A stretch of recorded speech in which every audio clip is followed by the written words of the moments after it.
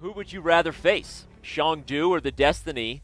Um, and uh, you know, give us give us your thoughts. We know you guys lost to Chengdu, as you said yourself, in the first match of the season. So is there a we want revenge, or or is there a bit of a you know what they're really good? We would rather see the Destiny in the in the playoffs. Be uh, give give us your thoughts on on who you'd rather face next week. Uh, yeah, I, I think we would rather uh, face the Destinies. Uh, we beat them before, and honestly, we just want to win the whole thing. So if he's ma- if he make it a little easier, I think we take it. uh, I think that the, the thing with the Chengdu is that you know you can just have Ding Liren, Yu Yangyi, and then Wang Yue. What a, well, of course, of course, we take Dallas. I think you know it's it's uh you know it's gonna be a tough match no matter what. But I think Dallas will be a nicer opponent. We already beat them before, so it's but it doesn't matter. I think we have a good team. We can we can fight no matter what. We're gonna give a good fight at least. You know, that's the plan. Well, we wish you the best of luck, regardless whether it's uh, the Pandas or the Destiny. And uh, thank you for all your insights and, and sharing sharing your feelings with us. Of course,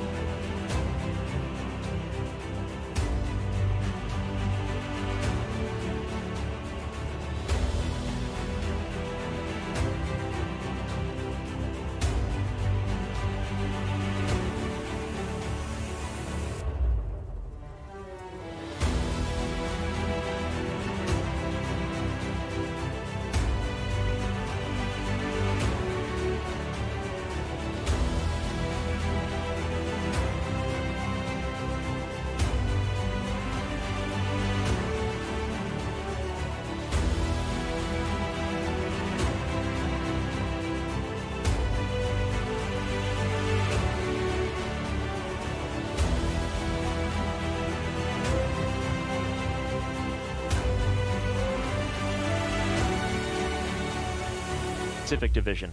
After a wild battle royale in Week 10, we saw the top four teams shuffle positions in a fight for supremacy. And so the question on everyone's mind is whether the powerhouse and preseason favorite Chengdu Pandas, led by Ding Liren, will be able to regroup to make another run at the PCL Finals in San Francisco. But the division leading Minnesota Blizzard, who feature a well balanced roster of fearsome professionals like Andrew Tang and fan favorite John Bartholomew, are anything but cold heading into the playoffs. The Dallas Destiny are hoping to ride the talented young American Jeffrey Xiong to turn their name into reality. While the Alexis Serrano led Australia Kangaroos are determined to surprise some teams by coming from down under in the fourth and final playoff spot. Tune in on March 19th as the Pacific Division rolls out and get all the information you need at ProChessLeague.com.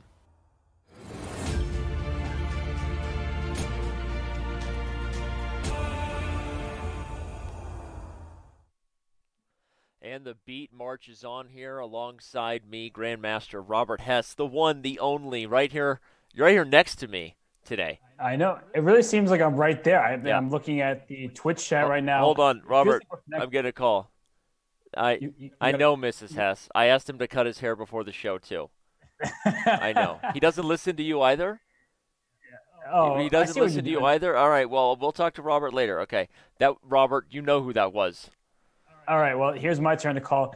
Hey, is this the, is this the Wrench children? Um, well, you should probably not listen to your dad because you know he doesn't really give good advice. You, oh, you oh, oh know oh, you don't even have to tell them that, Robert. What we do need to tell the people is what just happened because we just saw the the closure of the Atlantic Division.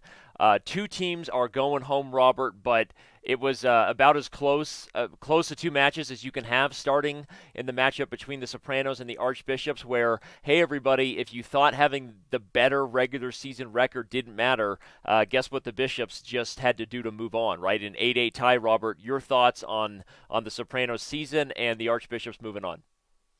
Well, the Sopranos obviously have a very good team, but it's hard to compete with a team like the Archbishops because when you have Fabiano Caruana, Wesley So as your top two boards, you're likely going to rack up the points. And Fabiano even lost his final round game, I think in no small part because the match was already wrapped up. They're up seven and a half, four and a half, just needed to draw one out of their four games to move on. So I think the Archbishops are the favorite. I would not be surprised at all if they make it to the finals. And I'm scared of that team for yep. sure no, that, that team gives every other team nightmares, but uh, still a great season for Montclair.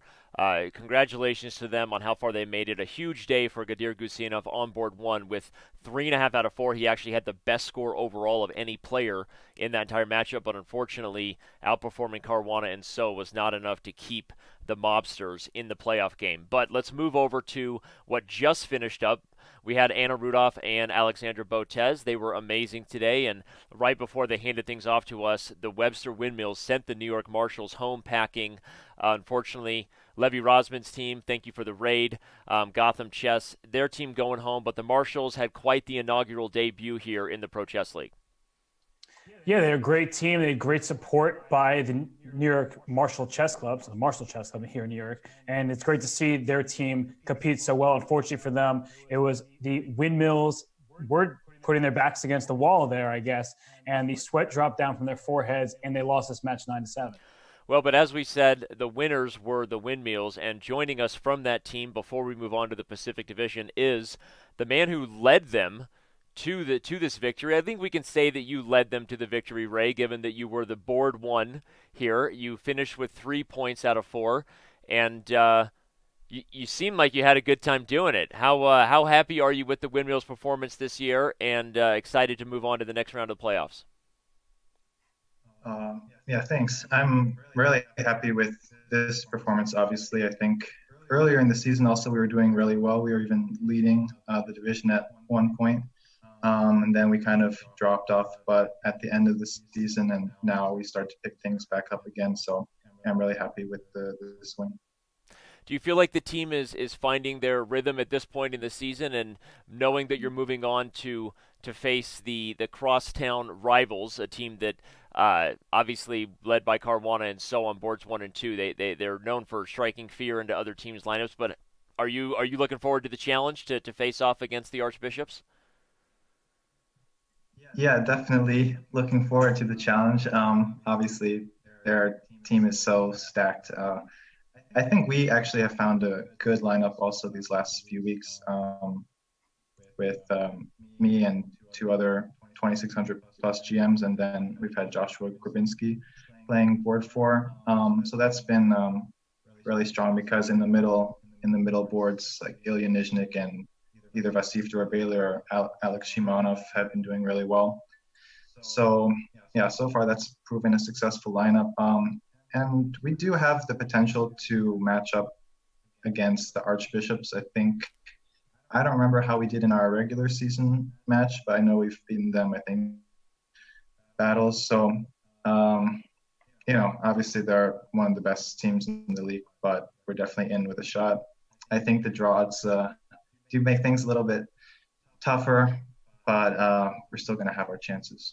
Well, we saw they they used those draw odds to move on today against Montclair, but talk a little bit about what your strategy would then be. Uh, I assume you'll be in the lineup, so I guess I'm I'm partly getting ahead of myself. I don't know for sure if you're in the lineup uh, when you face off against St. Louis, but assuming you are, what is your thoughts when you know you got to face two former 2800s, one of them still above 2800 right now. Uh, and and how do you how do you prepare for a matchup like that? Are, are you bringing bringing all the over the board theory? You bringing prep to go against Fabiano and Wesley So, or are you looking to make things a little bit obscure and, and weird as early as you can?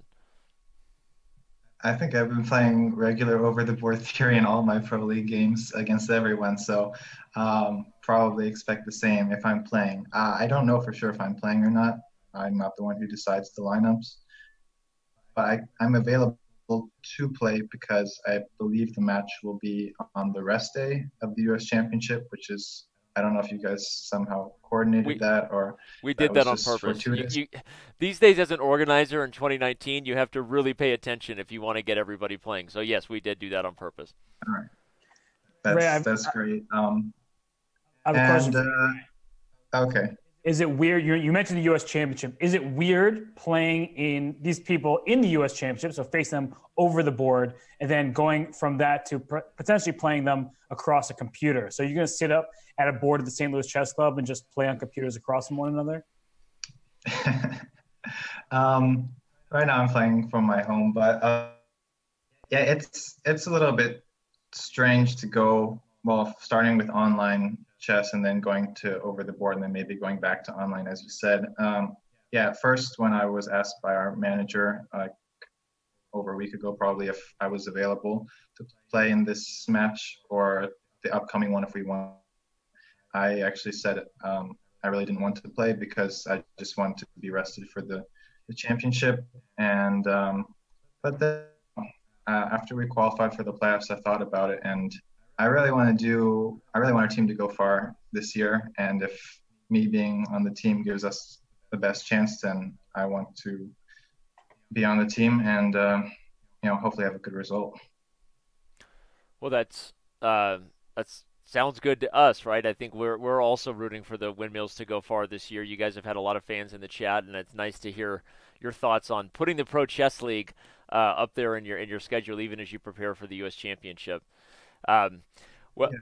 I um I don't have any other questions besides a big congratulations to you in the windmills, regardless of what happens next week. You you know you're facing off against your crosstown rival. It's a it is a real rival rivalry, given that you guys are both really good, um, and uh, have a have a lot to play for. So, uh, Robert, unless you have any other questions, I think we can let Ray get to get to enjoying the night here and move on to the Pacific Division.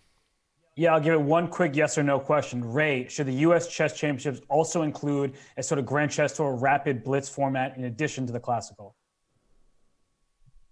Mm, no. Okay, that's a simple no. Hey, I love that. Um, well, uh, Ray, seriously though, great job and uh, good luck there, and uh, enjoy enjoy the night, enjoy the victory with your teammates, and we'll we'll see you next week. Thanks, guys. Thanks, Ray. All right, and there you have it there for some of you who may just have been tuning in and wonder what that interview was and, and why we had Mr. Ray Robson. There you see, along with Shimanov and Nyzhnyk, a three headed monster, really, which I think is key, Robert, if you talk about how the windmills will stack up against St. Louis next week. Let, let's say we have a similar lineup where you're throwing. You know the, the strongest one-two punch in the game with Caruana and So, but but at, at a slight cost, right? They do have a drop off after Caruana and So to boards three and four. Whereas you look at Ray, Shimanov, and Nyzhnyk all going three out of four today, they could afford Joshua Grabinsky to throw up a donut, and they still beat the Marshals. Yeah, absolutely. And that's what happens when you have such a strong three headed monster, as you called it. But I just think that the St. Louis three headed monster is stronger, of course. You have Fabiano Caruana, Wesley So in the top two boards. So you will definitely not be seeing Robson, Shimanov, and Nyzhnyk going three out of four next week. And I just wanted to point out that uh, well, we have a much more balanced lineup matchup that we're covering right now in the Pacific Division. Yep. We saw GM Mitkov, the board four for the Minnesota Blizzard, beat Anton Smirnov, the board one for the Australia Kangaroos. And we just saw Kleinbier, that's Thomas Beerdsen, draw his game against Max Illingworth, which looked like a fantastic battle. So, so far, yeah. Minnesota has the lead with this balanced lineup. I was surprised to see this one in a draw. I'm just going to show how it finished for everybody because uh, Perpetual in the middle of the board with both kings in. Uh, in complete danger. Uh, Robert and I, right before we went live, were pretty psyched to analyze this one, but apparently they were they were more interested in, in uh, not not losing for their team. I will give Mitkov a shout out, Robert. I, I, before we get to these games, I know they're really exciting. I think he chose a really interesting opening against the youngster to go with this sort of obscure Grand Prix that led to a very non-theoretical position and then ultimately kind of a positional grind against Anton Smirnov. So I was watching that game, and ultimately, I think that that strategy of surprising Smirnovs in the opening paid off. But all right, we've got Penguin GM under an incredible amount of time pressure, living off the increment right now. Andrew Tang against Grandmaster Daniel Fernandez from the Kangaroos. Uh, looking looking spicy here for the Blizzard player. Yeah, actually, that move knight g8 was excellent because if you had taken that pawn on g7 right away, then white would have went g5, trading off that last remaining black pawn, resulting in a draw. But here, after knight to g8, the white king has to move because if you push your g pawn, you simply lose it with check. And if you move your king back, then black can take this pawn on g7, put that king back on h6 to project, protect, excuse me, prevent can't speak yep. g5 and then start moving your knight into the action and winning the remaining white and, pawn. And here, very nice. there's no g5 check to try to put black in some sort of awkward zugzwang to hope it takes g7 everybody because black has knight f6 check forcing white back and then uh, and then just winning the game so um so looks like looks like tang is he's going to safely get g7 and it should go on to win this game at this point yeah absolutely yeah. in fact resignation yeah. just happened surprised to see the resignation, given that it was it was so close there. But I guess uh, after knight g8, like you said, White was in Zugzwang. So all right, the only game we haven't gotten to is this one between uh, Far Yun Song and Corrales. Looks like Corrales in pretty good shape, up up a minor piece here. And uh, okay, time pressure, anything could happen. Do we see any real drawing chances here with the rook and knight going work to work against the king? I don't think so. No, I mean the fact that you have this e pawn is very important for black yeah. because with only this h pawn, then there's definitely good drawing chances with a maneuver like you saw just now with g6 trading yep. off that h pawn for the g pawn. But now you can just take this pawn on g6, maybe put your bishop on d3 and figure out what to do with your dark square bishop next. And okay, there's some outside chances to hold, but the real problem is bishops are just so much stronger than knights in positions like this. And, and I'm already looking at the move rook to b6, unless there's some. Okay, he found bishop g6. Maybe there was some worries of checks on rook b6, but. Um, yeah, probably just didn't want to allow some kind of knight f4, and you can't trade on g6. You lose yeah. the e5 pawn. But th- this is a very useful position for the bishop, uh, guarding critical squares around the king. Likely, Corrales wins this game, and are we talking about a wow, we're talking about an early three and a half half lead for the Blizzard, who just continue to roll. Right, I said in the preview this week they're they're uh, they're they're they're playing they're playing ice cold chess. This is this is um. this has uh, been a very impressive couple weeks for the Blizzard, and right now they look like look like they're they're still rolling here in the, into the playoffs. Yeah, and I actually heard some critics claiming that Minnesota's not a good match team, and that actually has been relatively true throughout the season. They haven't won many matches; they've made a lot of draws, but they crushed the battle royale yep. format. So, okay, Corrales is four seconds. You got to move King G7, put your king back. Rook at five. five oh my check. gosh! Not going to be a three and a half lead. I misspoke, meaning I jinxed yeah, the Blizzard. Don't yell at me, John Bartholomew. Don't yell at me. uh, what just happened? You just there? totally just blundered like... away the game he put his king on f7, which didn't make any sense because it allowed the rook to check and win the bishop. And he clearly got nervous and time trouble. And now the black king is going on a journey, but well, that g pawn will go on a journey of its own. yeah, I mean, here, here, uh, black is lucky if he draws this, uh, but then again, it's time pressure. Now both sides under 10 seconds, living on the increment. Rook to g1 yep. coming, f2's falling. Um, so don't don't take this bishop because that only helps black. Yeah, was there knight g4 there? Maybe not. Um, okay, knight g4, maybe there was e3, but that was already an idea by white everybody to try to block the rook from guarding the g pawn. Yeah, your move e3 was good just now instead of king takes yeah, knight g4 check. Because now here comes knight perfect. g4 check the second time around. King f3 is going to be met by rook f8 and g7. Yep. Oh, he misses Ooh, it. 95 is not right. That cannot rook be right. Rook f8 right. and g7 F- was the win. Yep. And now it's king f4. Bring that king, king back. Oh. Even now, king f4. Black has time now. It was a huge blunder by white. This idea of running up the king is way too slow here. Honestly, Black might win this game. Yeah, uh, Black might still win, which Black, would be. Black. Oh, he's got mate on H1. He blundered mate. Oh my gosh. And I I couldn't get the words out of my mouth. Don't blunder mate on G H1 before he played G7.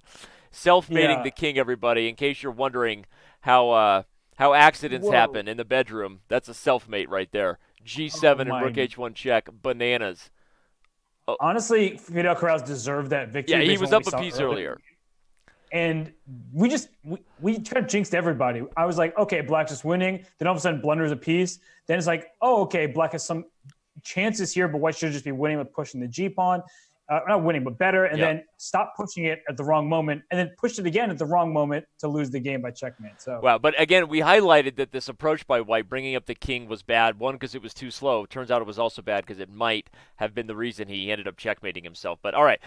We just had a crazy start here to the Pacific Division in the playoffs, but the Minnesota Blizzard are now three and a half half ahead of the Kangaroos. And let's talk about where these teams were at as they headed into the playoffs, uh, because we mentioned that the Blizzard are are just super hot right now, bringing the storms. Insert awkward puns that you know I can come up with. I could be here all night, people, but I won't. Let's just say the Blizzard are. Uh, are rocking right now, and they leapfrogged both the Dallas Destiny and the Chengdu Pandas to head in here, as Robert said, with, with some incredible Battle Royale performances.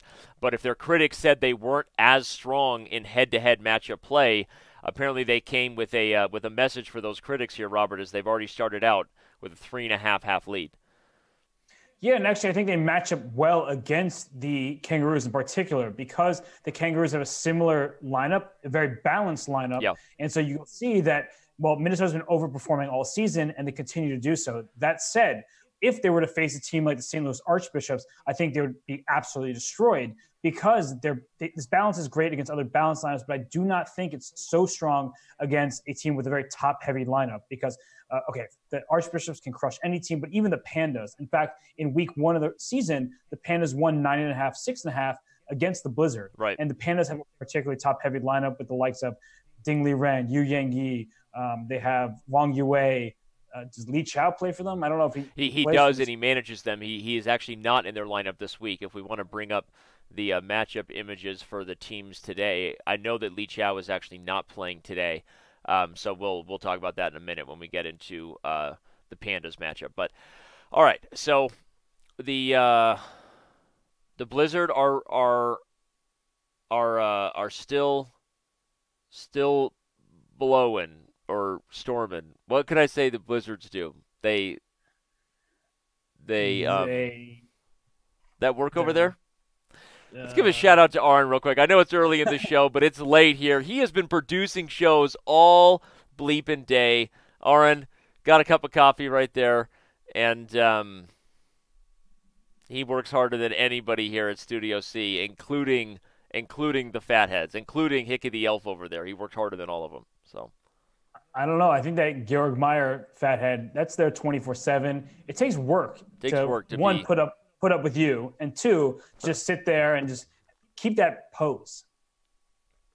Well, uh, it does take work, and uh, it's gonna it's gonna be work here for the Kangaroos to get their way back in this thing. Um, you made a good point about the balanced lineup. I guess that that normally has been the uh, the Kangaroos calling card, but against what seems to be some underrated players for the Blizzard, especially Beerdsen on board three, who's just been a monster. He's an international master, but playing like a G6 all year. Um, and um, and then you got Mitkov on board four, right? Not every not every day you can throw a GM on board four. Yeah, no, definitely not. And also, what? By the way, what happened in this Mitkov game at the end? Did like Smirnov disappear, lose internet? Because on my screen it shows that it was a pretty normal looking position when White won the game. Um, that's a really good question, actually. Um, although I liked the way uh, Mitkov approached this, like I said, with kind of an obscure approach out of the uh, opening here. Oompa Loompa Dan. Throw it at him. we've uh, we've got. Uh, I think Smirnov. don't do that again. Do that again. What do we got? The schnozberries taste like schnozberries. You're turning violet, Violet. it's funny because I can't see it We're, away. we're having like, some I was- trouble with the uh, the lighting here, everybody. Hey, just roll with it. All right. Um, the uh, I I don't know. We can get confirmation from the commish. I don't know what happened in Danny, I'm, I'm just here. trying to make you your your most beautiful version of yourself. Make me the most beautiful version of Did you do your makeup today? That's like ten years. I did not put the makeup on today. You can see the, the shine on my I, head. so maybe come over there. Are, are you gonna do the makeup on mid show? Let's not do that. I don't want people to know that part of our relationship. well, you know, I mean, I'm very confused. So it looks like Smirnov probably just Disconnected. Yeah, we'll we'll see if Greg can confirm. Um, because he, he's better in this final position with his G pawn rolling. yeah, And he's down a pawn, but that pawn's very passed, and I don't know. That's an unfortunate sign for the Kangaroos. Well, the uh, the next set of games are are just beginning here. We have Grandmaster Max Illingworth uh, New active author for chess.com, both writing and doing videos. So look for more content coming your way from Max from Australia, from Down Under. Uh, then we've got Grandmaster Andrew Tang taking on the board four for the uh, the Kangaroos. Far Yun Song, Ray Song. Corrales yep, and Tang. What? You're talking about Tang versus Song. Tang versus Song. Yeah, just it's very plain looking opening. You know, vintage Tang. He usually plays a London yep. or a Colle or something like this, and just tries to beat you later in the game. It's yep. not really his style. Let's, let's hope for an equal time scramble.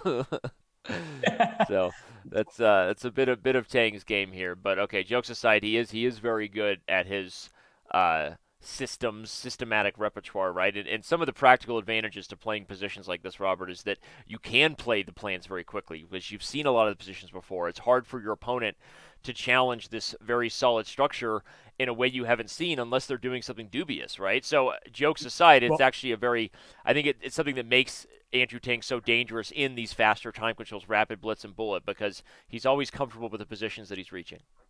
Well, Danny, speaking of dubious, it looks like Fidel Corrales uh, slipped on move. What was that?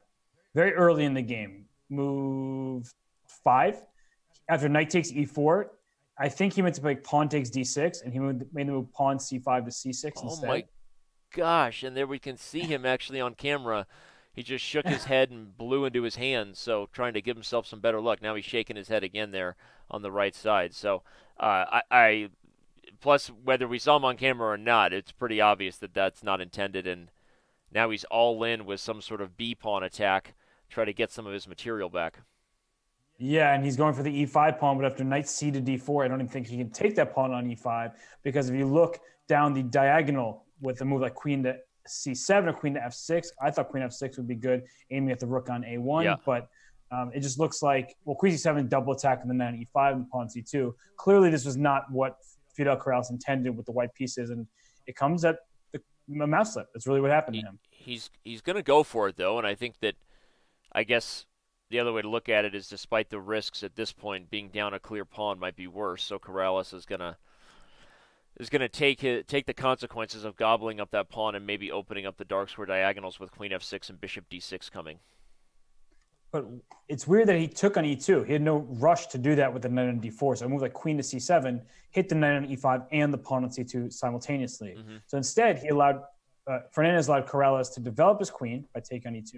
And I don't think White's that much worse in a position like this. You're going to play rook to d1. That d5 pawn is isolated and easy to attack. Yep. Then eventually you can play c3 or pawn to c4 and just go straight forward in the center. And he makes the move a4 to protect the pawn b5 and trade off his bishop here. And if that bishop takes an a3, the rook will take back, swing over to g3, and there goes a kingside attack. Great idea. And uh, useful full board awareness there. But I, I, also liked your straightforward kind of positional approach of rook d1 and c4. Um, partly because of this a6 move by Fernandez. So, yeah, kind of a very, we've got a really messy one over here, which is what happens when you get mouse slips followed by crazy blunders. Shout out to Grandmaster Wesley So, who uh, who's still hanging out in the Chess TV chat. Wesley's been with us all day, all night. He's uh, in the Chess TV and the Chess.com live chat, just hanging out with people. So, Grandmaster Wesley So. Yeah, he's always around, and I love to see that. And they asked him in the interview. Um, they were like saying, you know, you, how nice has it been for you to be part of a team because you're always in the chat rooting your teammates on. He says he really enjoys that because in chess, it's a very individual yep. game, and he really enjoys having teammates whom he can kind of support yep. and they can support him. Shout out to Joe, 1872 Diamond member. Says we're the dream team, Robert. I thought those were the 96, uh, you know. 92? 92. You know, I was testing you. You barely passed. I know I passed with flying cover, colors. I'm actually a little disappointed in you right now because I know you know this. I do know this, but you know, I just wanted you to get one NBA reference out of your system so you don't try to drag this conversation back to sports later. But oh, I'm not talking NBA today. It's all about March Madness. Are you kidding me? Belmont's about to start against Temple. You don't think I have ESPN tab open here? So when you start talking, and I'll just be hey, like, focus, oh. Robert, because now we've got another one to look at. We haven't peeked on Illingworth versus Mitkov. Okay, the opposite of what we're seeing on some of the other boards uh, here. Let's let's back this thing up and see what the opening was. Illingworth played a Catalan and transposed into a quick sort of double fianchetto ready ready style, something to make Nakamura proud. Um, rook to d1, e3, knight to c5, but after d3 and the trade on c4, this is a very much a just like a reversed hedgehog where uh, the feature is white has this sort of potentially weak d3 pawn, but not really. At some point, that pawn will push to d4, and and black actually just has less space here. The more I look at it, the more I'm actually really liking Illingworth's position. This move knight b5 is it is it just threatening bishop e5? Yep, bishop e5 looks annoying. You can also th- put the bishop on a3 to pin that knight so you can go d4 next. Um, it's really hard to kick this knight out of b5 as well because you have to commit to playing pawn to c6, which totally ruins your bishop on b7. So here, a move like bishop a3 looks good. Okay, expanding on the king side, can't really complain about that. Uh, I was going for the more immediate threat with bishop a3, but h4 is very sensible here. And I don't see a plan for a Mitkov. Like Danny, if I gave you three free moves, what are you doing? Yeah, it's hard to say. Well, now uh, Illingworth is kind of forcing the plan with d4, but after bishop e4, I think queen to e2 is this knight really going to go to a4? Is that what he's going to do? I don't think so. I think you got to put the pony on b7 or a6, and then white's going to play d5, and that bishop on e4 has sort of wandered too far from home, right? Yeah, actually, if you go knight b7, I'm going to start with knight to c3, just challenging where that bishop's going to go to. If you go to yep. h7 or something like that, you've given that g2 bishop that full Catalan diagonal. And if you go back along the long diagonal, you're actually just probably going to lose your bishop right away. So your knight to b7, knight c3 is a good move. It, I guess you have to go knight a4, Danny, which I agree with you looks terrible because how's your knight going to get back into the game from there? Yeah. Shout out to ZS Goldberg with the Twitch Prime sub. Diamond member Real Greco says, if we're the dream team, then I'm Laettner. Pretty sure that means uh, I'm the most irrelevant member of the team. You know, it's hated. Like oh, most hated. Okay, that also works because Laettner was he on the dream team '92? Yes, he was. As the best college basketball player, he was like the one non NBA. The, the most hated, the most irrelevant player on the team. Yeah, yeah. So yeah, you know. All right. Well, he goes 96, but I think Illingworth should push d5 here, and this is actually pretty irritating for black, right? The bishop is now trapped outside the pawn chain. Huh. He plays plays bishop there first, but he better play d5 now, because otherwise you're just tucking your tail between your legs. No. He's going to go e4 next. Just keep expanding that pawn set. Wow. e4, big center, or go home. Yeah, this is looking really nice for Illingworth. Mitkov's yep. pieces just don't have good squares to go to, and White is very naturally making progress here. And e, e4 can be followed by e5. e5 and then d5. Yeah, just, just breaking through. And then you go or, f4 if you want. Just yeah. All pawns go forward.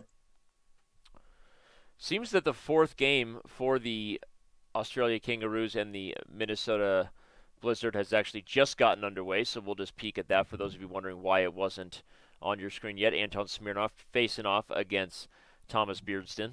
Beerdsen. Again, yep. as we said, one of the most underrated players in the Pro Chess League this year has really performed well, a, a big part of Minnesota's success. Yeah, Beerdsen's been had a phenomenal season, and he's striving for his Grandmaster title. He is an international master with nearly a Grandmaster rating. Has had success in over-the-board tournaments in recent months. So, uh, good on him for continuously showing up for the Blizzard week after week. Ditto what he said. Let's go back to Penguin GM's game because that's heating up, and this is a little bit reminiscent of a game he had actually at the U.S. Junior Championship this year, if I recall. Um, but okay, we we left the position highlighting that it's a uh, Colle system. Actually, if you want to go purely by what the ECO says, kind of a Colle London repertoire. Um, as we said, something that Andrew plays both in his over-the-board tournament chess and consistently in his online rapid blitz and bullet games and a big part of why he's able to play so quickly. You can see he's already up three minutes on the clock. And he actually won the bishop pair early and seems to get off to a pretty comfortable edge, especially because you know he's played these types of positions before. Um, and after the move c4, with the undermining coming to the e6 pawn, maybe there's already some tactics on f5 because of the pinned e6 pawn. I like Andrew's position here. I don't like yeah. I don't like how sleepy he looks, but I do like his position. Yeah, no, but he's just cruising in this game. Black's already probably completely lost. And part of the problem is it seems like Raymond Song didn't fully grasp the plans for Black. Instead, yeah. he walked into everything that White could ask for, getting the bishop pair, taking allowing White to a4, a5, and then taking on a5, such that you help this rook develop, attack yep. the center, and put pressure on this a7 pawn. So really everything has gone right for Tang. If you move the knight away in this position for Raymond Song, then like you said, rook takes f5 comes into play. If you go pawn to f4 to try to trap this bishop, then I can just take your knight on d5 and you have a pinned pawn on e6, and that's not going to be very good for black. Yeah, you can even safely take back on g3 because that d5 pawn can't be captured by either bishop or pawn. So yeah, great point. Yeah, big trouble here for uh, for Ray Song and and Andrew, despite his sort of calm demeanor. And uh, my grandma called and she wants her robe back, but you know. Other than other than that, I mean, Andrew looks right at home in this uh, Colle system, and, and good for him because the Blizzard the Blizzard continue to be in great shape here. Yeah, and I wouldn't even say other than that. I think precisely because of that robe, he looks like he's just really chilling, right? Uh, not even it's, using it's, a Blizzard pun. He it's hard just... to judge a man in a robe, right? That is some confidence when you're throwing a robe on to walk around the house. I mean, right? Yeah, I mean he's in perfect place to play online chess. You yep. when you got the robot, you're really not moving from your seat for the next four hours. Yep. All right. Well, uh, we'll see how Andrew continues to grind this one away, but he looks in great shape to get another point for the Blizzard. The other game that's moved even further along is this one here between Corrales and Fernandez. Um, White seems to have fully recovered from that.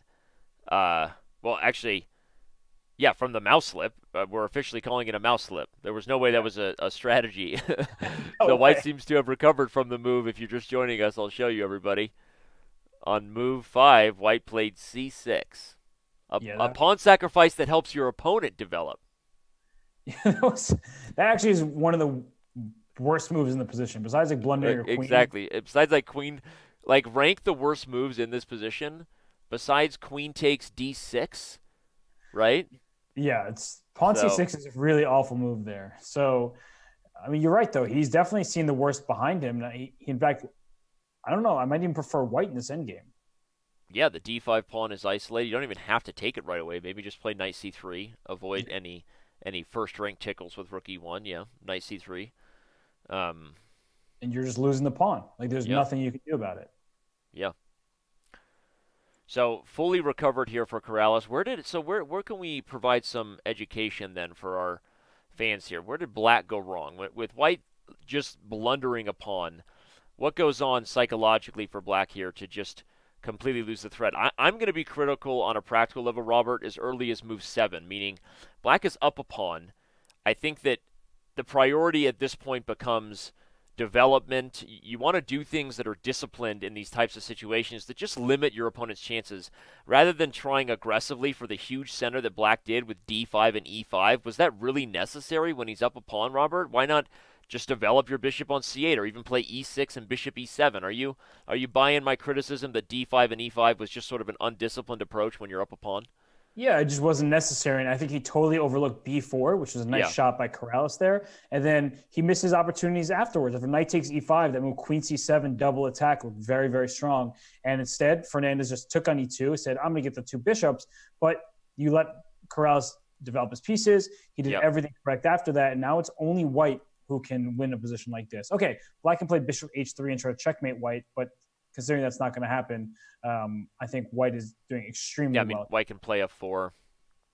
Yeah, It's a simple move that guards g5 and attacks the rook, and then even follow it with f3 and try to get the king out. Okay, yeah. if f4 rook e2, I guess you're you've got some work cut out for you to remove that rook from the second rank, but yeah, I'll go rook a3 to remove your bishop from h3 yeah, first. Rook a3, then... great move, followed by rook e3. In fact rook a3 even now is probably yeah. enough to just be easy money, as they say, right? Yeah. And I wonder if there's any difference whatsoever between rook a3 and rook d3. Sometimes think these things are very important, but here I don't think it is too important. You're going to, after rook g6 check, you'll block with rook to g3, and all is safe for the white king. And white is up a pawn, is making progress over there on the queen side. Everything looks excellent for Fidel Corrales. Three healthy pawns, powerful knight in the center, and Robert doing commentary. Shout out to Diamond member Rob Alpha there in the Chess TV chat and all the Twitch.tv chatters, the chatters. That's their nickname. I hear that Twitch chatters like to be called twatters. You you said Rob Alpha, and I thought you were giving me some weird new nickname. I was like, first of all, if Rob Robert Hess and Alpha Zero had a baby, they would be Diamond member Rob Alpha. so this is, this is sort of along the lines of I thought you were going. So I was yeah, kind of confused. Wow, Danny, well, you came up with something on the spot and pretended like it was in the chess.com TV chat. Yeah, well, let's go. Let's go back. While we wonder exactly how the process of you and Alpha Zero making a baby might go down, let's go back to GM Mitkov's game versus Max Illingworth, because uh, Illingworth is maybe the one guy about to get a big victory here for the Kangaroos, who have not started off this match well. Uh, clearly, if you're just joining us, the Blizzard took a three-game lead after the first round of play. But Illingworth, this position, this position has game of the week written all over it here, like something dirty, right? Talk dirty to me on the king side here. This position just gives me a headache. And a, let me look how many pieces are on the board, and yeah. I'm not sure at what point White wants to make a like pawn to d5. I mean, we should just start by saying if you take on c5 here for White, the d2 knight is hanging in yeah. every variant. So you can take on c5, but you're not going to be happy once this rook takes on d2, gains the open file, and starts putting pressure on your position once this e7. But but your lovely move d5 has this idea of e6, and suddenly we got right fantasies yeah. on g7. The problem is black can actually, but can black take with both knights? We go to double rook sack town on e6, and we're still bringing the goods. I think after d5, black will take on b5 first. Just like take this knight off the board. Ah, say, okay. I'll just blockade your pawn with one of my knights, and there will be some issues here. But instead, we see the move knight to b3 being played, and if I had I to guess, to... Illingworth probably just ignores this with the move knight e4. Um, the only question would be: Is Black going to go to exchange sack town on d4, something like knight takes, followed by rook taking? At the end of this line, White has knight f6 check with sort of a discovery on the loose rook. But otherwise, I think there's a lot of tactics here in the center to watch out for. Wait, Danny, knight e4. I'll take you on e4 and then play c6 and trap your knight on b5. I think. Ho ho. Well, it's not exactly a trap. I can put the knight on d6 and I still have d5 punches. No, but I would if you so knight e4, bishop e4, rook e4, c6, knight d6. I, I don't know if you're showing all this. Yeah, yeah, I'm bishop, showing it. Bishop takes d6, e takes 6, f5, forking your queen and rook. Oh, now that hurts. That hurts. Yeah. I love that. Yeah, Robert, just... you don't ever have to ask if I'm showing the analysis. Your words talk and my mouse moves. It's like a knee jerk reaction I've been trying to stop ever since it started happening. You know why I ask? Because you know I trust you. But we haven't done commentary together for a pretty long time. It's finally time that we're rekindling the flames here. Yeah, it's just it's been a, you know? it's been a minute, as they I say. Just, I walked into that sauna, I grabbed that scoop of water and dumped it on those rocks, and that steam is coming up. it's not even the sauna; it's definitely just the LED light making you just sweat, but it's okay. Yeah. Uh, you glisten, you don't sweat. All right, I'm gonna I'm gonna bring us back here. Night of three played partly to avoid probably the tactics that Robert was just highlighting that are actually really instructive. And it, it is uh, the reason I blundered it for everybody. Besides the fact that you know now's your opportunity to make fun of me for a blunder, go for it. But besides that, it's actually a common thing that can happen in these types of positions where there as Robert said there's so many pieces there's so many tactics it's hard to keep track of everything if you're not fully focused and that's a good lesson to not assume just because parting with a light, light squared bishop like bishop takes e4 would normally be so bad for your position uh, but because the tactics should matter more than sort of positional reasoning like that that's why I missed this whole idea of of uh, taking on d6 and f5 and Illingworth didn't. It's his job to not miss tactics like that but I think it's easy to go wrong, and maybe maybe Illingworth already has actually because after knight f3 takes on b5 and queen d5, suddenly we're in this position where all of White's pieces on the king side seem kind of misplaced. Robert. Yeah, actually, this queen d5 move is excellent. Your queen, yeah. as you like to say, nobody puts baby in the corner, and that queen was just sitting there on a8. Yeah, but now it's on d5. Happy. It's attacking the pawn on b5. The a3 pawn is also under attack. And speaking of attack, where is White's? Yeah it's nowhere to be found. In fact, everything that was dynamic about this center, everybody, was kind of based on this D5 punch that was consistently bringing the long distance relationship together on G7, the bishop and the queen. But suddenly, with the structure being closed, this bishop on C3 looks like a big pawn. As Robert highlighted, white has many more positional weaknesses than black does. And a very, very smooth transition for Mitkov, who was clearly worse here out of the opening. So, again, the wizard uh, sorry, not the wizard. The, the Wizard continue to play like Wizards and use a little magic to get out of bad positions. But let's go. Let's go to Tang's situation because he hasn't been worse since the start of this one and continues to be rocking here. Now with the bishop pair, he seems to have stolen that pawn on f5 from where we last left it, and he's still got all kinds of pressure on the e6 pawn. Yeah, this almost looks resignable despite black only being down a pawn. And the reason I say that is not only does is like down one pawn, there's all the positional weaknesses. A7, D6, E6 all need defense. And so yep. white can just pile up pressure with moves like queen to E2 at some point, or just queen to D2 to B4. You can play on both sides of the board for white in a way that black can't. And that's also because of the bishops, long range pieces. The knights are stumbling on each other's toes, looking excellent for Andrew Tang. Couldn't have said it better myself, which is why I didn't say anything. I just proved to you I can shut up if I need to. Um, fantastic point, Robert. And again, I think we should highlight for everybody that White's king is just in no danger here, despite the ugly looking double pawns when you would normally be worried about that because black has no ability to, to bring minor pieces over to the king side. And the pressure that white exerts on these other pressure points, as Robert said, the d6 pawn, the e6 pawn with the two bishops, is uh, is more than enough. And and again, if you look at Andrew Tang, obviously, uh, between keeping his eyes open, he's clearly playing fast, right? He's got seven and a half minutes to three minutes for his opponent, and um, this is this is what Andrew does does very very well. I think he yeah. can just play bishop g4 now, Robert, which guards the square on h5, so there is no way to dislodge that bishop. Um, bishop e4, I guess, is also possible, but I was thinking bishop g4 might be the simplest approach to keep an eye on the e6 pawn. I'm simultaneously listening to you, and you're absolutely right. Like bishop g4, I think that looks very good, protecting f3. But I'm watching Tang's video, and yeah. he he really does look like he's about to fall asleep. No, he looks exhausted. like, hey, should we see uh, if he's uh, okay? Does anyone, you know, do we yeah. have his his number? Can it's not that sure? late there. I mean, I know he's young, but do they ever let him stay up past 9 p.m. ever? Well, I wonder what the weather's like. In... Just just between soccer practice and streaming, he's got to play some real chess. Yeah, um, he, look, he does look tired, but he's not tired of winning his games. In Minnesota, I mean, he's just cruising right now. They're cruising right now. All right, well, mm-hmm. let's go to the game that's actually furthest along.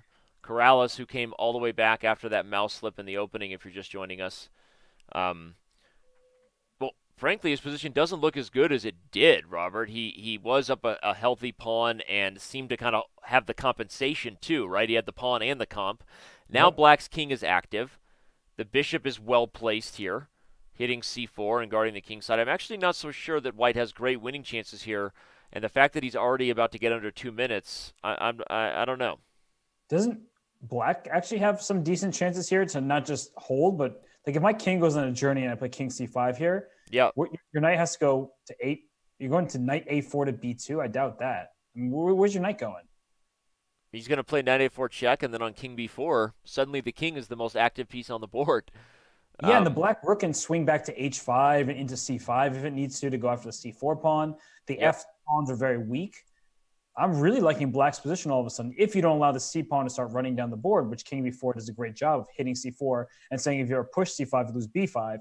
Yeah, I just really like um, Dan, Daniel Fernandez's position here. Yeah, and not only that, and as we said, the bishop is super well placed on on e6, hitting c4, but also in position to guard the c8 square should white kind of go all in with a with a c pawn push. So really interesting to see such a back and forth game here mouse slips, blunders for both sides, right?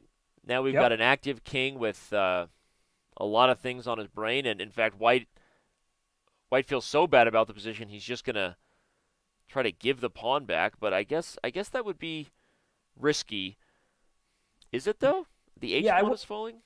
What I, what I was thinking instead of taking on d5 and giving the white rook access to c7, I'd play bishop f5 here, saying your rook is overloaded. You can't protect uh. c4 and you can't protect h2 except from the c2 square. So with that being the case, after bishop f5, you're giving me one of those pawns, and your c4 pawn is still weak. So your knight d5 looks great on that square, but it's kind of just hanging out and not doing. There's bishop f5. right as you say that, he finds it. Yeah, very strong move, Robert. Robert, you're such a strong chess player. Um, only hey, that like, I'm going to give you a compliment that Hikaru gave me once. That was a GM level move right there. Bishop f5. That has a funny ring to it from from me. I, I I guess you know it's good that I'm still capable of making GM moves, but yeah, it just looks really good for black now as the.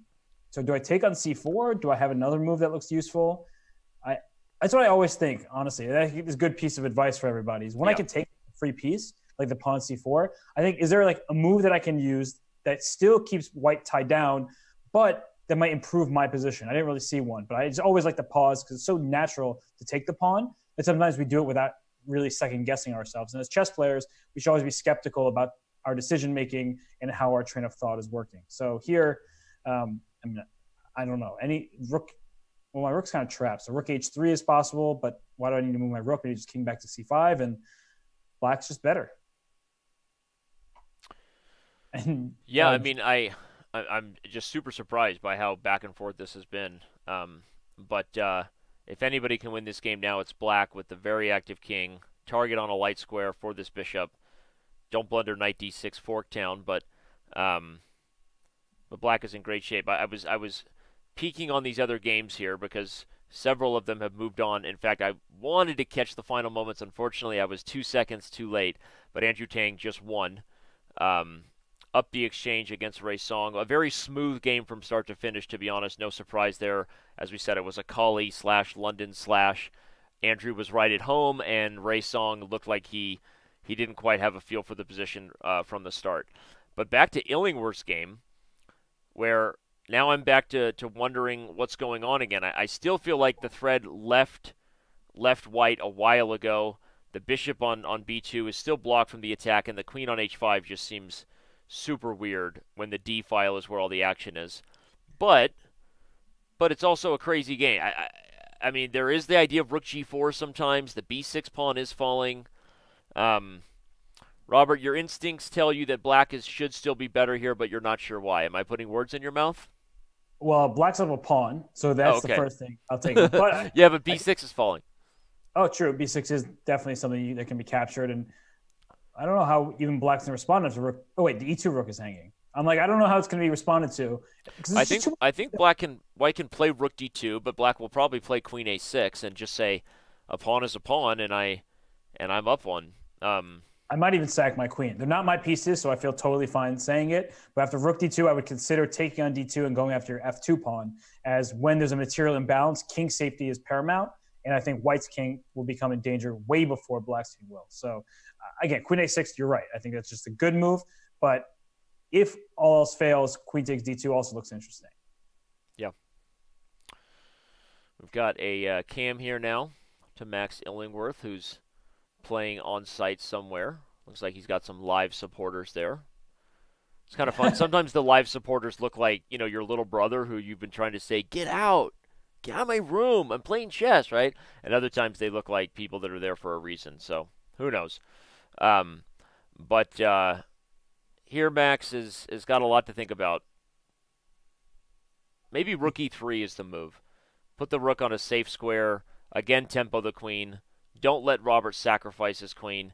And if you do go back to a6 to guard b6, maybe I flip over to g4 and try to create create an attack over here. It's funny, you know, you're right that white wants to create an attack so badly, but the queen is misplaced on h5. Yep. Because when you play rook g4, you want to play pawn h5 next and just kick that knight from g6. The problem is your queen's on h5 and is nowhere good to move to because your queen and rook can't share g4. Yep. So your pieces are actually in each other's way. Black is up a pawn, and per, yeah, this rook e3 idea looks better than rook d2. Okay, bishop f1. Oh wow, bishop f1. Okay. That move looks sketchy. Awkward. mildly. It's just anti-Karpovian to put your piece on backwards to the first rank where it's undefended, right? Um, yeah. Makes you feel like bad things must be about to happen for white if that's the move that you're going for. Yeah, it looks like. Oh, well, I like that decision. Yeah, very straightforward game of tickle now. Cat and mouse between the queen and the rook. Wait, what? Repeat I don't think Mitkov's going to take the draw. Okay, oh. I could be wrong. I've been wrong before. It happened like twice. He's also up a pawn, and his position looks very good to me. So maybe he'll he won't he'll make he'll make him a queen b1, attacking that bishop. Yeah. And then uh, bishop but, g2, we were in that position earlier, I think. And if rook e1 there, then rook d1. No, he's going to take the draw. Yeah, this looks like a bad decision. But from a match point of view, maybe it's wow. That's that's pure match strategy. That okay. At this point, if the Blizzard jumped out to a three-game lead, perhaps Mitkov is saying, "Well, with the black pieces, should I really be that upset about a draw against a grandmaster? Maybe not." But very, I agree with you, Robert. Black black seemed to be like the only one who could win there. Yeah, and just shout out to all 3,500 plus people here checking out the Pro Chess League playoffs. Danny, I mean, you can tell everybody about the pro chess league better than I can. I'm just here to look at chess games. You're you're just here to look pretty and uh, and talk about chess. This is the world's largest online global chess league. 32 teams from five continents, and we are in the playoffs right now. If you're just getting here, we've already had some results in the book. Let's show that real quick for everybody who maybe missed the show earlier. We have two teams moving on in the Atlantic Division. The Archbishops barely got by the Montclair Sopranos with draw odds. They squeaked by with an 8 8 tie. Uh, the Webster Windmills took down the New York Marshals, uh, sending New York home, although they had a great season. This was their first season in the league. Uh, and so next week we will have the Webster Windmills versus the St. Louis Archbishops in the Atlantic Division. But the Pacific is well underway. That's where Robin and I will be focusing for the next four hours with all of you tuning in to see right now the Blizzard, who ended the season on just an incredible hot streak. Um, and right now they, they're maintaining a five game lead. But but okay, this one here, Corrales has let get away from him. Still a position that probably only black can win because of these doubled pawns, everybody. And it shows you that normally, Robert, you would highlight that a knight should be better than a bishop when you have pawns on one side of the board. And for those wondering why, the knight has the ability to switch colors and maneuver in and out of things, right, and create weaknesses. But in a position where your pawns are so bad, there's no way white has any winning chances here. Yeah, 100% true. In fact, black can win a pawn right now by taking on e4. And then rook h3, he does it. But this is the bad thing about rook endgame. So you highlighted absolutely correctly that in when pieces are on the same side of the board, you know, having the knight is a good thing. But now when pawns are on the same side of the board, in a pawn down rook endgame, the drawing chances really skyrocket up. So yep. even after well, rook takes h4, I uh, can rook, rook takes h4 would allow king g3 here, and even though the rook is trapped, black does have g5 though, just barely. Yeah, and so he played h5 first, but now, well, I mean, white can just play a move like e5. And this reminds me of my endgame against Vishy, honestly. Yep. This is quite For similar. those of you not who don't know what he's talking about, Robert drew Grandmaster and former world champion Viswanathan Anand at last year's Isle of Man International uh, in an endgame where he was up a pawn, but similar to this, White had great drawing chances. Yeah, and even if that H pawn starts rolling down the board, like if you go too far, if you go H4, this white rook can go attack your pawn. So if you go yep. H3 here, I'll go rook A2, swing over to H2, and just try to gobble up this pawn. And this sometimes. Really Sorry, instructive to see the defense from Corrales here. I know it's similar to Vishy's defense against you, Robert, where the pawns are holding black, holding back black's pawns from moving forward. And now, as Robert said, you're going to see Rook H1. And try to... uh, this is this is a blunder. He blundered. So actually, this was almost the exact position I had against Vishy, except his king was one file up. So imagine the king was on f3 right now. King f5 yep. would not be possible because rook f6 checkmate. Here, king f5 just wins. And the reason why king f5, rook f6 check, king to g4. I throw a check on b2 next for black, put my king on the G- h2 pawn is too strong. H pawn is too strong. So my uh, against Vishy, his king was one file up. He was on the f3 square, and that was the essential difference, which made king f5 impossible here. And so to visualize that, everybody, if this white king was on f3 here, rook f6 would be checkmate, just to show everybody the line that Grandmaster Robert Hess is calculating too fast that we uh, faster than we can follow. But that would have been the difference. If White's king was on f3, Rook f6 would have been checkmate, which is the defense that Vishy had against Robert, preventing him from bringing his king forward.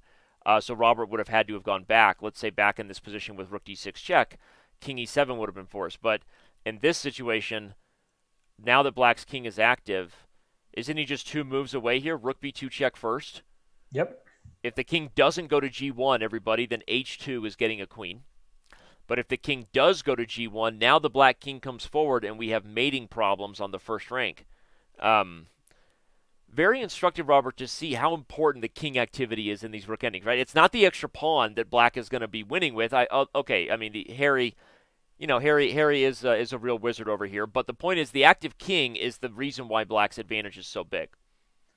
Yeah, no, you're completely correct here, and it's actually very important. Another thing, I as I'm, you know, recalling my game against Vishy, just like when you play a position or when you've had some sort of end game, it's important to study it and learn from it. Like I could have had that game and not looked at it and just forgotten about it, and then be like, oh, okay, you know, this looks familiar, but I'm not sure what to do.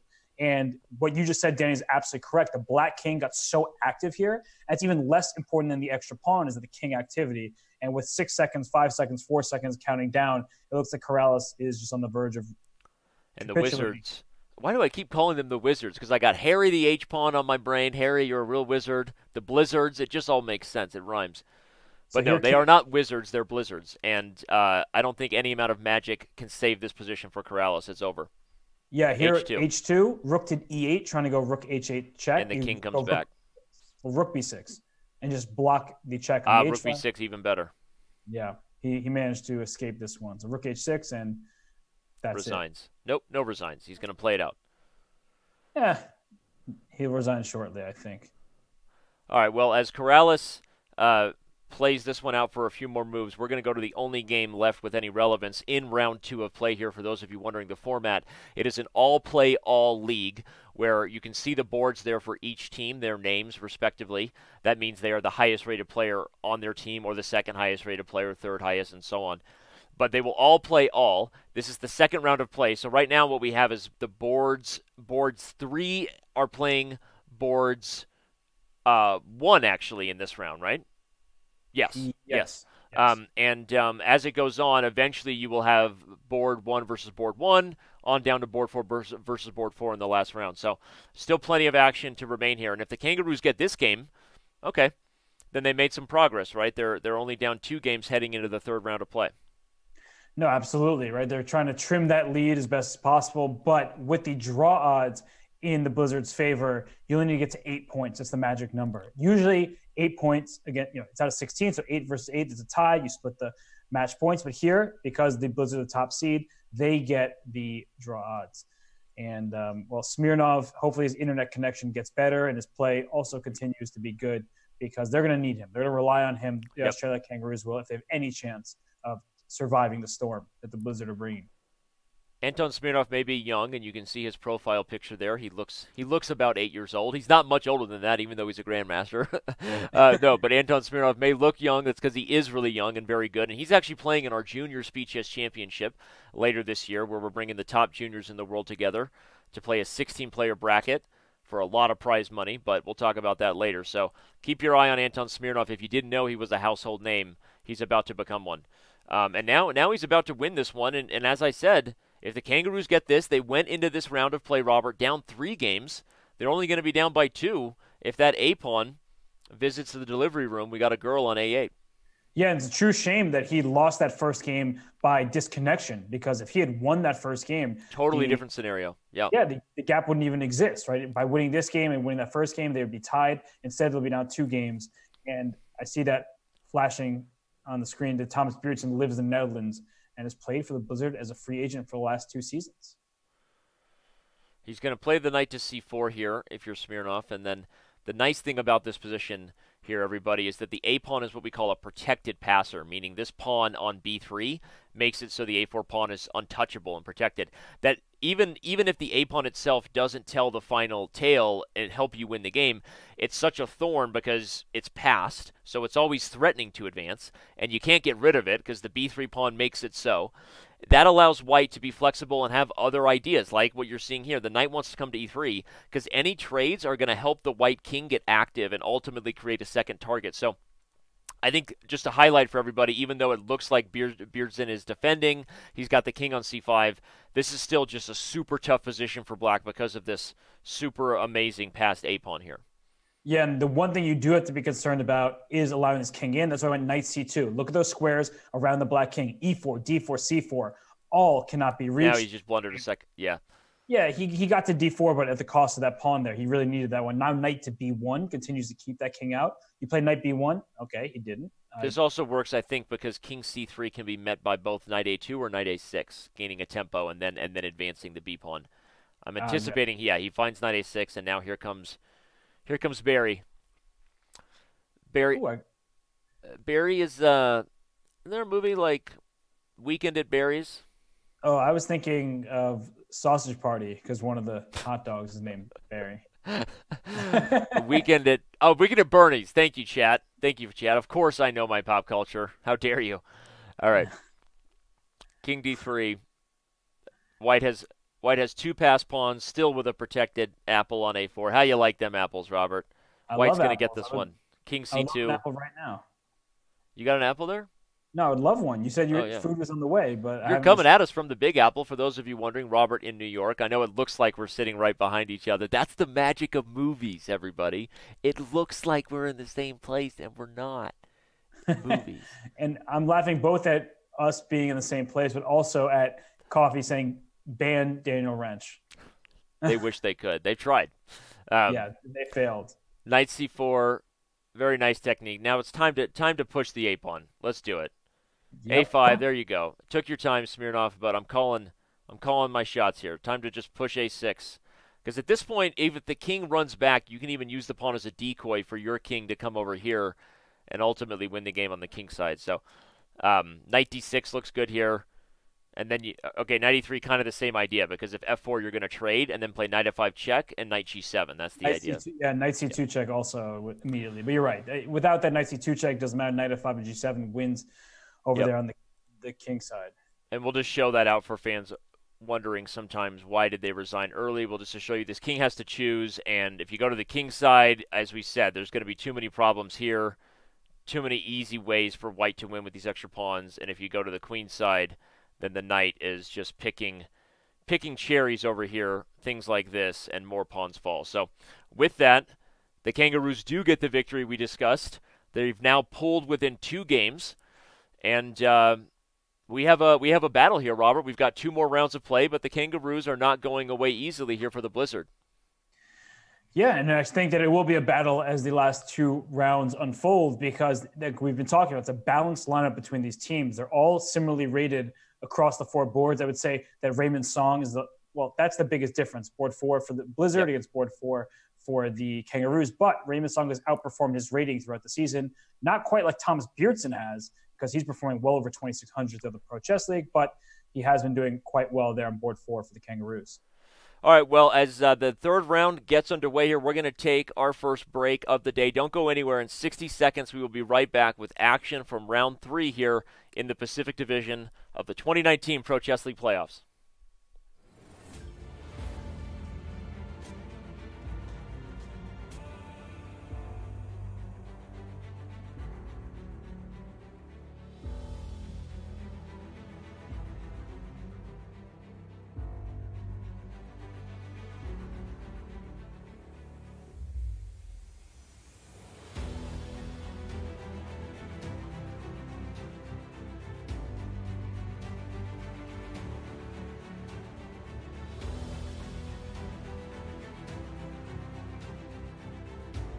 The gun away, George.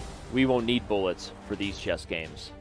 On April 3rd, the first ever Chess.com Bullet Chess Championship gets started with the first of two qualifiers. On Friday, we'll have a round robin event, and all three of these players will join five of the most elite bullet players on the planet. Unofficial Bullet Chess champion Hikaru Nakamura will be defending his title versus Sergei Karyakin, Maxime Vachier-Lagrave, Alexander Grischuk, and Levon Aronian. And as we said, three qualified players means it's anybody's game. Tune in on April 6th and 7th when this eight player elite bracket goes down and join us for live commentary at twitch.tv slash chess, chess.com TV, and everywhere tickets are sold. Be there.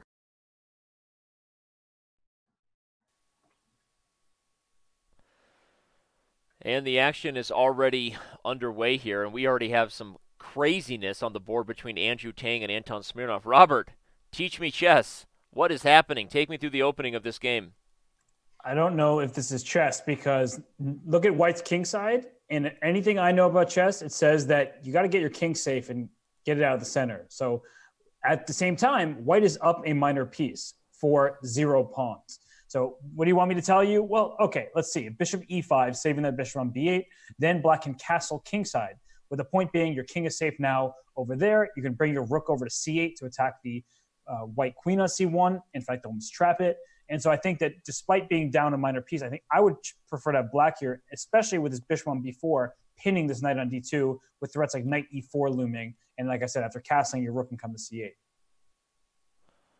Yeah, crazy. And I'm, I'm curious what happened here because this looks like, based on what we're seeing on the clock uh, from from Anton Smirnov, and shout out, thank you for the bits there. Really appreciate that, Dre Dre.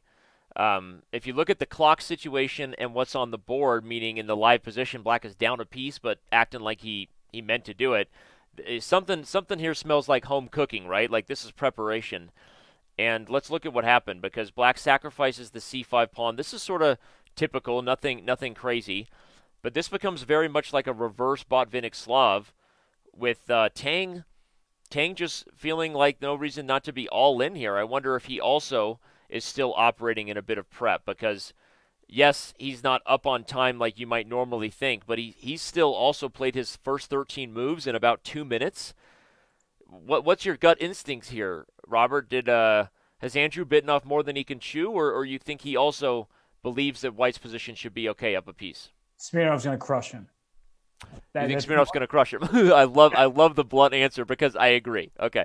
Um, yeah, I mean, what what I will say is that look at the time situation as well. Smirnov spent 17 seconds for the entire game, and Tang is sitting and thinking. And I think he's chosen to sit and think at the wrong time because what happened in this game is White wins some material. So when you prep for a game, you may see lines that look good. The computer might agree with you, but then when you let the engine sit and the depth go up, and that the time the engine takes go up, so it can look further and further into the future of the position, you may say that oh, Black is crushing. I don't have an engine on me, but just Smirnov is a very strong player. He doesn't just blunder pieces, and so I assume that he's going to wipe Tang completely off the board here.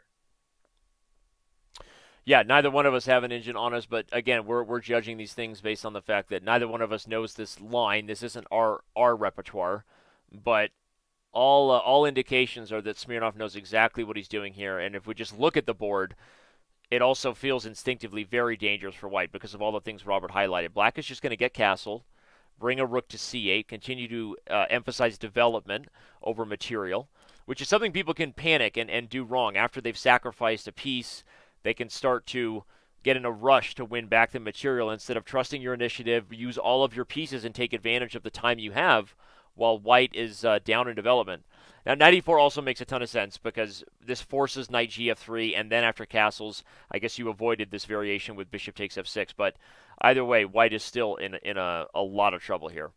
I just don't even see how you stop castle rook c8. That's my next two moves from black after this. So knight f3 is the only move to protect your knight in d2. Yep. And then I, am gonna castle, and I do not see how you prevent me from going rook c8. I think at this point you start considering like a defensive sacrifice, right? If knight f3 castles, you try to play bishop b2, uh, and you hope that if rook c8, I can sack my queen with bishop takes a3 and takes c1. But at the I mean, at the end of that line, bishop c3 just traps the rook on a1. So probably black just wins back a ton of material and it's over.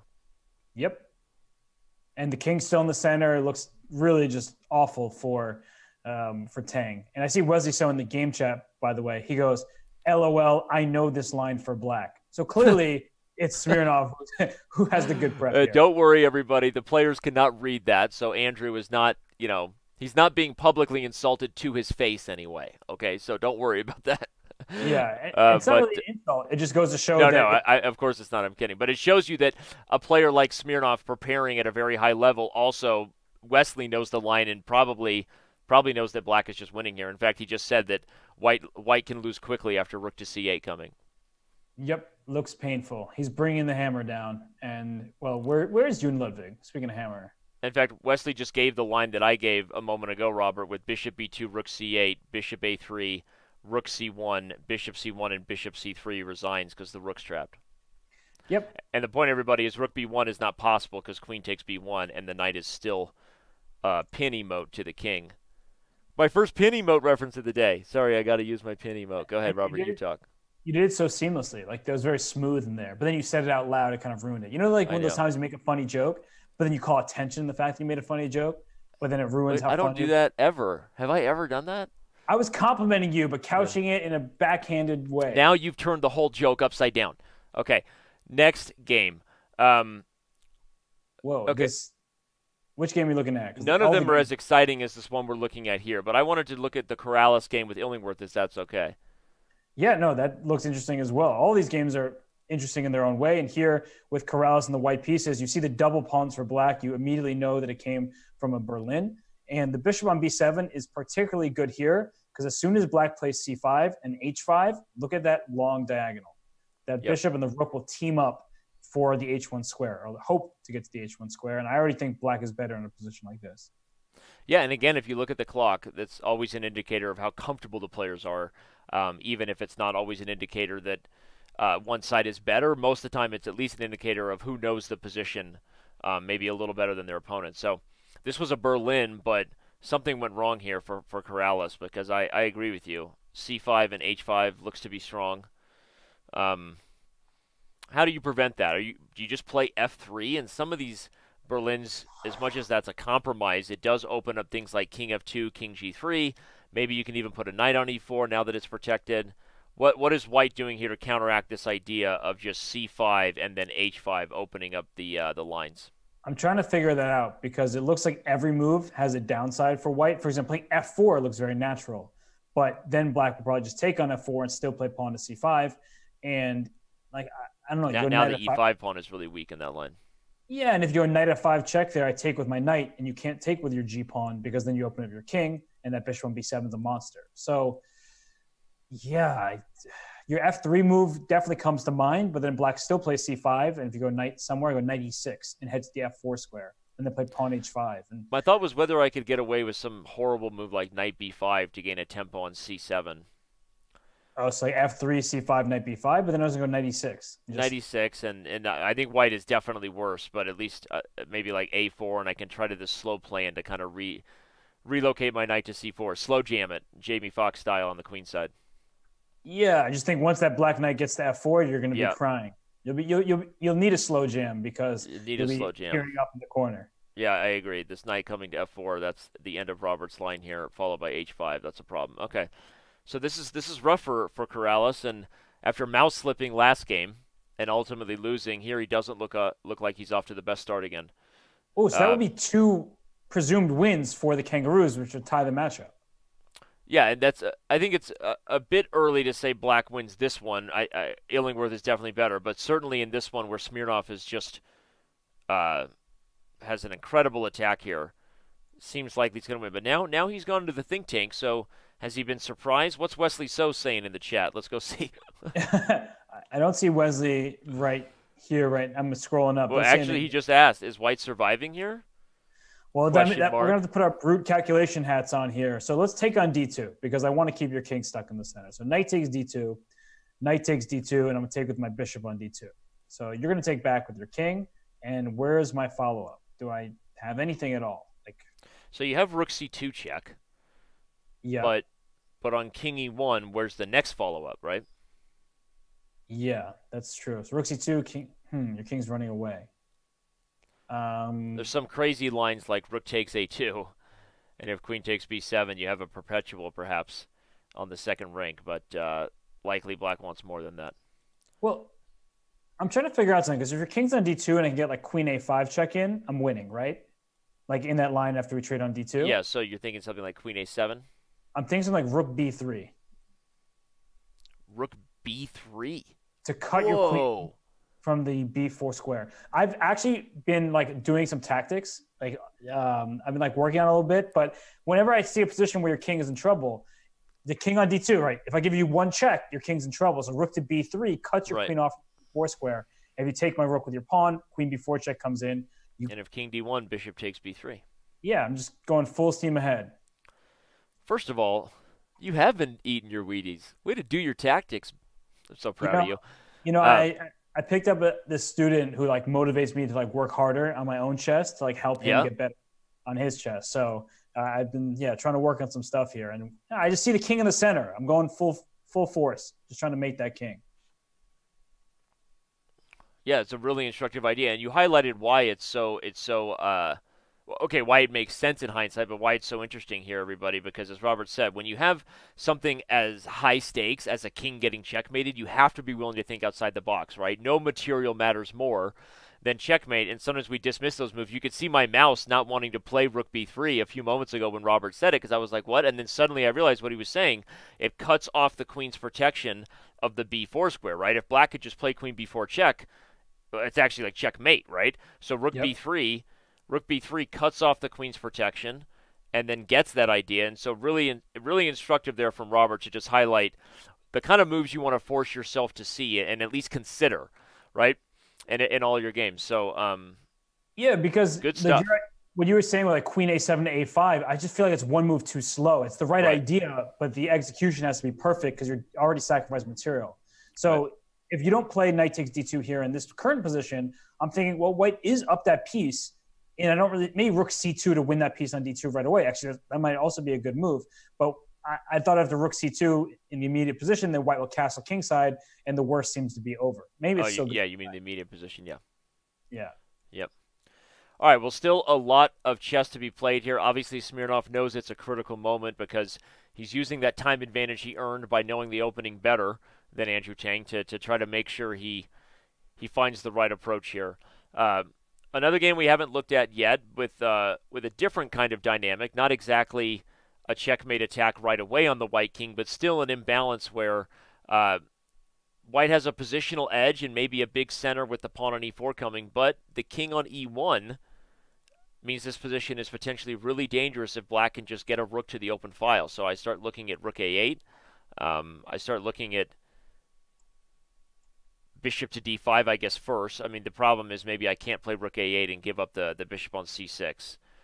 But uh, but it's not so clear, actually, whether I can do that. Um, yeah, like, well, we were just looking at a position with a menacing attack, and rook a8 to a1 looks pretty yeah, juicy. rook a1, the king runs, you take d4. At first I was thinking, okay, we can't go for this on queen d2. The king will get all the way out to g3, but in this type of scenario, if you can if you can justify it and keep the attack going, as we well, said, checkmate checkmate comes first over material. I'm surprised that you're saying that because in that position that you were just analyzing, you could have taken on b2 with check instead of going queen d2 check, and then just push your pawn down the board. Oh so, yeah, yeah. So you know, I know you to be a little pawn grabber. I I, I can be greedy. They called they called me uh, greedy Guillermo in high school. It was a weird I thought they name. called you Big Papa. Yeah. They also have called me Big Papa, um, and I loved it when they called me Big Papa. Um, did, did, you wave your hands in the air like a true? Uh, sometimes, player? if I didn't care, I would. Okay. Um, but yeah, no. Queen takes b2, and then Queen e5. You're absolutely right. And suddenly, Black's attack is raging on. So okay, these are the kind of things you have to calculate in your own games, right? Make sure that the initiative is strong enough to justify the sacrifice. But sometimes in a practical setting, and what do we mean when we say practical? We mean things like time pressure, right? Things like the pressure of the moment, right? You're you're playing for your team and everybody's looking at you to deliver. So I think sometimes in this format we see really aggressive attacks happen and give us those exciting moments. When if the players had six hours on the clock, they might calculate it to the end and say, "All right, it's just a draw.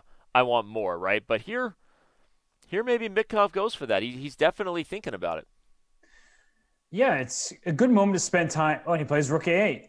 So he's going straight for it. This line that we were just. I don't know why I felt like a moral victory when he did that. I just felt good that he did it. You should good. feel good. Feel good. Come on, man. You got the power. Mm-hmm. you are just setting me up. We're trying to focus on chess here, Robert. Um, I mean, I'm focusing on chess. I just have to throw in some pop culture references as well. It just it happens. So how does White deal with this then? So if uh, one of the key things, everybody, is that White does not have to take c6 because as of this moment, rook a1 is really just a check. The king can hide on f2 because there is no queen takes d4 as long as the queen is guarding that that little peshka there. So so a couple options for White Robert. I think voluntarily playing king f2 got to be a candidate move, right? Try to walk the king away from this danger zone. Yep. Um, what else? Uh, possibly possibly playing g3. It feels a little slow, but if we can play g3 and get the bishop out, okay, no, he goes for king of two, but but look for g3 maybe, even though it's slow, because you've got you've got to get this rook in the game if you're white. Right now, you're playing down a rook at this moment. Yeah, actually, I really like this move, king f2. The you know you spotted it. It looks nice because take on c6 looked very problematic. But now, if uh, black plays like rook to a1, then I can take this. Is there a difference if I take on the bishop on c6 now? No but I don't have to take the bishop. I can make some other move, maybe a move like you were saying with G, pawn to g3 or right. something of that nature. So bishop e8 was played, scared him off, yep. and now can White play your G3 move? Yeah, maybe Just... White can play G3 now. White White has a little more time. I think Bishop E8's a, a, nice move for Black, everybody, because back to a point that Robert highlighted earlier, the B2 pawn is weak, right? So maybe here Mitkov is saying, all right, I'm not going to checkmate you with my piece sacrifice, but now that my bishop isn't hanging, I'm threatening things like Rook A2. Just go after the B2 pawn before Black. Um, before Black loses the initiative here, right? Because White is still down in development.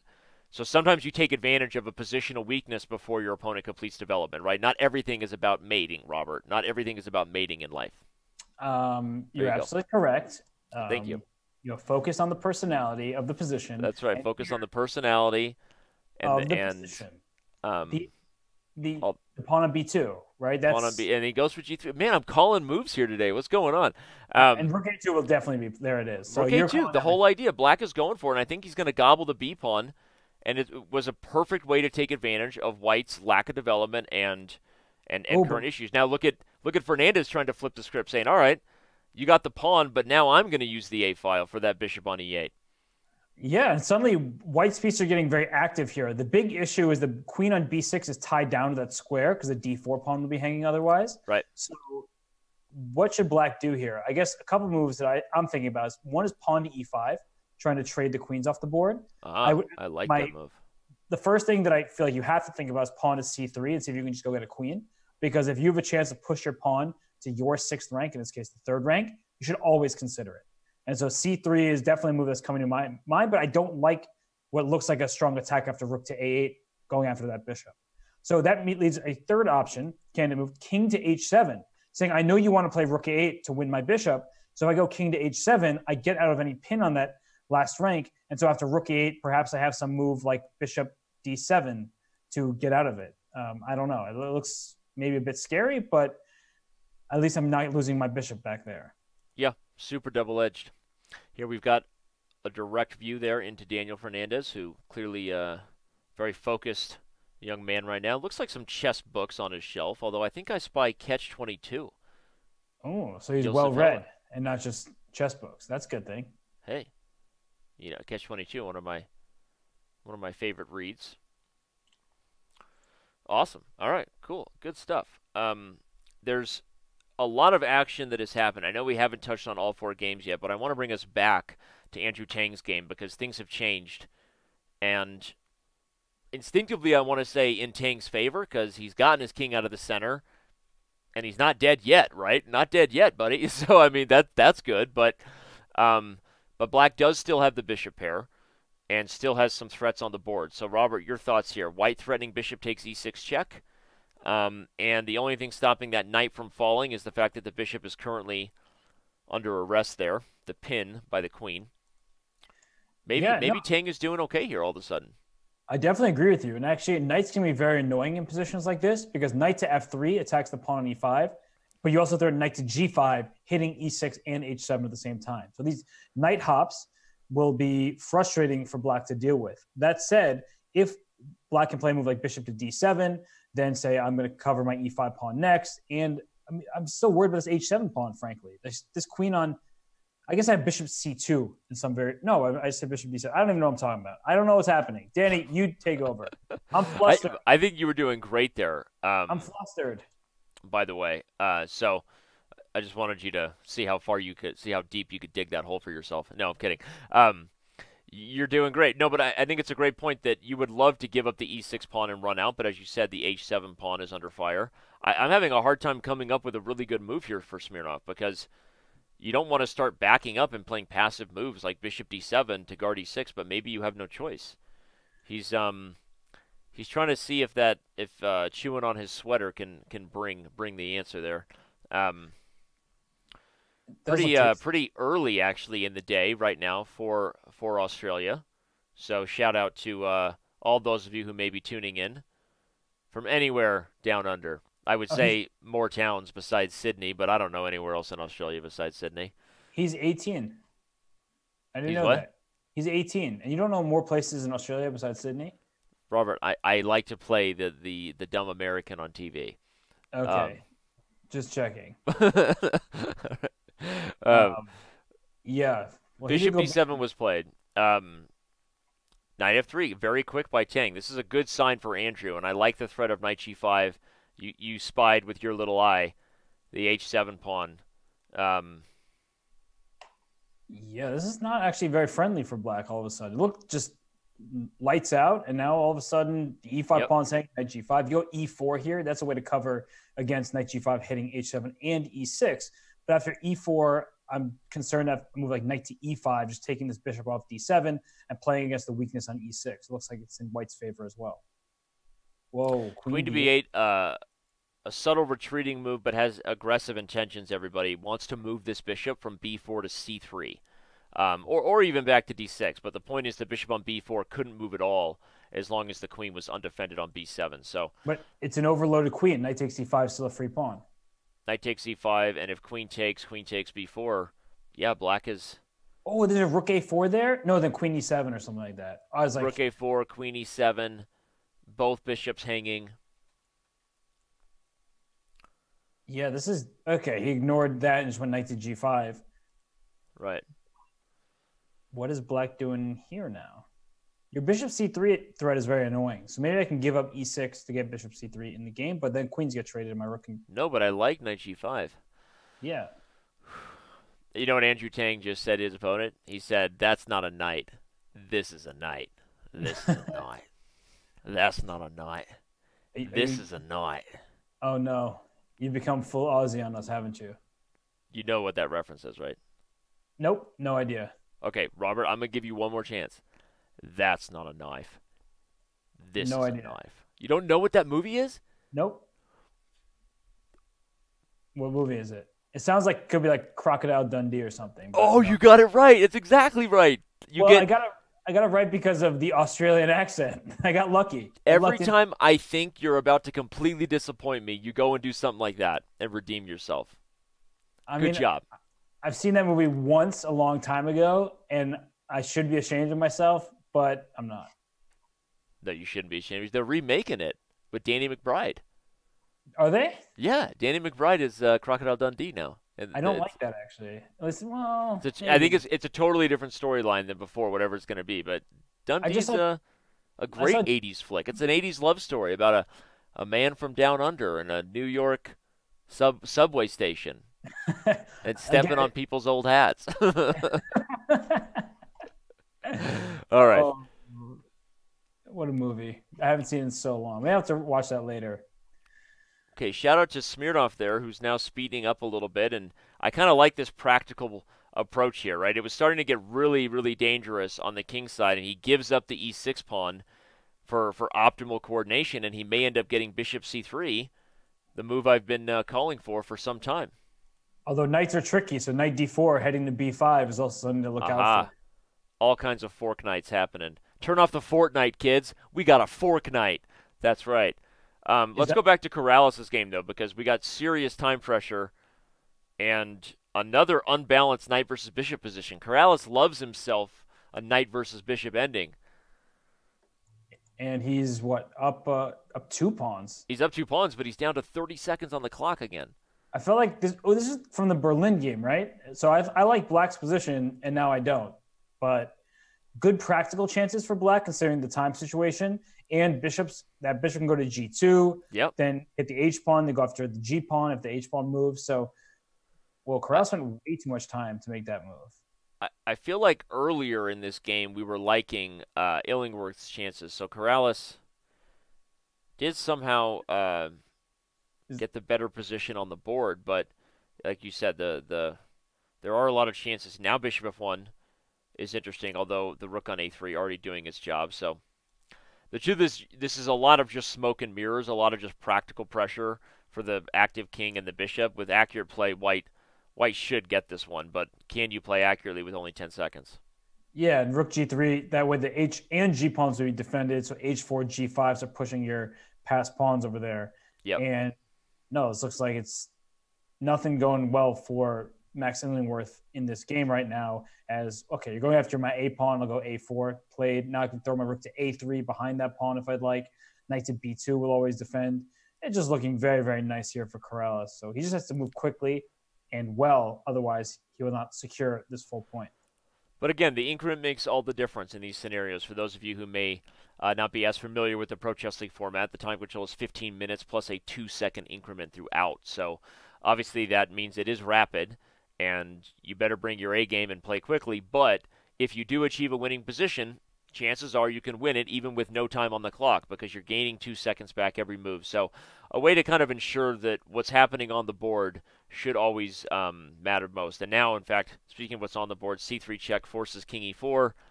Uh, no other square was safe for the king, by the way, everybody, because, again, lots of forks happening here with the knight on e3. Um, But this is this should be should be smooth now for Corrales. The A pawn is is going to get really aggressive here, and there's a dual threat. Rook takes e6 and rook to f6 check. Yep, because bishop h3, rook f6 check, bishop f5, rook takes f5 check. By I was going to show it, but then you said it. Well, I can't. I don't. No, I love it. You can't help yourself. Good chess moves just come spilling out of you. Although at, at I... the Diamond member, Real Greco says, "Yeah, play quickly and well. That sounds easy." That's all yeah. you got to do to be a good chess player. If you didn't know, just play good and play fast. What about okay, bishop f5? I like that move. Wait, now the h pawn is just hanging. So like, if I go bishop, but he's going to play rook f2 check, I think. Well, can I take your rook and then just put my bishop back to c8 and then try to get my king back over there somehow? You think you're drawing? I think so. You would think so. I'm hoping um, so, more than anything. We did have a result in the books just to show everybody that in the game between actually it's a huge game. Ray Song took down Thomas Beerdsen. What? That's right. We did Whoa. not get to look at this one, but a huge victory there for the Kangaroos with board four for the for the Roos. I want to say the Roos, Wallabies, Walkabout. The Roos took down board three. Um, wow. Okay, we got to stay focused here on the time pressure, but huge win there for Ray Song. And Mitkov has a million pawns rolling down the board too. I mean, everything is catching my eye right now. Oh my gosh, this is more exciting than the other one. Should we go to the Batcave two board scenario? Let's Can we do, do it. it? Let's go let's, to the Batcave. Let's bring up Corrales' game and Mitkov's game. To, to the, the Batcave. Alfred. To the Batcave. You didn't think it was possible. We're there. It's possible. We will watch both games as they finish. This is crazy town. And so the crowd goes wild. Tang is still playing. I just saw the question: Did Tang win? Tang is still playing and still in a mess of a game against Smirnov. But these two games look like they're a little closer to a finish finish line. Yeah. So the question is, can Mitkov just play c2 here and try to get that queen? The queen on f6 protects the h8 square from any mates. Yes. Yeah. White will try to go rook a8, but then black can promote to a knight on d1, for example. That looks interesting uh, to try to ensnare the white king. I, I mean, would I love an under promotion of a knight on d1. You know what I would give for an under promotion? What would you give? Not allowed to say it.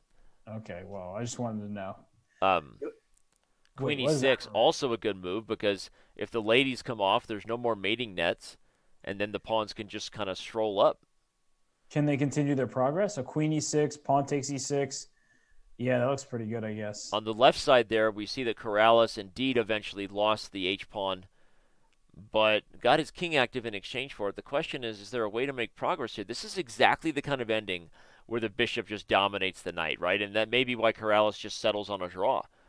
This bishop is so good here, it makes it easy for black to imagine both defending the A and C pawns as well as being in a position to help your own E pawn run. And ultimately, Corrales decides it's not even worth playing on. So let's bring up Tang's game here on the left and keep our eye on on uh, keep our eye. Well, let's see what happens here in the Tang game. We'll keep our eye on the on the the GM Mitkov game. Oh, actually, yeah, let's keep both up here because right now we've got crazy tactics all over the place. Yeah, there's rook a2. That way, you, if you take my rook, I get a queen. Rook f1 played instead. And what's White's idea? Do you want to play g4 and f5, or do you just want to? Well, why of, didn't Black play b3 there? What was the threat? Well, the c3 pawn was hanging. Ah, duh. Okay, I'm sorry. Oh, yeah, but duh. now c2, c2, and if a king takes c2, c2, c1 equals queen. c2, you have rook. No, you get queen, and then you take with a king on c1, rook a1 check, picks up the oh, rook. Skewer town. C2. Black, Black is winning with C2. And look at the other board. Tang is coming all the way back.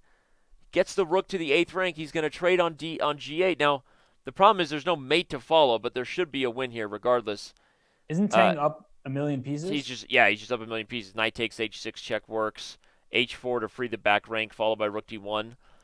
What a huge game here for Tang. I mean, to come all the way back in a game where he seemed to be just totally outprepared and getting mated – Tang comes back, Mitkov wins, and the Blizzard take a seven and a half, four and a half lead with those victories back to back right there. That was ridiculous because I thought that the Kangaroos were about to close the gap, and instead the Blizzard went up three games in this match. They need one draw in the final round. So if I'm the Blizzard, what do I do? I say, okay, which of my players have the white pieces? play the most drawish forcing line possible. Yep. And what can you do about that? There's not, not much. The victory. Wow. What a finish there. I agree. To start this round, it looked like the Kangaroos were about to close the gap. Instead, the Wizards apparently it's it's a Freudian slip because they've just been they've been bringing the you know Wingardium Leviosa all day with this wizardry, the Blizzards. We're going to take a quick break here so I can untie my tongue. And uh, before we do, let's remind you real quick of the uh, the schedule for the rest of the playoffs, regardless of what happens here uh, today. Make sure you mark your calendars because we will be back live this Saturday, March 23rd. Going to be a bit of a unique time for all those of you who normally follow us at around this time, late in the evening for Pacific. It'll be early in the morning for the Pacific West Coast, and even pretty early if you're on the East Coast. Robert Hess will have the call to start things off at about 5 a.m. Eastern as the Central gets underway, followed by the Eastern Division. And then we'll be back to slightly more normal times that we've seen throughout all year, uh, back on March 26th, with the final playoff date being April 2nd, before we head to San Francisco for the live PCL finals. So, um, Robert, those of you who haven't bought their, t- have you bought your plane tickets yet for no. San Francisco? No. Am I supposed to buy those for you? I forget. Uh, well, maybe. I mean, we'll figure it out. It's a good question. Let's uh, ask everybody the daily question before we let them go uh, and before this last round gets underway. We have a daily question that we'd like to bring your way and say, hey, which of the four Pro Chess League divisions is the strongest top to bottom? Uh, well, we've, we've talked about that um, we talked about that heading into the playoffs. Let's actually bring up the full standings as they were heading into the playoffs and remind everybody of which teams play where. Because uh, for those of you who maybe don't follow the league as closely as others, the Atlantic Division, one of the most popular, naturally because of the the Chessbrahs, who have their own Twitch channel and uh, are, are a bit of a fan favorite here on Twitch. Um, but who do I think is the best division? I'm not even answering who the best four teams are in the playoffs. Who's the best top to bottom? Um, it's the first time I've heard you silent in a really long time. Are you crying? Is it this difficult for you? Tough question on air. Um, I would I would probably take one of either the Atlantic or the Pacific, and that sounds a little bit Western Hemisphere bias of me, but um, I think when we talk about stars leading the way and then and also a combination of balanced lineups, I think you look at those two. I think clearly the two best performing teams throughout the regular season were belong to the East. There were Tbilisi and Armenia. Uh, and the Gnomes actually having the third best record overall there in the Central. But I feel like top to bottom, the Atlantic and the Pacific are actually both more balanced. What would be your thoughts?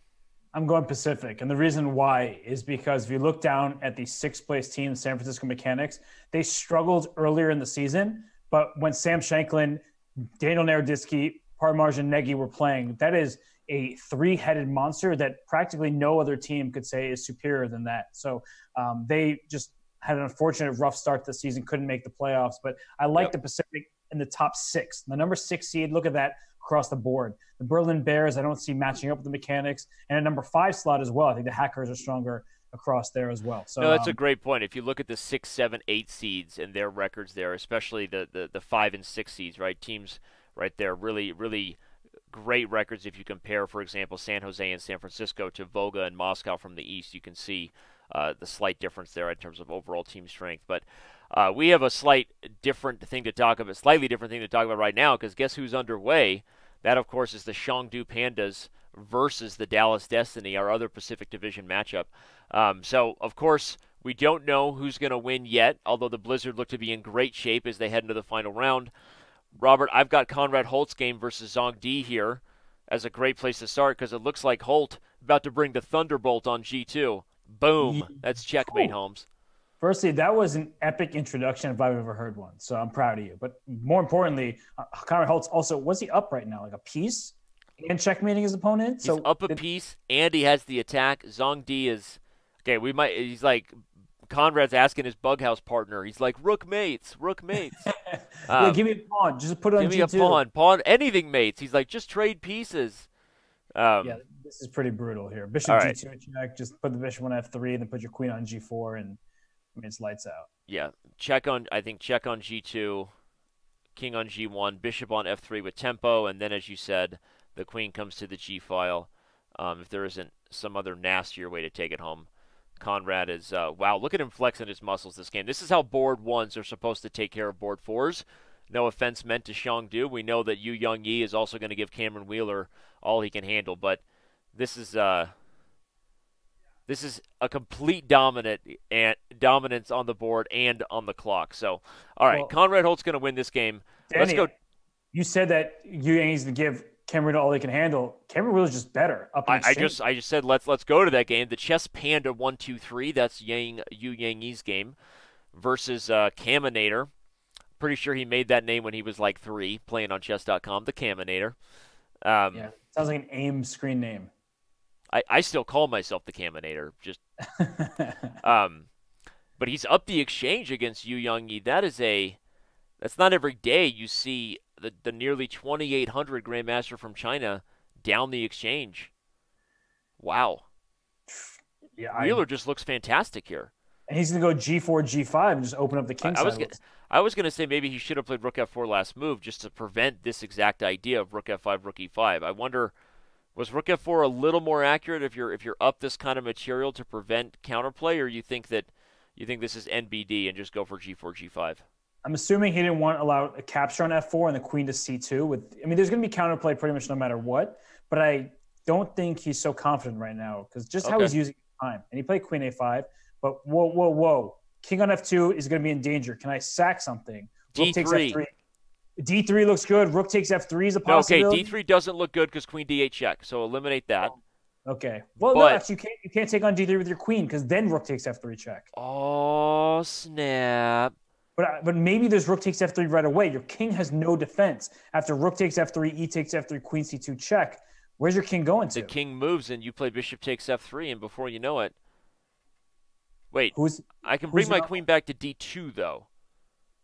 Uh, can you? Well, no, the, can Queen C1 check first, maybe? But then you might have nothing more than a draw. Well, I'm down in exchange, so I'm, right. I, I mean, I Queen C2, King E1. Are you going to tickle this one out? Well, I'll put my Queen on E3 then. I'm going to go from C1 to E3. Ah, that's a good idea. Let's show Robert's line there. Bam, slam, strawberry jam. Check on E3, take on F3 with check, and keep the party going all night yeah. long.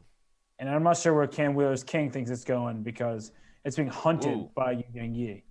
All right, so Yu Yangyi doesn't think that that's enough, at least not for a win, but Queen to G5 threatens several things. It threatens Queen E3 check immediately. It might make Rook takes F3 even stronger. And yeah, the more we look at this, the more I, I think that Wheeler should have been a little more aggressive to try to trade off some material, but also – did we jump the gun perhaps looking at the exchange and just not fully appre- I don't think either of us fully appreciated how dangerous the live position was when we first saw it with these threats on F3 for uh, for the Panda.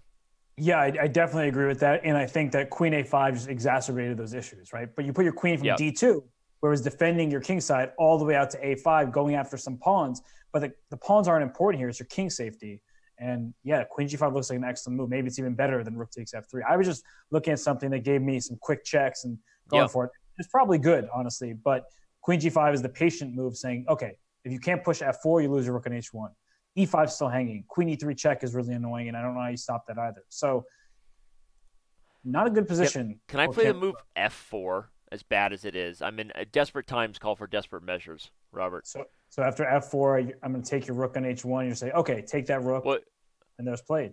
If you if you take on h1, I'm just I'm just defending. I guess I was just going to take back and say at least I'm not getting checkmated. That's fair. That's very fair, actually. And and now my queen is hitting c5. It's hitting a7. I don't know. Oh, I, and he goes for it. Yeah, that that actually might be the smartest thing. Maybe maybe the best option, right, given his situation. And he and he's uh, he's going to go for this idea because I think that I think that Yang Yi has to come back to e7 with the queen because I think c5 is important. Can he can he sack on f4? Is there just a perpetual there? Right. That that might be uh, that might be what the doctor ordered. Because queen e7, maybe you play for more with g5 coming, but h6 like. I feel like it's one of those positions where you know you've accomplished a lot as black in the last bunch of moves, so you want to use that kind of momentum yeah. and play for a win. But if you're being objective here, I'm a little bit worried after queen e7, the simple queen takes a7, and just yep. kind of you know, it looks good for white there. So rook takes but f4. It, it is funny that queen e7 may not mean you're giving up all hopes on your attack because if queen takes a7 happens, there's these outside ideas of g5. There's no check on the eighth rank because black can just bring the rook back to f8. But your maybe, h6 pawn's hanging. What? The h6 pawn is hanging, which is kind of right. But I'm giving it up. Rook takes h6. I'm just taking f4. Just all in, baby girl. I'll and feed you, I'll, baby bird. And then I'll go g4 and say, feel free to take that pawn. I'm going to close up that king side there real fast. You just brought and... the smack talk, yo. um, all just... right. Well, okay. He does go queen e7. We'll see if Young E likes my g5. He do- maybe he does because king h7 could be preparing that exact idea. But let's pop over to the game between GMG, which is Wang Yue, who did make the trip to San Francisco last year. For those of you who may not have followed the Pro Chess League as closely as you will be now forevermore, go ahead and hit that follow button if you're not following the chess channel here on Twitch. You should definitely do that before you go anywhere. The live finals in San Francisco last year, the final four teams featured the Chengdu Pandas, who are looking to repeat that effort. Uh, Wang Yue was there in China. Um, although the although Chengdu did come up short, but looks like he's about to get a win here over Grandmaster Gorovets. Yeah, I mean those pawns are just ridiculously passed, and White's not even up any material for that those problems. Okay, just D2. By the way, coming. Robert, what? Yang Yi did go for my idea with G5. Yeah. So you do love me. I I guess I have to, right? But Queen D6 now for for Cameron Wheeler. Queen d6. Offer that queen trade. You'd like that, wouldn't you? I'm not going to trade queens. I'm a checkmate you. All right, no, jokes aside, all right. Looks like Wang Yue is going to get a win, so let's do the math here. Uh, that'll bring things even, given that Conrad Holt did already uh, finish finish off his low rate opponent. The one game we haven't looked at yet is Gra- uh, Grandmaster Priotu versus Zhao Jun. Um, yep. Wait a second. So Jeffrey Xiong's not playing? Jeffrey Xiong is not playing in the lineup this week. No. Oh, it's so upsetting. It's because he's playing in the U.S. Championship. The uh, we actually had a long back and forth. Jeffrey plans to be back should the Dallas Def- Destiny continue to move on. But you're absolutely right. They uh, they will be hurting potentially without Jeffrey Xiong, and it could be could be the reason why they they say goodbye to everybody this week. So we'll see brutal, brutal real life chess tournaments, right? Yep. I mean, come on, get in the way of everything. Same with um, Alexei Sarana for the Kangaroos. He's not playing because he's playing the European. Don't tell everyone watching here that Twitch is not real life, Robert. You go wash your mouth out. This hey, is Twitch. Man. Hey um, man, I'm just you know trying to do my job here. All right, so Wang Yue still going to convert on this one, although I admit Gorovets made it a little tricky here, trying to use his two passers, but shouldn't be enough, especially now with threats like Rook D5 check. So, uh, ooh, the Chess Panda bringing it. Yu Yangyi is on the attack here, but the problem is White may have perpetual. If Black goes for something like Rook takes F4, White starts delivering the checks, and neither side has time to get a mating net before the other uh, gets a whole bunch of checks. What do you think? No, I agree with that assessment. I think you just go Queen G2, and the King has to stay on He's the third rank. He's going to go up to E3 or D3. Yeah, because if you go Queen the king of the first rank, the queen takes h1 is check, and you win the rook for free. But by right. keeping the king on the second and third ranks, there's no you're just going to keep checking. So uh, here, queen, wait, queen g2, then king c3, king b2, king a3. You can go queen f2 here though, right? Oh, but then king b1. Is yeah. Cameron playing for a win? Whoa, you queen e2 check only move. Ah, queen e2. Okay, yeah. And the but point, was, everybody, is there king b1, the queen would still have a necessary light square, and if the king goes to c1, you could still go to e3. So queen e2 yeah. check. I guess queen e4 also is okay here. Queen e4, then king b2. Ah, oh, that's Am right. I... Look at the geometry here, because the queen comes to d4. Eventually, the king will have safety on a3. So you have to go to e3, or sorry, you have to go to e2. Oh, he just went. He went queen e4. That can't be good, right? I mean, wait, this could be a huge upset the kind that Destiny need if they're gonna if they're gonna upset Chengdu without Jeffrey Xiong. Yeah, what? Did he just forget the king go to a three? Like I don't know what he did there. That I is. Mean, I kind of was helped by process of elimination. Right? There are different ways to think about positions, and here it's like he had plenty of time. He still has three minutes and forty seconds. So I don't know why he moved so quickly if he wasn't certain because Cameron Wheeler made a move quickly, and now he's thinking again. So what I would have done is a simple process by, of elimination and brute calculation. Say, okay, I see the king's trying to run to a3. How do I right. stop that? So I play queen e2 check, understanding that when the king goes to b2, my queen needs to be on d2, so that when your king goes to a3, my queen goes to a5 or b4, and I keep going back between b4, a5, and d2 when your king goes to a3 and b2. So I'm just swinging back and forth like a pendulum. Yeah, well said. And I think it's a, really good lesson because it kind of helps you solve a complicated problem by thinking from the end, right? Instead of trying to calculate everybody what the right check is now in a very messy scenario, do what Robert did, where you kind of go to the end. You, you visualize the goal first. What Robert was saying is look, whenever this king's on a3, my queen has to be on d2 so that I ensure I have these checks. And then you back up to the current position and, like you said, solve by process of elimination because you've already established sort of the required goal. And I think Yu Yangyi honestly messed this up. The fact that he had to play h5, now White has at least a draw, everybody. So I know you think we might be being presumptuous by saying a 2770 player blunder, but it happens. And, and I think I think Cameron Wheeler is the only one who can win now. He might settle on the draw. Getting a half a point against Chengdu's top seed, that's not a bad result for the uh, for the young man, for the well, Destiny. But the will it be fate for him to get a victory for the Destiny? nice one. I mean, the thing is, I'd be disappointed if he makes a draw here because the king on b2 is actually quite safe now. And like moves rook d1 to d6. That's immediately a checkmate threat. In fact, I don't know what you do after rook to d1 to stop rook d1, queen e2. You can just play king c1. King c1, king a1, king a3. All my my king is safe everywhere.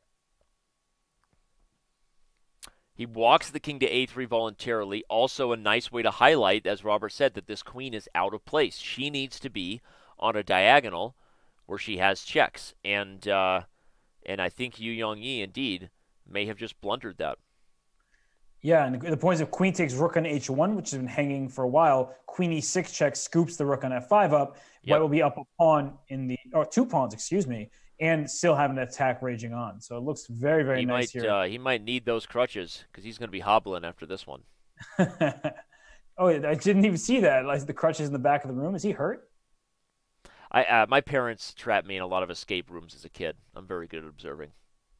but what what I mean, they called it they called it you're in timeout, but I called it an escape room training session. That makes a lot of sense. You probably yeah. were jumping out of your crib at age one. How how old did kids stop sleeping in cribs? I don't have kids. I, I never know. stopped sleeping in a crib. I prefer okay. it. Um, yeah.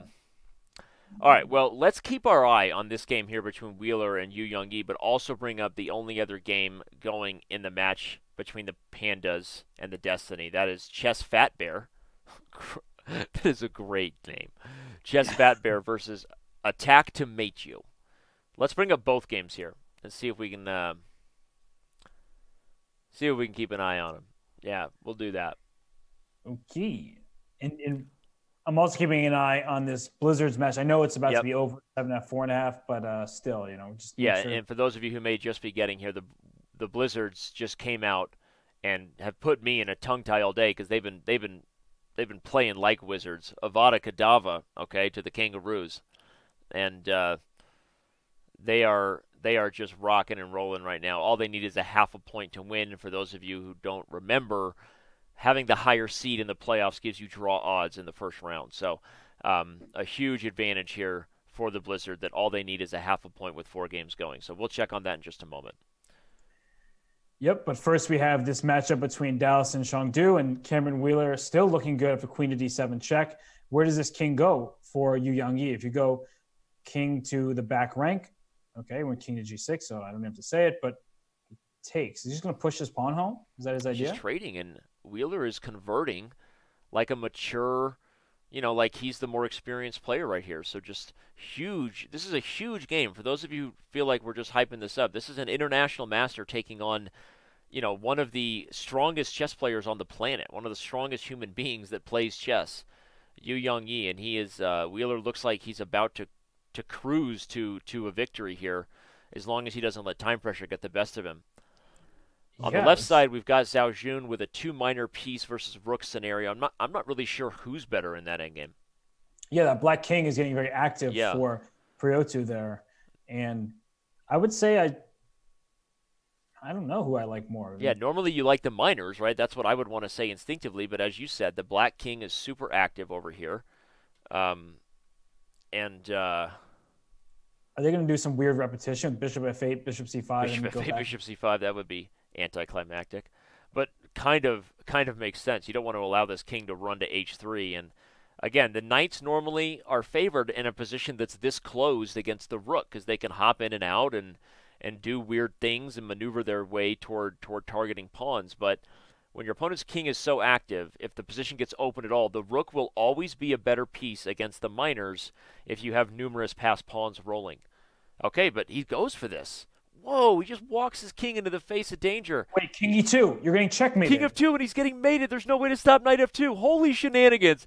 Are we about to see that? Uh, oh, Dude, king e2 is mate. He can't stop knight f2. Does he oh, not see it? Rook takes c3 there, and he did it. He did it. Oh, rook takes c3. What's next? Knight c5. Knight c5 check. The king gets the d4. And then what? Both sides are under F5. a crazy amount of time. to d6. Oh my god, that's the most beautiful mate I've ever seen. Oh my god, he's got mate. Oh my god, that's beautiful. Wait, wait, go back to c5. Go back to go, c5. Knight f5 check. Knight f5 check, king c4. Knight d6 check, king back to d4. Knight and e6. then knight e6 is mate. Oh, he, he, found, found it. He found with three seconds. Knight f5. That is gorgeous. That is Sam Copeland, game of the week. Sam Copeland. The Sam. Knights have done some work, baby girl, and the Knights have delivered mate. Oh my God, that is oh fantastic. my gosh! I'm so glad I'm not on camera right now because it would look inappropriate with what I'm just, doing over here. Holy, I, I just holy lost mojo, it. Batman. I, that was the highest my voice has ever gone. That was, that was so freaking awesome. Can we just?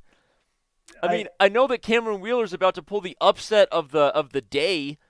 I am on Super GM Crime over there. But can we just back this thing up and take a look at that again? That was insane. Dude, what was so funny is we were right. Black Black should have just taken the perpetual here and, and settled on it, but he took thinking the king knew better, and he literally bit off more than he can chew. I think it's just a forced mate now. King e2 threatens knight f2 mate. Yep. After rook takes c3, knight c5. Okay, you can give up the rook, but you don't want to. You just be losing. And instead, black just walks himself into a forced freaking checkmate in the center of the board. I don't think I've, I really have never seen a checkmate like that before. Oh my god! And hey, let's, Danny, let's let's focus on Wheeler's game here. But wowzers! You got to get that added to Puzzle Rush. That's a, that's a game that goes into Puzzle Rush for sure. And Wheeler wins. That uh, uh, uh, uh what, Dan- Danny? Yeah, you got work? Dude, Wheeler just won against Yu Yangyi, and that wasn't the highlight of the round. Not even close. it's just again. I mean, this is this is international master Cameron Wheeler. They're hoping he might, you know, get a point and a half with their balanced lineup. They're going to need that, but he just beat the top player from Chengdu, and uh, but it doesn't even it doesn't even come close to what we just saw with these two knights getting freaky over here. So I see Dave Hogg in the uh, Twitch chat saying that might have been the best 60 seconds of PCL history. And I was going to say, we called the final last year, but to me, this was just like the most exciting thing ever. That checkmate, you just don't see that ever. That's unreal. That was so awesome. Again, everybody, we were we were freaking out the moment the king came to e4 and we saw king of two. I admit, I mean, I don't think either one of us saw the full mate right here. You could feel it, right? But uh, then all of a sudden you spotted, you started screaming for a knight c5 and then knight f5. He missed it the first go around, but he also needed a little bit of time to gain back on the clock. Um, and you can see everybody right here in this position when he played knight f5, he went to 3.7 seconds. That means he was down to 1.7 seconds on the clock before finding the move knight f5 and ultimately the checkmate. Wow, that's just that was ridiculous. so awesome. Tommy wanted to see us on camera. Well, take that, Tommy. Take that, Tommy. Okay? Um, you don't always get what you want on Twitch. and Tommy rhymes with mommy, so I thought you were saying and mommy. Tommy, Tommy goes back to his corner, talking bad about Danny under his breath. Whew. Man. Just... All right. Anton Smirnov did just get a big win for the Kangaroos. So for those of you wondering, it's not over It's not over. It's not over till it's over. Okay, the Thanks, Kangaroos are still fighting right now. Um, now, now five and a half, seven and a half. But uh, but at least Smirnov did his job on board one here. It's over because Penguin GM drew his game. Ah, well, right as I say that, Conrad, uh, not Conrad Holt, excuse me, Andrew Tang draws draws with black, and the the Blizzard will be moving on, regardless Yep. of what happens in the next two games. I I still can't get over that checkmate. That was so awesome. I need to save this game. Where, oh, it's already gone from my screen. No, you That- can just use the slash history tool on chess.com. I'm Did you know, everybody, to- that if you type slash history or slash archive in the username of any player, you can bring up a full list of any game they've ever played on chess.com. Use this tool now in the chess.com live server. Did you really just do all that? Um, all right. Well, I'm taking a look at this game between Mitkov and Song. I know this match doesn't really matter, but it's an interesting one where the French is about to get crushed. Come on. We, we always have time to crush the French, don't we? Yeah, we definitely do. And Oh, it was a Caro-Kann, darn it. Oh, well, there's no bishop on c8, so that's the good news. The bad news is white has two minor pieces for rook. There's a king on d7. Uh, white has more space in the position. The, just any plan should be good for white, like bishop to c5, bring that bishop into d6, throw your knight into d4. Yikes. Just yikes. All Like. I just, I'm, my mind's still on the check. I know. Some would say that uh, some would say that game might be might be given the destiny nightmares. Oh, no. Oh, no. That didn't just Um, happen.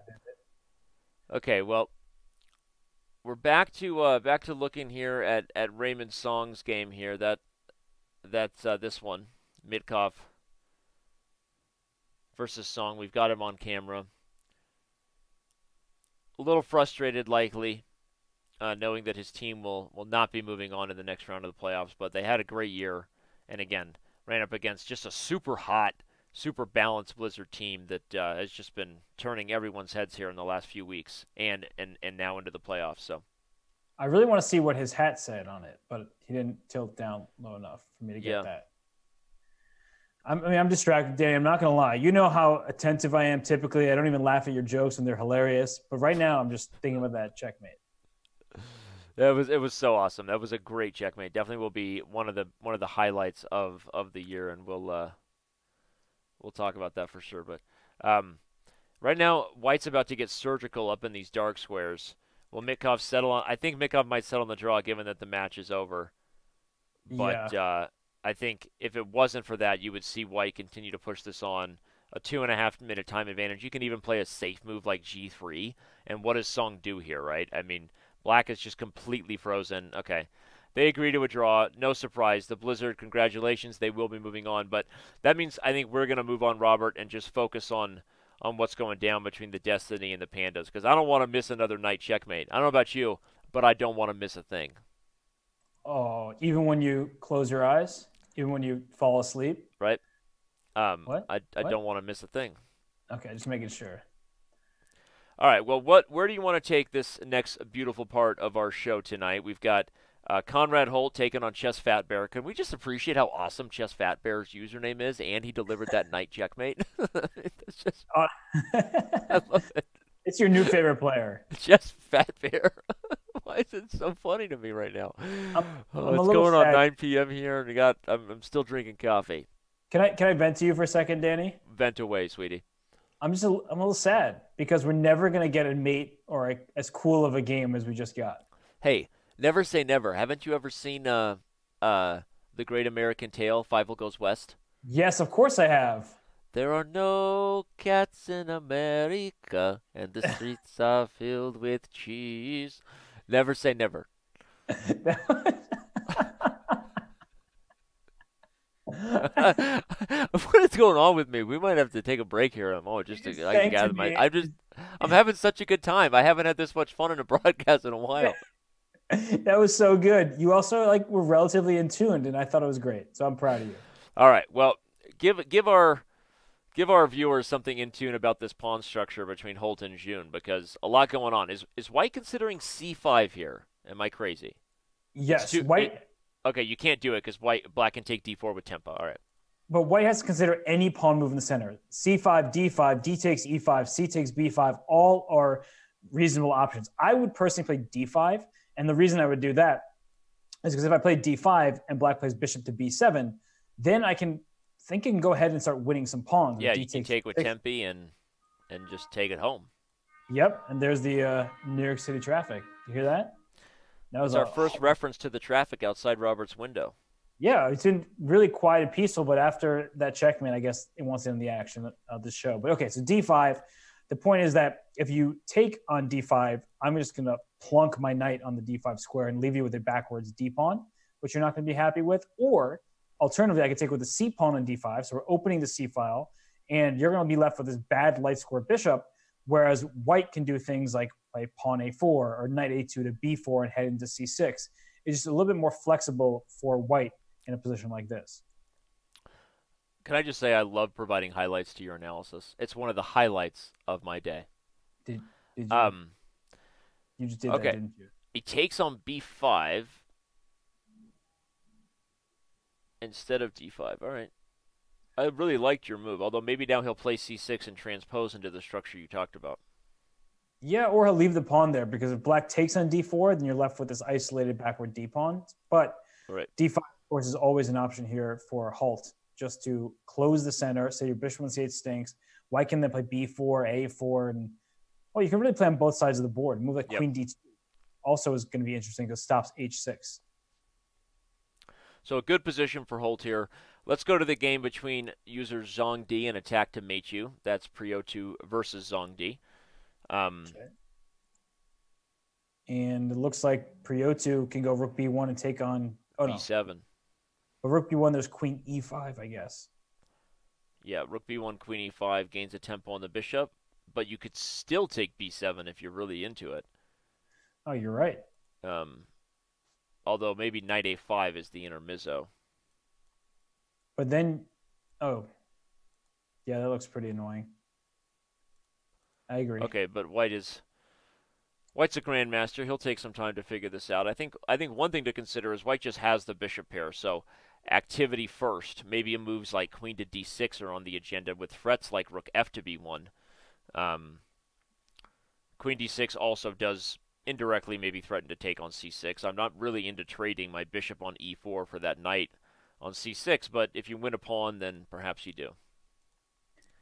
Yeah. So, and I think in general, right, we should just take a look at the kind of um, what, what's the word I'm looking for? Just the general things in this position here. So white has two bishops. The bishop on h5 is not very good. It's much worse than the bishop on e4. Mm-hmm. So even if rook to b1 is played queen to e5, maybe white can just put the queen on c1 to get out of any queen takes e4 threats, to protect the hmm. bishop on g5, still challenging your b7 pawn. So something like that seems to be very flexible for white. Queen d2 might have even been better than queen c1, but the point still stands that it's a just a very natural Ooh, move. Wow. And Zhang Di just takes a3 without thinking twice. Really, really wants that past a pawn. One, one of the things you, we have to observe here is despite the fact that Zhang Di is the much lower rated player, look at the time on the clock. Is this still preparation somehow? First of all, it'd be shocking unless unless he's into preparing slightly worse positions. I mean, I don't know. I mean, like, what kind, what kind of prep is this guy into? I don't know. Um, well, if he figures that he can start trading some pieces after this, maybe it's not so bad. But yeah, I agree with you. It looked very nice for White, still does, but perhaps not so bad for Black either. If I get yeah, the, the time is just uh, you're right. I mean, I'm I'm making jokes, but you're probably right. It, it would be shocking if if Black wasn't in some sort of prep here. Doesn't seem like a recipe for success if your 1900 rated board four is blitzing moves out against his 2500 grandmaster opponent if he doesn't know what he's doing. I, I don't know. I mean, but look at yeah. this, just like instant chess here. Black is Black is not kidding around, and maybe you're right, Robert. Maybe Zhang Di knows exactly what he's doing. Notice the queen on a6 hitting f1 was really key, everybody. It prevented white from playing moves like queen d7 here, hitting the rook and the knight because, as we said, back rank problems. Yeah, it's almost like black thought he was playing 15 second chess rather than 15 minutes. I mean, the guy yeah. is barely wow. spending any time here. And actually, that's a could be a potential issue. On one hand, you have a lot of time to think, and he should spend it now. But when you feel like you really, really know something, sometimes yeah. you just make quick, careless moves that end yep. up being problematic.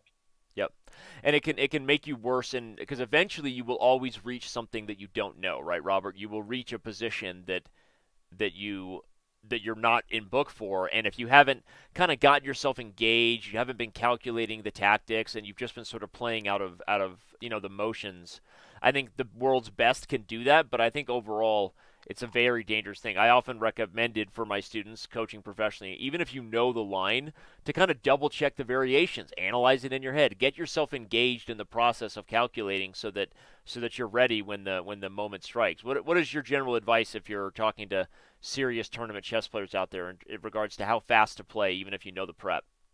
Yeah, I, I never believe in blitzing out the moves in the opening. If you have time, if you're playing blitz, yes, blitz out your opening moves because you just don't have time. But if you have right. 15 minutes in the game, there's no reason why you should only spend 30 seconds. As you may think you know the position inside and out, but then your opponent makes one move that um, you know can be tricky, or you may make a mistake. Right? You say, "Oh, right. this looks just like what I studied," but in fact, there was a subtle difference that you right. have looked in your prep. So here, I think Black is actually doing quite fine. And a move like I've never been on a team match with you and claimed to know a position like say in the Scotch again. Oh and boy. Then, and then end up oh, with a oh, queen boy. on h1 where I knew I, I thought I was in prep and turns out I had forgotten a subtle a subtle technicality, right, and turned a winning position out of the opening to a to a team loss for us. I've never done that. No, you haven't. In fact, I didn't even remember it until you just brought it up, and it just hurts so bad. I, just deep down, I'm gonna take a sip of my water because I can't even talk about it. It hurts. All right. Well, let's move on from that. For those of you who know the match we're talking about, go talk about it amongst yourselves. Um, let's go to Wang Yue's game versus the Caminator, who, if you're just joining us, beat Yu Yangyi in the first round. That's right. The board four for the Dallas Destiny upset Yu Yangyi, which is what you see there on the scoreboard, and uh, that could be that could be the kind of result that comes back to haunt the Pandas later on. So um, here, out of the frying pan into the fire, right? You beat Yu Yangyi, and now you got to play Wang Yue. Good for you. Yep, not getting too much easier, though. All right, slightly lower rated is Wang Yue than Yu Yi, but clearly a very talented player. I mean, Danny, honestly, with the black side of this position, it's your move. What would you even play here? Focusing, focusing. Um, I mean, the, the silence is probably correct. I don't know. Like, can I take on if I'm Wang Yue now after Rook C8? Can I take on E5? Queen takes E5, like Queen A4 check, and your king's getting caught in the center. Yeah, I was looking at something on D5 too, if I could really make the magic happen. But Bishop E5, Queen E5, Queen A4 check, King E7. What's the next move though for White? Don't know, but your king's on E7, so I thought at least I should consider yeah. it. I guess my thought was that black is up a pawn, and I have the bishop here. If I can play F6 and run eventually, get my king out. But okay, I agree. It seems very dangerous, and the times suggest that if if Wheeler becomes under under fire and gets gets under an attack, it would be hard for him to defend. He's only got six minutes here to to Yue's eleven minutes. Yeah, and nobody likes having their king on e7. That just doesn't feel very comfortable. Nobody likes a king on e. Nobody makes me bleed my own blood. Nobody. Nobody. Mister Goodman. That's, that's what he's gonna say. The world's most deadliest woman with a dodgeball. Alexandra Delanoskovich. Delovich, Delanov. Is right. actually is that the name of the movie? I don't know. Chess Panda taking on Andre Gorovets. Yu Yangyi trying to rebound from his upset loss. And quite the stonewall here. This is this is an epic pawn structure. Yeah, what what is happening here? So many pawns and it's kind of like black has the same sort of structure on the queen side and that yep. white has the king side. And the question is whose pawns are better? Blacks are mobile. You can play c3 here, so that's something to keep in mind. But do you actually want to play c3 as yeah, entirely? Oh, he he does it. He plays c3, and now he's going to play b4 to anchor that pawn in. Yep. The question is, will Yu Young you play a5 before he allows you to fully solidify that pawn chain? That would be interesting. Hmm. How did, so what's White's ideal strategy here? Because you can play h4, h5, h6, but no matter where you push your pawns to the side of the board, you're not actually going to break open the position. This is going to be one of those like puzzle book where you know the position is so close, but there's a timely sacrifice to blow up and everything. Thanks to Chess Panda for the Twitch Prime sub. Not sure if you're a Chengdu Pandas fan, but if you are, you just subscribed in support of your team. Yep. And the two games we have up here, well, I would say the game with Zhang Di is looking better than Yu Yangyi's position. Yu Yangyi, obviously the high rated player, well, the highest rated player playing in today's action, but yep. I mean, I just don't like the fact there's a pawn C3 restricting my pieces. And on the right side, we've got Preotu's game versus Zhang Di, who, uh, again, the most surprising part of that game is that is the board for the 1900 player, uh, at least coming into the season, much much stronger than that actually, if you look at the current uh, ratings. But but still playing very very quickly against his grandmaster opponent. Um, actually, and, he's still uh, still 1966 according to FIDE's website. Well, well, maybe I'm wrong about that. You know what I'm not wrong about? my what? love for the Blizzards and the fact that they played like wizards today. Because we got the man, one of the man who helped lead the way. That's Fidel Corrales here joining us. First of all, congratulations. Obviously a huge victory. You guys are just you guys are rolling right now. What do you attribute the uh, the Bli- the Blizzard success to right now? Well, thank first of all, thanks Danny and thanks uh, Robert for having me here and having the Blizzard here. So, well, a lot of factors. Uh, in fact, I feel like even though I'm the first player in the in the team, I'm not.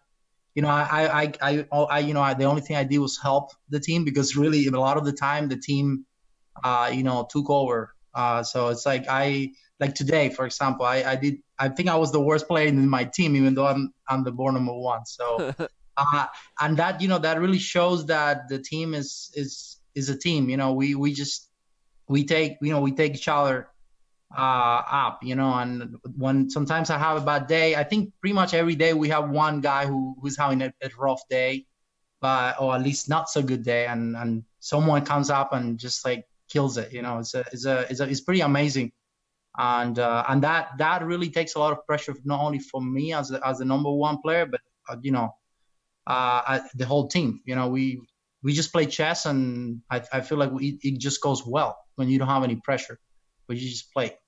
Yeah, and Fidel, so your team is pretty evenly uh, balanced across the four boards. Do you prepare together as a team, or do you talk ideas? Is there a group chat that you guys use? What's the deal behind your success? So honestly, so I uh, the first match against the Chengdu Panda, I remember, uh, you know, through WhatsApp. We use WhatsApp for you know chatting and and just communicating during the the match and and before and after any any news or anything that uh, you know Patrick always always send us uh, an update on WhatsApp on email and uh, so what what we do is basically the fir- I remember that first time when we played the, the Panda everyone was like oh Ding Liren played this and uh, yeah and what was the other one? Wang Yue played this and uh, and then that that match I guess because it was the first match it was kind of a little stressful. It was my first time. I remember Mauricio saying stuff about someone who played this, and but after that, honestly, we just we've been just going and playing, and there, there's I think that was the one time that maybe people started preparing, but lately, uh, I, at least in my case, uh, I just I just look at some of his ga- of the games of the players and then go and play. Uh, no specific preparation, just to have an idea what they do in the so opening. Just just relaxing and having fun and playing chess. You highlighted that like you said, maybe today wasn't your best day, but you've had some great days uh, for the team throughout this year. And like you said, just the, the super well balanced lineup has has kind of historically always been the Blizzards' uh, calling card in, in the Pro Chess League. And let let me ask you a, a tough question then, because the the the Blizzard have had some very well balanced teams. They've had great seasons previously. What makes this team special? What makes this team different that you think? uh, gives you guys the chance to go all the way this year?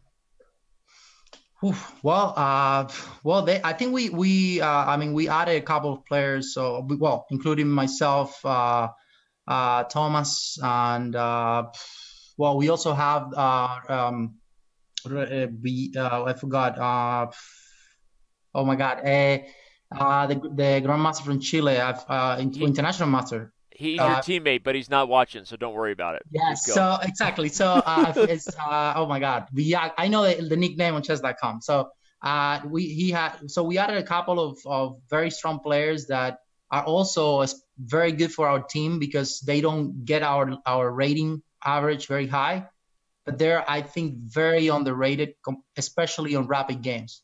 So we don't have the strongest on on on FIDE rating, or at least on serious FIDE rating uh, players based on the rating. But when you go play with them, uh, I think there are at least 50 100 points higher than than than their actual rating. Uh, and of course, we you know you have Andrew Tang that was there before, and and we got you know uh, John that did a, is doing an amazing job in the in the in the fourth board, and you know it's just yeah. I mean we've we've been playing very well, but we also had some luck, and you know it's just part of the whole of the whole uh, you know uh, the whole tournament. So it's but it's yeah. I think I think yeah. I think the key was adding some of those key players that that really really make the our lineup very flexible, very yep. strong.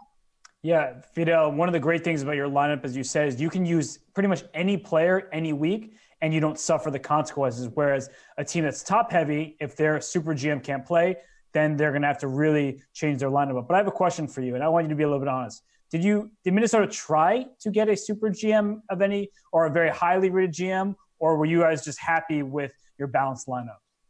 Well, honestly, I don't know. Patrick, we can tell you better. That uh, you know, I, I don't know. They he reached out to me, and I was very, I was, you know, I met I met Patrick and Andrew and, his mom his mom during the, the Minnesota uh, Minnesota tournament this year, and they just seem very nice people. And I just they reached out to me, and I was like, oh, you know what? I, I would love to play with you. I follow the league a, a very closely from last uh, since last year uh, and uh, I knew it was gonna be a fun team to play with. So I don't know specifically they reach out to other people, but honestly, because of our lineup, it's really hard to get even a 2600 mm-hmm. uh, a, on, on, it. So I, I, think it was kind of a strategy for Patrick to just keep it around that rating. You know, uh, I don't think I don't I don't know honestly. I don't know. yes. Well, either way, the strategy seems to be seems to be working at this point. We know that the team is is rolling and and, and playing well these last few weeks, and obviously we hope you guys keep it up. Um, you're uh, you're looking at the the matchup that's going to decide who you guys play. So my last question for you before we let you go and get back to the rest of the Pacific Division here is exactly that point. Who would you rather face, Chengdu or the Destiny? Um, and uh, you know, give us give us your thoughts. We know you guys lost to Chengdu, as you said yourself, in the first match of the season. So is there a we want revenge, or or is there a bit of a you know what they're really good? We would rather see the Destiny in the in the playoffs. Be uh, give give us your thoughts on on who you'd rather face next week. Uh, yeah, I, I think we would rather uh, face the Destinies. Uh, we beat them before, and honestly, we just want to win the whole thing. So if he's ma- if he make it a little easier, I think we take it. Uh, I think that the, the thing with the Chengdu is that you know you can just have Ding Liren then Yu Yangyi and then Wang Yue. What a, well, of course, of course we take Dallas. I think you know it's it's uh you know it's gonna be a tough match no matter what. But I think Dallas will be a nicer opponent. We already beat them before, so it's but it doesn't matter. I think we have a good team. We can we can fight no matter what. We're gonna give a good fight at least. You know, that's the plan. Well, we wish you the best of luck, regardless whether it's uh, the Pandas or the Destiny. And uh, thank you for all your insights and, and sharing sharing your feelings with us. Of course, good luck next week, and who knows, maybe we'll be talking to you again after another match victory. But either way, it's been a great season so far, and uh, the Blizzards are they have a lot of fans here on Twitch. We love talking with you guys, so thank you. Thank you, Danny. Thank you, Robert. Of course. Thanks, Fidel. All right. Well, if you're uh, just joining us and, and wondering again why it was that we were joined there by Grandmaster Fidel Corrales. It's because he helped the Minnesota Blizzard take home the victory against the Australia Kangaroos. As you can see right there, they just wrapped up an eight and a half, seven victory. As he said, not his best day today, Robert, but overall, uh, even if he's not having his best day, the approach that they take, having a kind of a whole bunch of 25 50s all around, right? Boards one through five as best as possible, right? They do what they can to, to field a balanced lineup, and it worked out again as they move on to the quarterfinals. Yeah, no, I mean, they have such a balanced lineup week after week, and that means they can sub people in at all times. Um, it's interesting that they don't even seem to want to have a super high rated GM because they really value their board three, board four performances. And when yep. you can have a guy like Nikola Mitkov on fourth board to kind of mop up the other against the other board fours, or John Bartholomew. I mean, we saw him in the battle royale; he just beat everybody.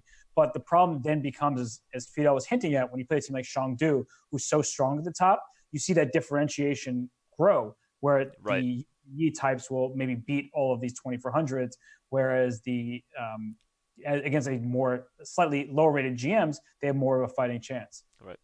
Well, I'm sure the Destiny would love a chance to prove uh, Corrales wrong and, and beat them next week, but I think you're right. There's a reason why they struggled. Um, there's a reason why they struggled in the first week against Chengdu because, like you said, they might struggle against St. Louis, right? The really top heavy lineups might be hard for this balanced approach to match up with. But either way, it was great to hear from Fidel. For those of you who didn't know, he also streams on Twitch.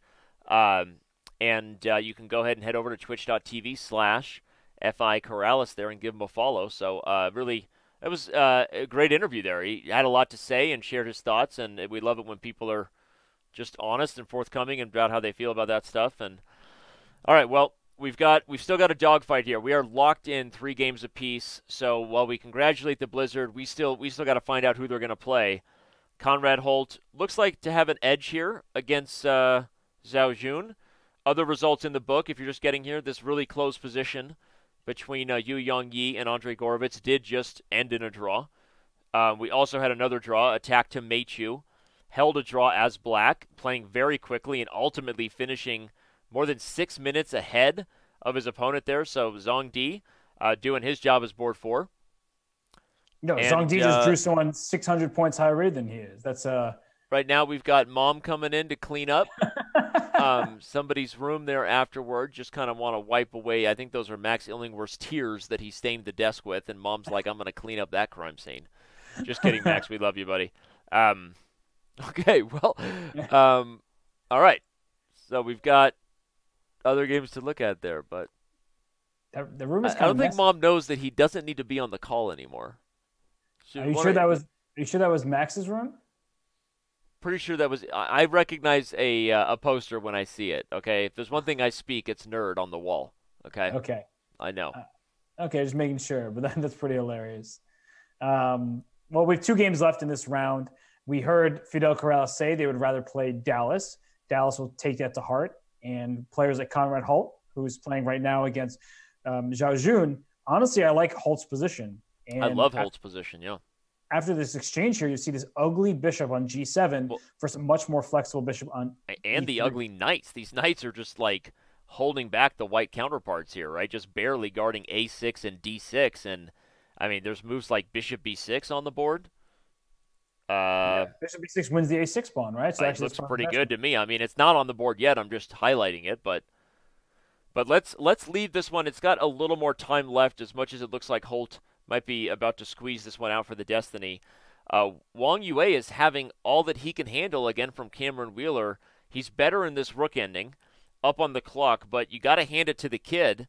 Uh, Cameron Wheeler already beat Yu Yangyi and has given Wang Yue a very good fight here with the black pieces.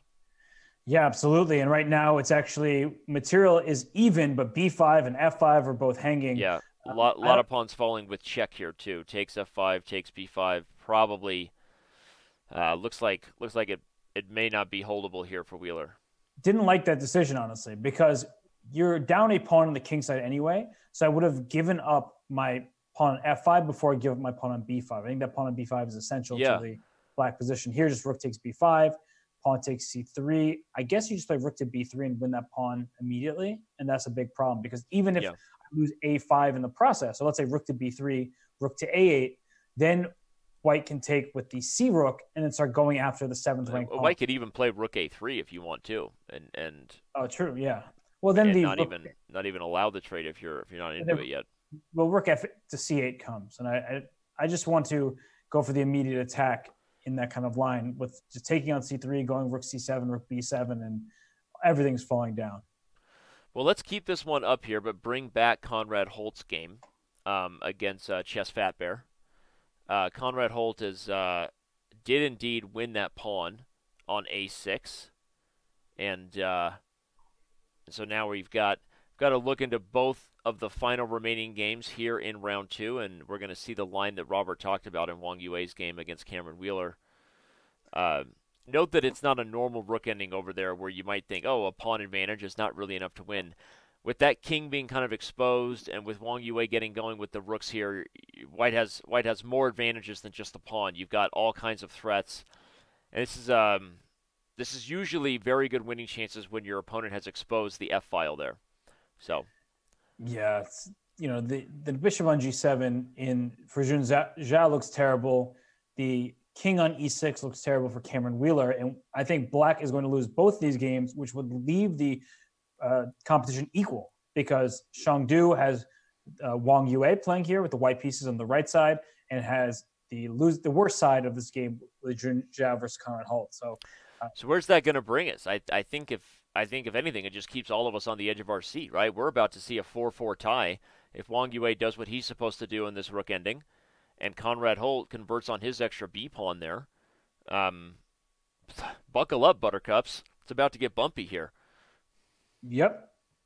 And while you're on the edge of your seat, I'm leaning back because you guys got me this comfy new seat cushion, which means yeah. That... Tell everybody what I bought you. Can we can we bring Robert back up on camera here? No, don't I, do it. Yeah, it's perfect timing because Wang Yue just won, and I want you to show everybody what I bought you. I I picked this out specifically for orthopedic reasons for your back.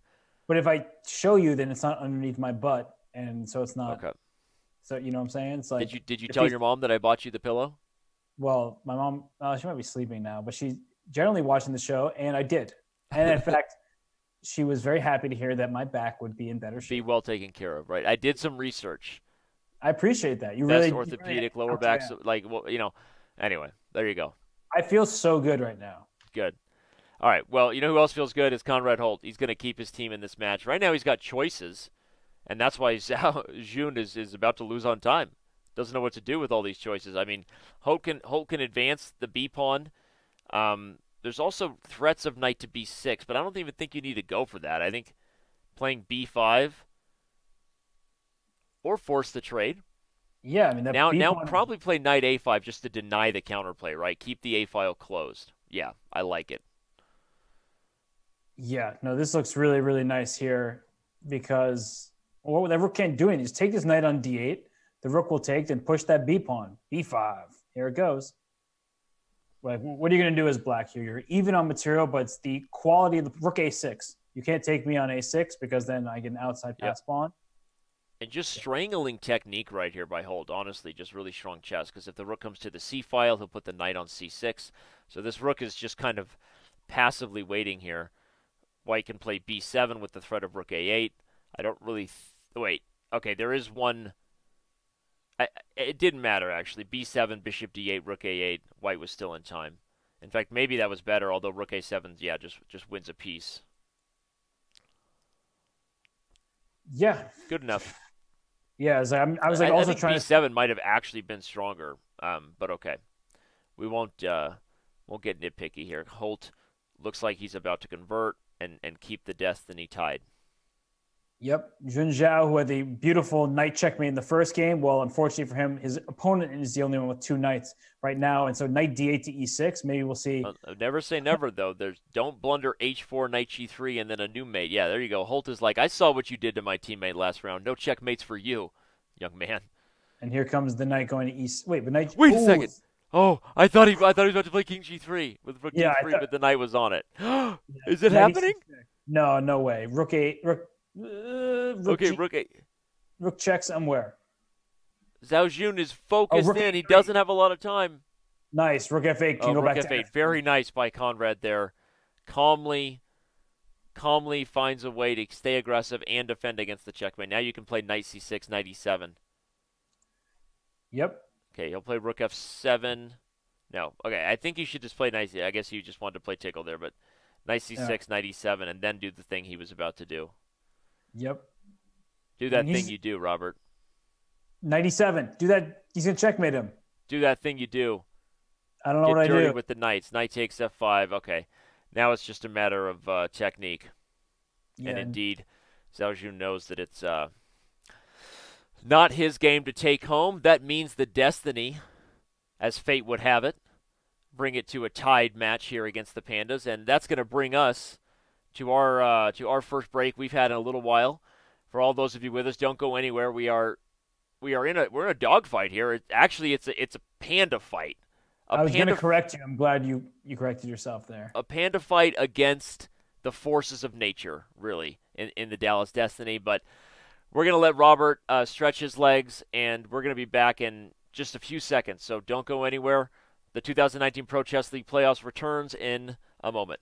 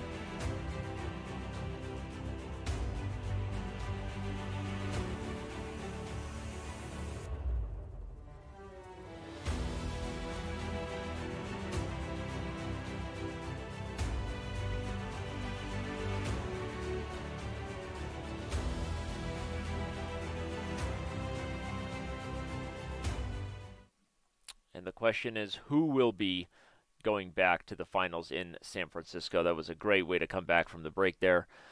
Love seeing that epic moment, the legendary fist pump. Has anybody ever won a chess game and pumped their fists Queen as they did so in the history of, of chess kind until last year's PCL finals? It's so epic. Oh, and look how It was so. It really was. You couldn't have asked for a better way to finish. And I, I remember that time when you won an epic game and got your final GM norm, and nobody grabbed and hugged you like that. Where was Artok then when you made your final GM norm? I love the end of that clip, by the way, when they almost knock over all the equipment and No, Artok. Art, like, Artok goes like kind of like stumbling through. Yeah. and he was he was just so happy that nothing could get in his way, and then he realized he was knocking over some probably pretty expensive camera. well, because a lot of people were yelling at him too, but it was great. Um, if you're with us, thank you for being here. Whether you're at twitch.tv slash chess, chess.com TV, or anywhere in the world right now, you bought the right tickets to the right show. You know what else you can buy? A backpack. Backpacks are damn sexy. They look good, and you can put stuff in them whenever you go on hikes. Do it. Go buy it. I love it that you have many children, and the first thing you think of is hiking, which just goes to show that you're trying to avoid thinking about backpacks with homework sure. Dude, I, I stretch backpacks to their physical limit on a regular basis. That's what I do. I stretch like I- like you don't think I can fit one more orange in there before this eight-hour hike? Oh, I'll prove you wrong, backpack. I get that thing in there. Um, and uh, this has been this has been an epic day. Honestly, we could be in for a, a photo finish here between the Pandas and the Destiny.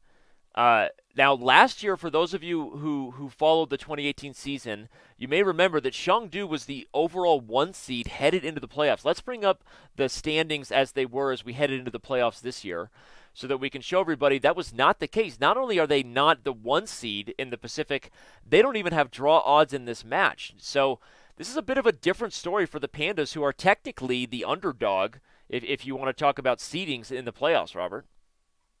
Yeah, no, it's pretty interesting to see that because I think most people would assume that Chengdu is the favorite, but Dallas is a great season. But that being said, without Jeffrey Xiong, this is a very different Dallas Destiny team. They put up a great fight. Cameron Wheeler on board four thus far has been phenomenal because just by the very nature of beating one of the best players in the world in Yu Yangyi. So that Yep. one out of two against the top two boards is really what's keeping Dallas very much in this match.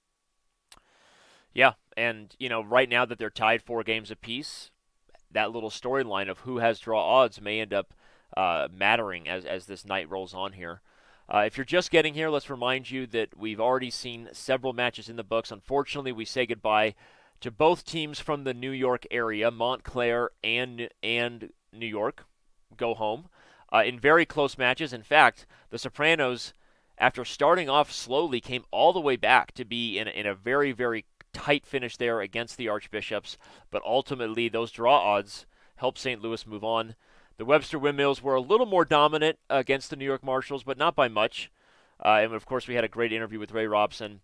And then for those of you who've been with us, you saw we had an interview with Fidel Corrales, who helped the Blizzard move on to the quarterfinals. Who will they play?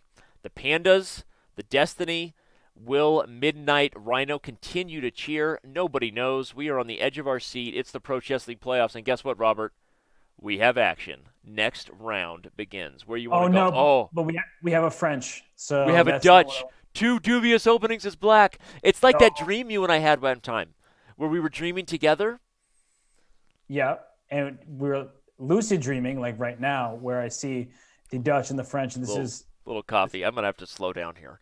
this hurts. Yeah, that was a lot. I, I saw it after the fact, but I, midnight cheer, midnight rhino.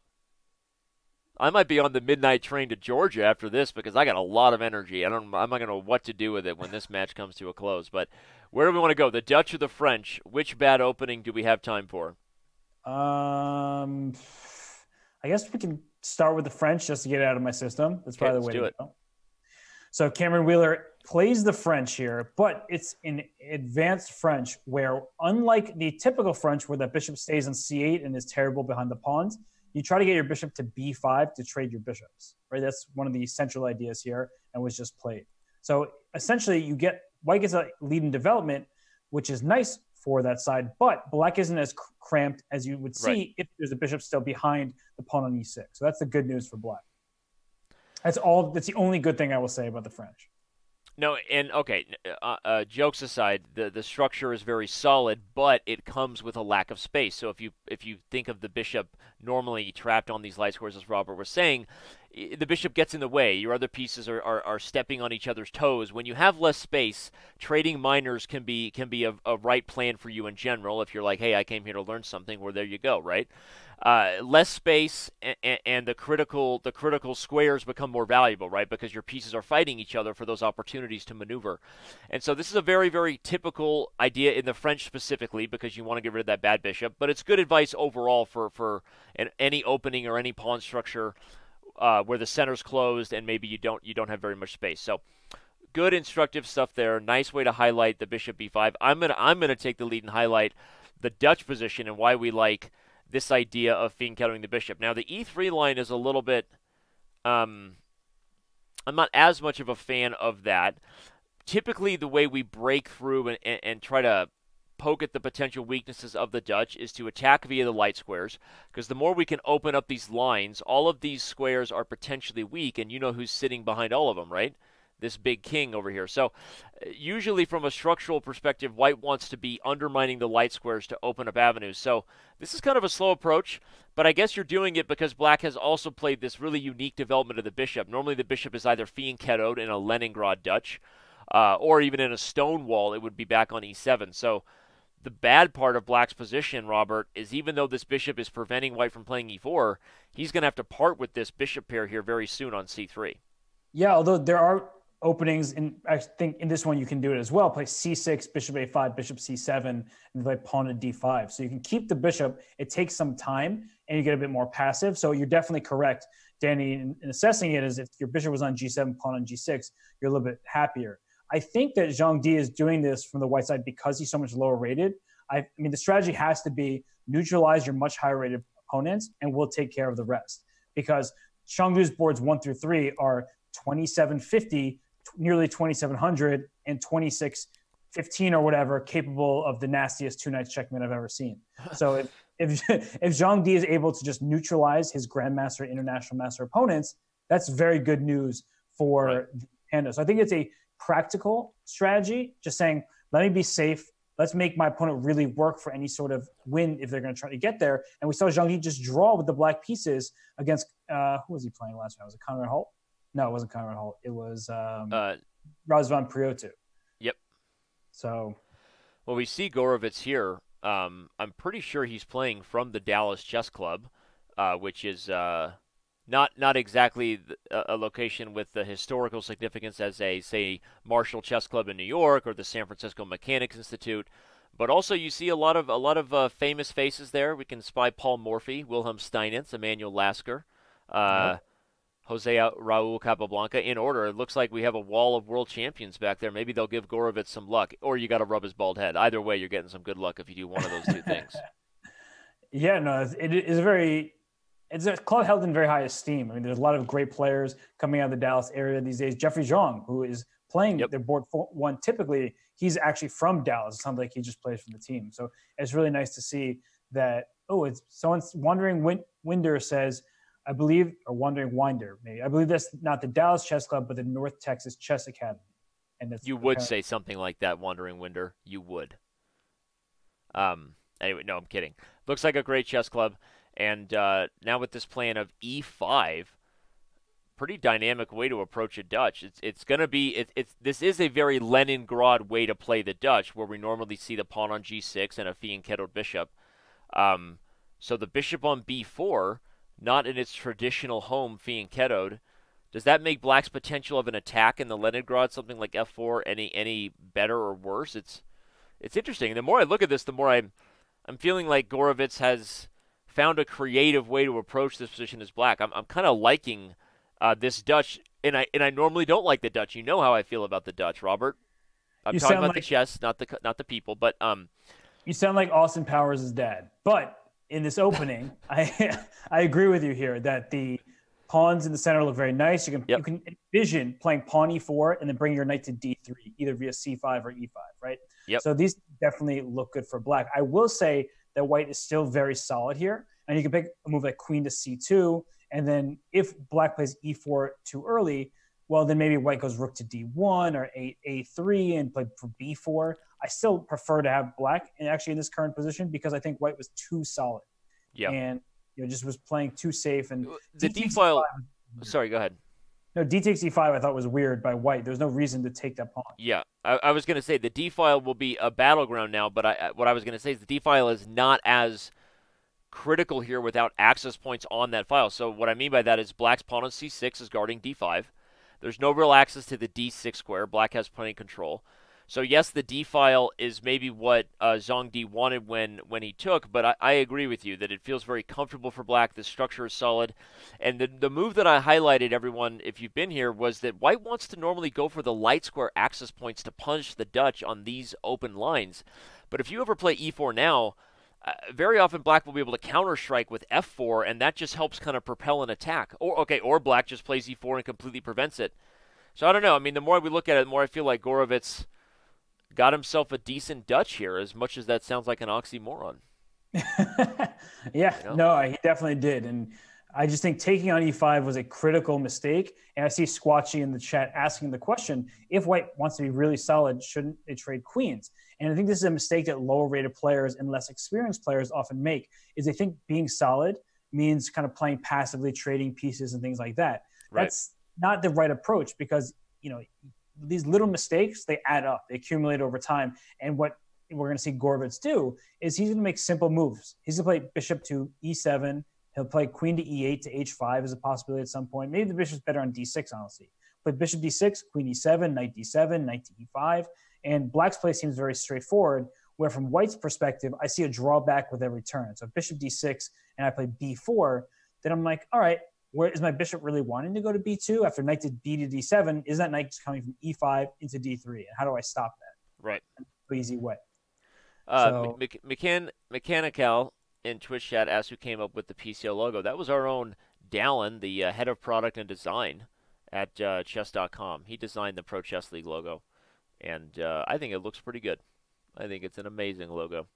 So uh, that, there you go. Shout out to Dallin who actually designs all of the team logos too, with a, with a few exceptions where some of the local teams like to have a little bit more of a hand. Um, obviously, the St. Louis Archbishops did, and a couple of the others. But overall, uh, the, the the the Wizard of Oz, the man behind a lot of the Pro Chess League, just branding and overall feel and look for the teams, is is our own uh, chief chief of design, Dallin. Yeah, Dallin's great. There you go. All right, so he brings the bishop back to e7 makes sense. And okay, we'll see what uh, Zhang comes up with here to try to coordinate properly. A lot of a lot of the other games are moving along quickly, so we should. Uh, well, first of all, let's quickly check back in with this crazy French, uh, because a knight is on e6, and I don't think black is happy to see it there. You can't take back because of queen g6 check, and something tells me the French is uh, is about to bite the dust. There's also a threat of queen takes d5 on the board after queen takes knight c7 is a fork knight. Yep. This looks this looks like a serious problem. So where did it go wrong? We last left the position with Cameron Wheeler executing the plan of bishop b5, which, as we said, is kind of a principal thing to do, both in the French and in a structure with less space.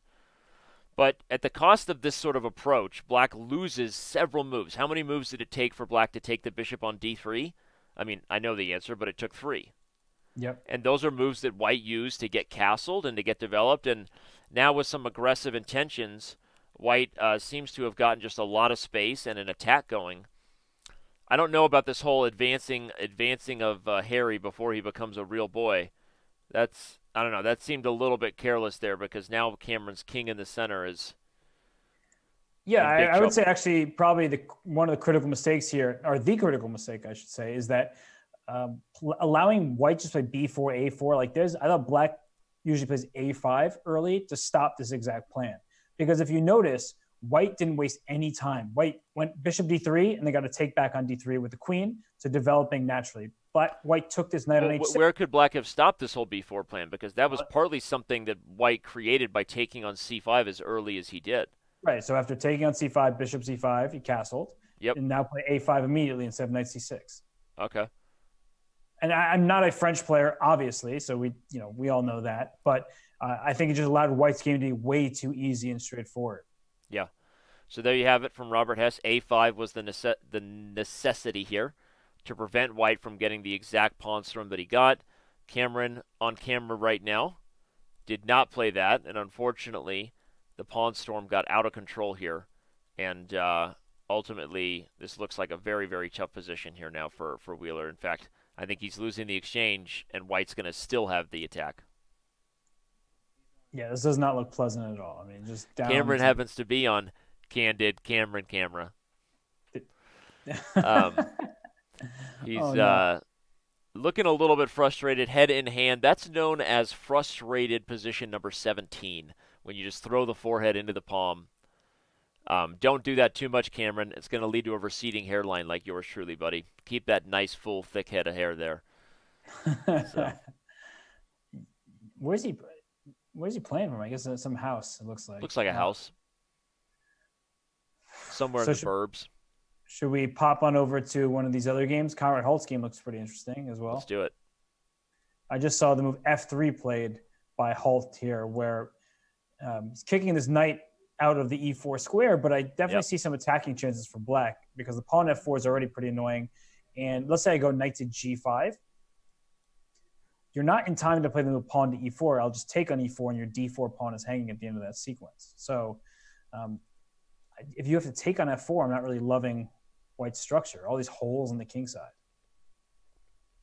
Yeah, it feels like uh, this is a typical kind of plan you can go for in a queen's gambit uh, kind of orthodox structure here, everybody. This idea of playing for f3 and e4 is not a novelty one, but like like Robert pointed out, it feels like White's just a little bit too slow, right? Black already has f4. He's already established sort of optimal coordination. The knights are protecting each other. The bishop is prepared to enter in. So something something seems to have gone wrong for Conrad out of the opening here. Would you agree? Definitely. It just feels like Black has got a very comfortable position. The dark squares are vulnerable. You don't have that typical either knight a4 to c5 on the board yet, because from there you're actually putting pressure on b7 and b pawn came because you lose a6, things like that. So yep. instead he takes on c3 and plays c. Okay, that looks very reasonable. How can I question Wang Yue's plan here? If you take on f4, then I'll take on c4, and then excuse me on d4, and then take on f4 next. Looks very good. Just gaining space, and maybe Black might play c4 himself just to kick this bishop off the diagonal, so black can play bishop g6 after. Yep. But okay, if you told Holt that his team would be tied four games apiece and and uh, he'd have a decent chance to to maybe even to get just a couple draws against Wang Yue and Yu Yangyi, right? I, I think Black is better here, but um, you know Holt knows he has his work cut out for him. He's he's outrated by hundred points in this game and 200 points against Yu Yangyi, right? So if you're looking at the lineup there, everybody on your screen. Um, Conrad knows that it's a tall task for him. Normally, the Dallas Destiny are led by Jeffrey Xiong on board one, and Holt has often played board two. And I'm not saying Conrad can't do it, but this is this is a tough situation to be in. There we see him in a uh, in a dark room, but yeah. uh, just before he finishes hanging the photography on the wall and throwing up the red light, he plays a little chess. It looks like he's playing outside, and we're actually looking at a window that leads into a home. A window into Conrad's soul. um, shout out to everybody who's been with us. Uh, shout out to the Chess TV chat. Thank you, Wisconsin Mike, for the compliments on the commentary. Thank you to everybody that's been active in the Twitch chat and been with us the whole time. Hopefully, you stick with us and let's see this one through. It, it could be a very, very close finish here between two two great teams in the Pro Chess League. Yeah, and as we heard Fidel Corral say earlier, he's rooting for the Dallas Destiny, though it doesn't seem like he's rooting so hard for them, as both teams are very good here. But it makes sense because uh, with players like Yu Yangyi, Wang Yue, and Zhao Jun, as we saw, just very strong team. We're, we're waiting for some Joseph Conrad references here. Um, we've got uh, all right, knight h5. That's a tough one. Wang Yue, I think, is smelling blood here. He's going to build on this tension. Yep. And I actually really liked Conrad Holt's queen d2 move, not just because it protects e3, but it, it means that c4 can be met with bishop to b1. The bishop needs to stay on a good diagonal, whereas if it's on e2, it's not going anywhere. It's a terrible piece. So I like that clearing the diagonal for the bishop. And now I, I think the position is a bit of a mixed bag. I mean, isn't White going to try to play a move like bishop to c to b1 or c2 well, and i was going to say now that you've overprotected the d pawn i thought you were going to say white's going to play for e4 finally maybe in yes. some of these positions you can get away with it because i mean just to give an example line if black even plays a move like rook d8 e4 takes you could take on e4 with the bishop and even if you end up with an isolated pawn on d4 you've got a very active piece on e4 that knight h5 feels awkward now if the play becomes all about the center so I actually think e4. Okay, I think I think Wang Yue is definitely going to follow this by taking e3. You can't play c4 and then allow white to get the pawn to e4, right? So we're definitely going to see the move f takes e3 next for black. Yeah, and then try to jump the knight to f4. That definitely makes sense. Whoa, he's going to allow e4. This just doesn't feel right for for black.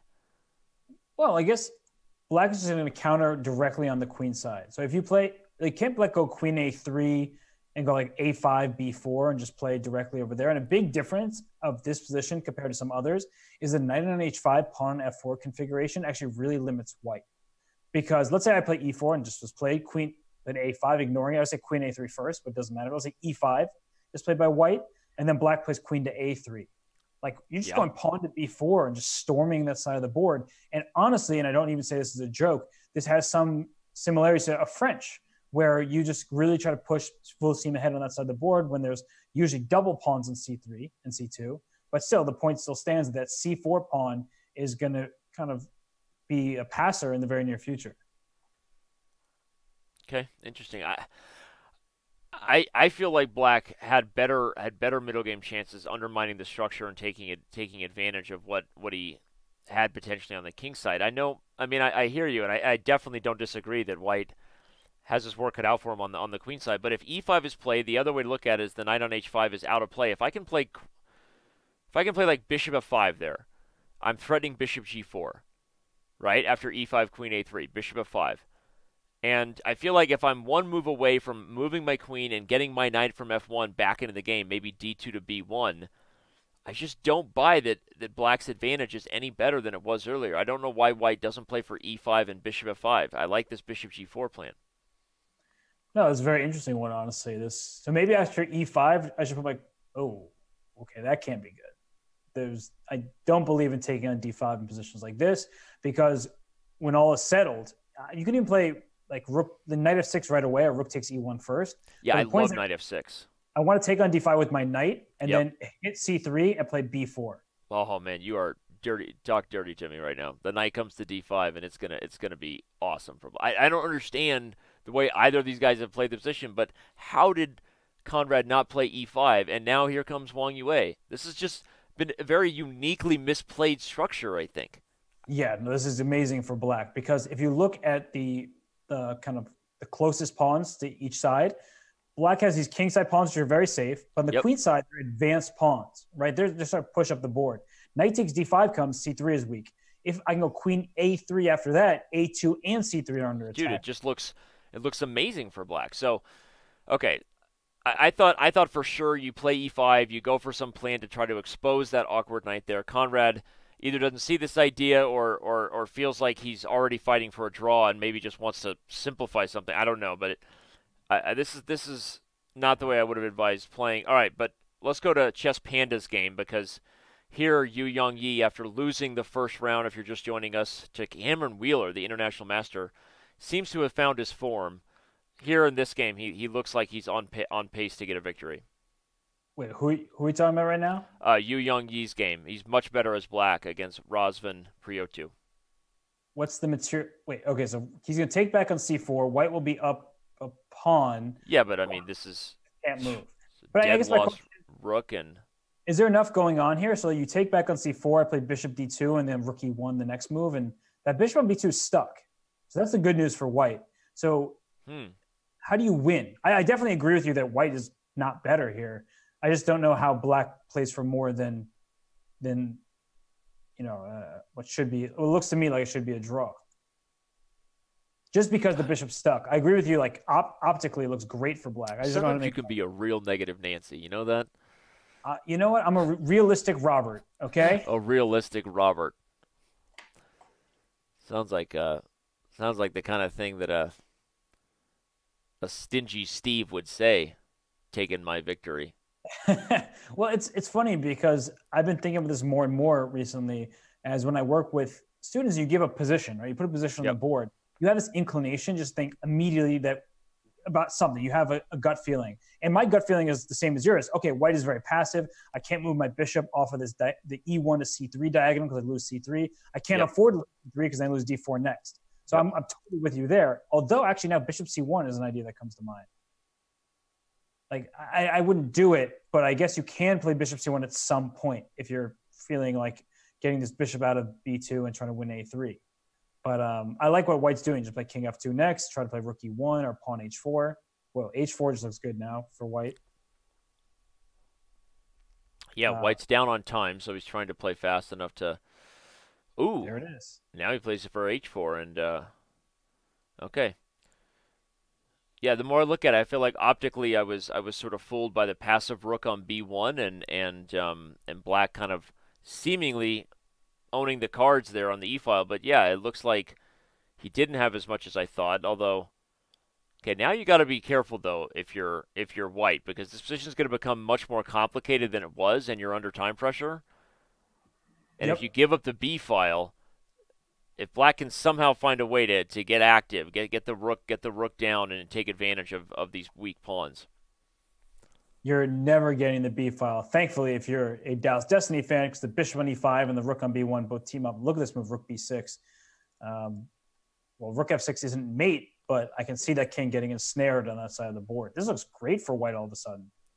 Honestly, props to Preotu for just playing for a win. I think that Yu Yangyi kind of baited him into it by playing h5 and allowing h4. Right. But he's not scared of his much high rated opponent. He's like, I'm a GM. I can play with these guys. I yep. saw Cam Wheeler do it. Yeah, uh, Cameron Miller proved that Yu Yangyi's beatable, right? Kind of. Yu Yangyi only is half out of two so far. Okay, Rook D6, just pick up the D5 pawn. Thank you. Unless you want to go for mate.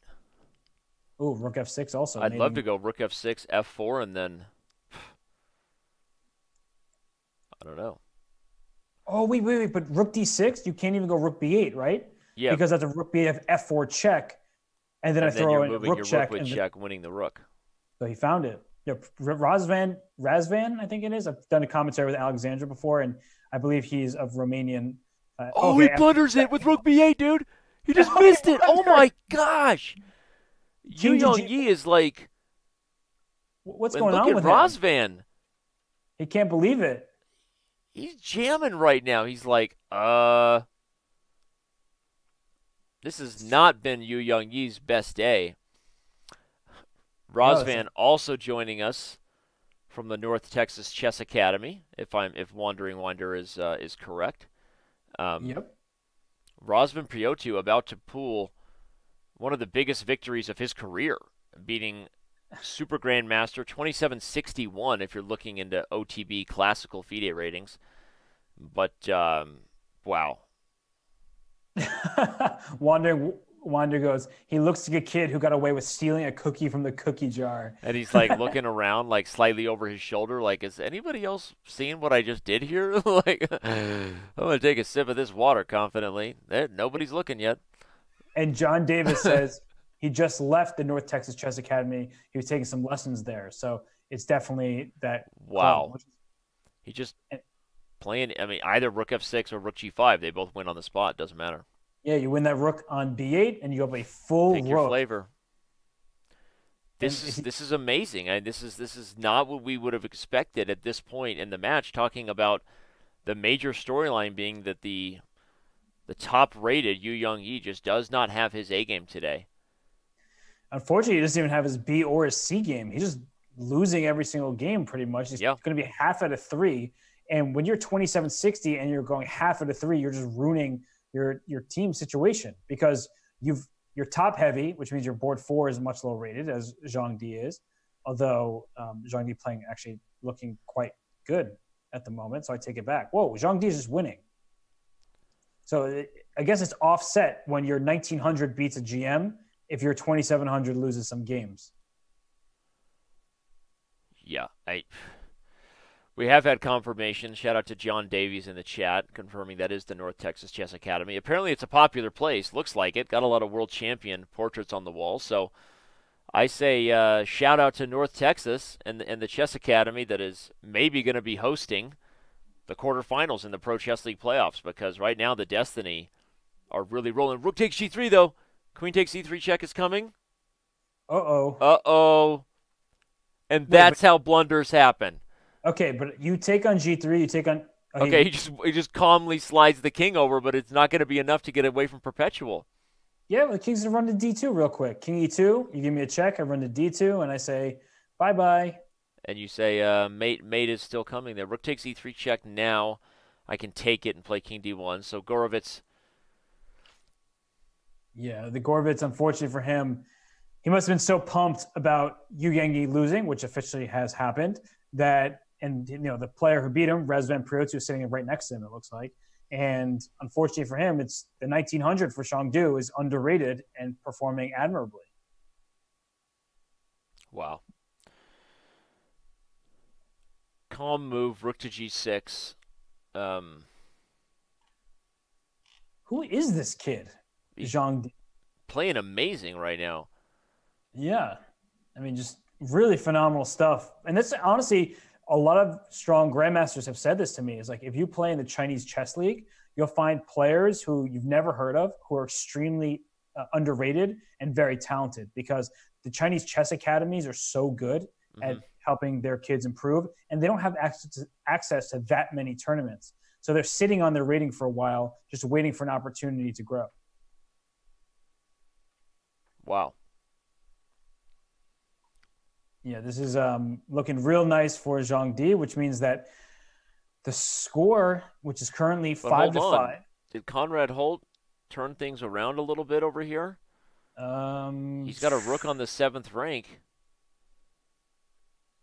Yeah, we have two games remaining in this round here, so we have Conrad Holt and he's down. He's down on time, so that's worrisome. And maybe Rook F8 just solves all, all Wang Yue's problems. But right now, we have uh, mate mate threat on the board here. So how does Black deal with this?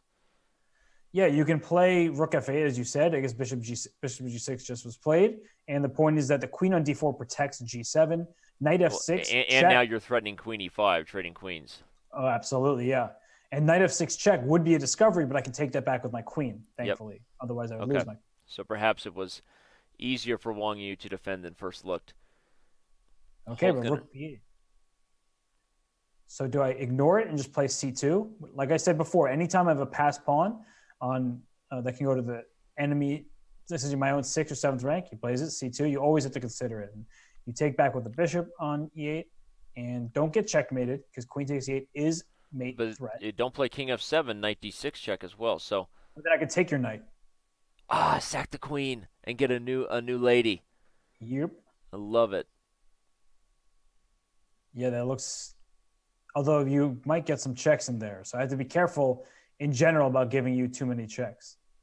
Wang Yue looking about as fresh as when I saw him get off that red eye in San Francisco last year. But uh, he was the whole team was just so tired last year. They uh, they were, but um, they're they're trying to fight their way back to another another long plane flight. Um, right now, Wang Yue seems to have defended off the worst of the queen and knight to to go back to pushing the c pawn. Now queen f4. Yep, he finds it, and uh, should be good enough. Queen d2 and queen e3. Although, okay, yeah, queen d6 makes more sense to keep an eye on b8, don't allow counterplay, and renew the threat of even queen to d1 on knight c3, and it's over. Oh, that's nice. Yeah, and here, so knight c1, so it's a very passive position for Holt, which means that black just needs to figure out the king safety element, so there are no perpetual checks. So h6 yeah, is played. decides to just make make it easy on himself, not even calculate. But now now you'll see these ideas of c3 and queen d1 check coming. Yeah, here they come. And honestly, oh, okay, c3 should just be great. Yep, and the queen is Wang Yue just you know taking his time. Ouch. Ultimately, just too much here for Holt to hold, and he goes down on the clock, picks his way to lose. We go to the last game still going where Zhang Di is, as, as you said, walked the king all the way to d2 and now it's just up a piece. Yeah, the kid's shown good preparation and good, I guess, good tactics. And right now he's up a piece. I would play, okay, king c2 I would not have played. I would have played a move like bishop d5 to win the f3 pawn. Because that's the one thing that black has going for him is this f3 pawn. Granted, okay, if rook of one just protects bishop d5 next. Yep. It just should be easily winning. Um, he has 18 seconds though. Robert, if I had told you the Pandas would be taking a two-game lead into the final round of play, you might have said, "Yeah," but if I told you they would do it, and Yu Yangyi would be half out of three points, would you have believed me? No, crazy, right? Yeah. I mean, they're they're putting up a very impressive performance on the back of on the back of Zhang Di right now, 1966 FIDE. Yeah, no, he's a, a youngster from China and just super dangerous, clearly well prepared, as we saw against Razvan Preotu. He just drew that game. And yep. against Andre Gorovets, well, yeah, just doing work here. C6. And as our as our stat bar just revealed, Zhang Di is actually the only untitled player on their roster, but – he may not be the hero they planned on, but he might end up being the hero they needed, right? I mean, this is uh, very, very impressive right now. Zhang Di going to convert this one against Grandmaster Gorovets. And Rook G6 here. Okay, just trade off, push the C pawn. It's over. Get that queen.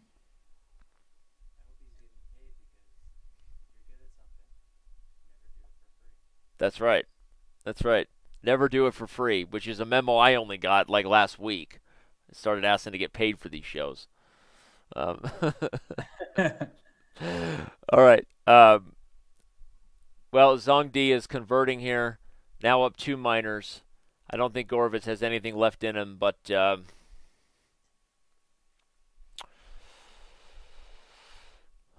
but a deep breath and uh, then all right, the Destiny are going to have to rally yeah, I'm trying to gather my thoughts for the final round here. The Destiny looked like they were in great shape because yeah, Gengi was losing his, you know, he has half out of three. He lost this game. We saw that early, but even after he lost, his teammates have picked him up because they're all winning their games in this round. Three wins for the Pandas if Zhang Di does not. Wait, he just lost a piece. Did he just he just blundered a piece? Oh no, Rook takes e5, and then the Jeep. Okay, this he made it. Oh my gosh! I was sitting here about to cue the, uh, you know, cue the choir over there and like you know check out for sixty, but apparently he not. He made it much more difficult himself. He's still it winning. Should, yeah, it should still be, uh, um, you know, baby girl on B eight. Here she comes. Yeah. There she goes. Knew you were gonna go there. There she goes again. I mean, I, racing to the, the eighth. The eighth. It's racing through my and brain. I just can't say. Oh, what? Little Saki Sacky McSackerson. Yeah. That was uh, Brooke. great, great movie by the way. So I married an axe murderer. Really, really underrated. Okay, what's going on here? So the G pawn is rolling. No, it's still over. Okay, it's over. Zhang Di just uh. Wait, no. Okay, King of No. Two. Uh, for a second, I almost flipped out. Hey, Shout Danny, out to James Montemagno with the sub. Subscribe Danny. for two months. Can we go to move 72 King E4 for a second? Okay. Because I think after King E4, Black had King to G1 and missed that. No. I think so. I was like trying to figure out ways for Black to survive. King No, no, no. G1 There's White still wins with King F4. And then H2.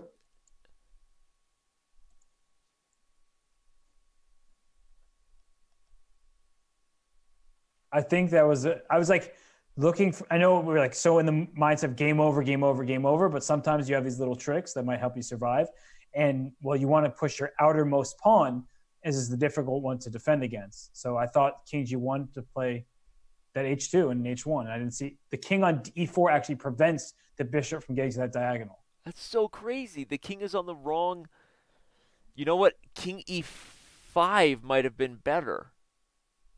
I mean, many yeah, King E5 definitely was better.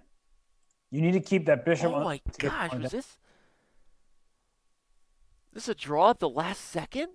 I think well, no time for black, but I, I really think that King G1 with the H pawn rolling.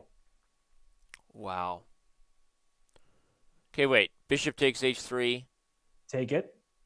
Take it. King F3. I go H2. Rook G8. King F1. There's no. Uh, I keep trying to find one of these tricks where I got to force you to get a knight. Nope. Okay. No. There's just so much silence here. 'cause I just, I was just trying to find. That's all I was looking at. You were talking. I was like, how do I find a way out here for black? And I was like, make King G1 look like a good attempt.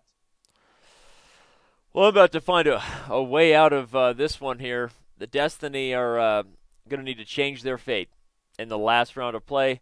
We're going to be right back.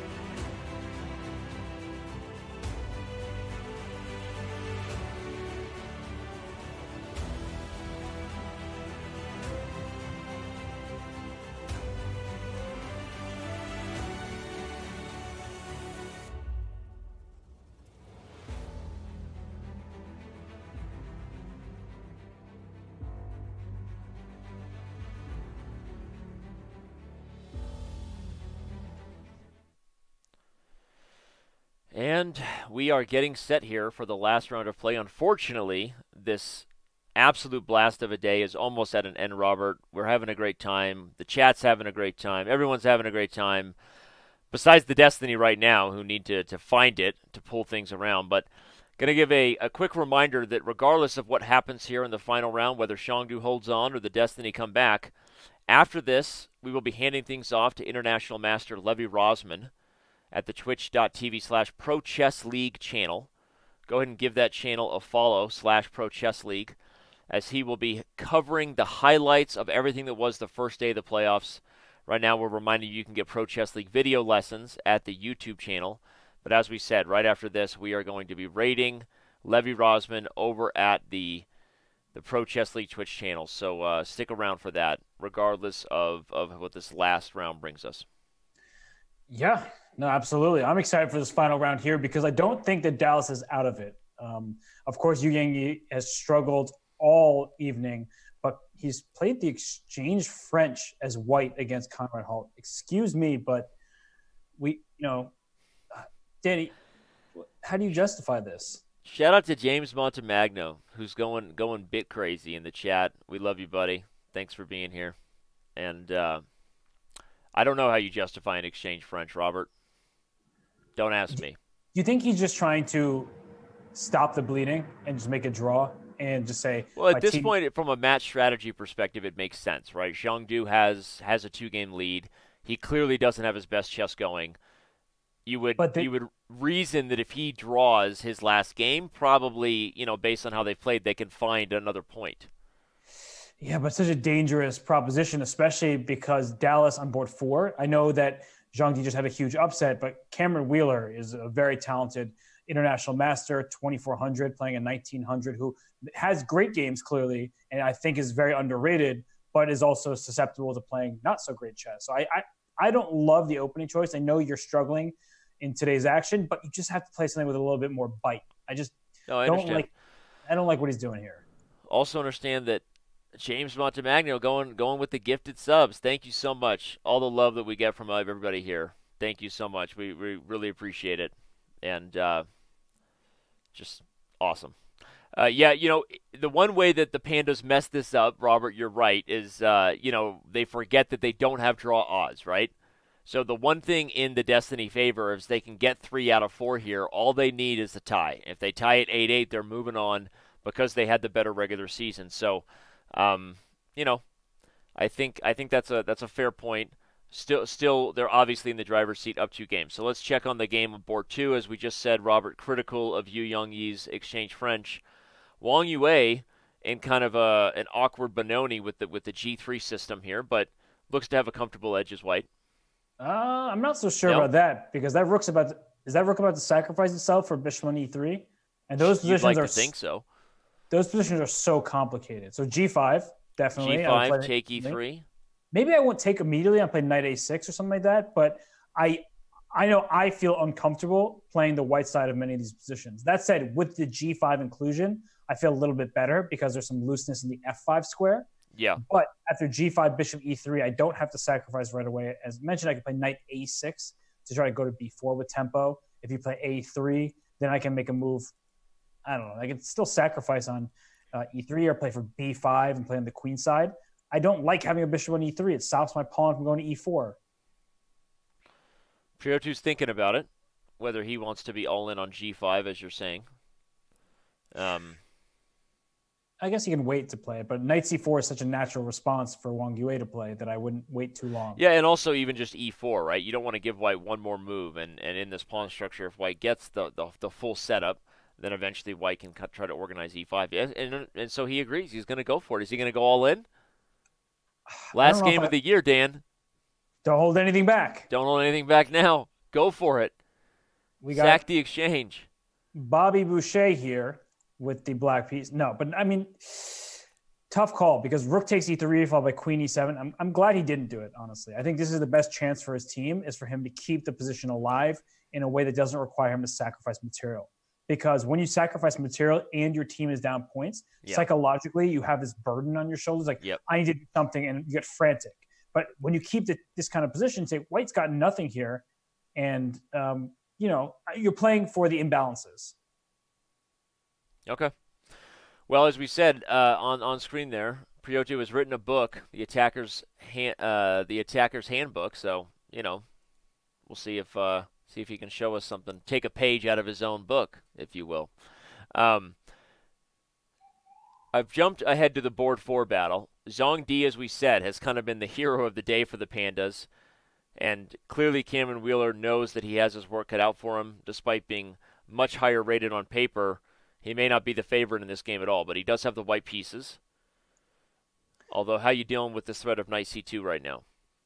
Uh, um, uh, Bueller. You can play e4, but that's right up Black's uh, Black's plan, right? The bishop finds safety, and now now there's still a threat of knight c2 with the d4 pawn hanging. So he went bishop to f4, I guess, to meet knight c2 with rook to a to d1. That does defend that pawn.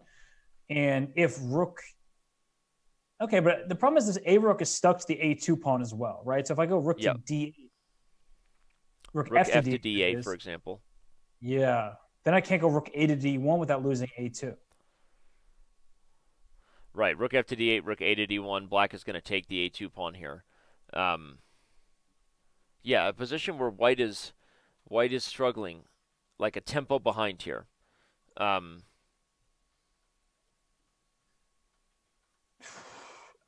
though at some point if white is able to get like a knight c4 move in that could be quite annoying to deal with so black does have to be pretty quick as the pawn structure as it currently is at least optically it favors white but the issue is your d4 pawn is quite vulnerable here so rook f8 played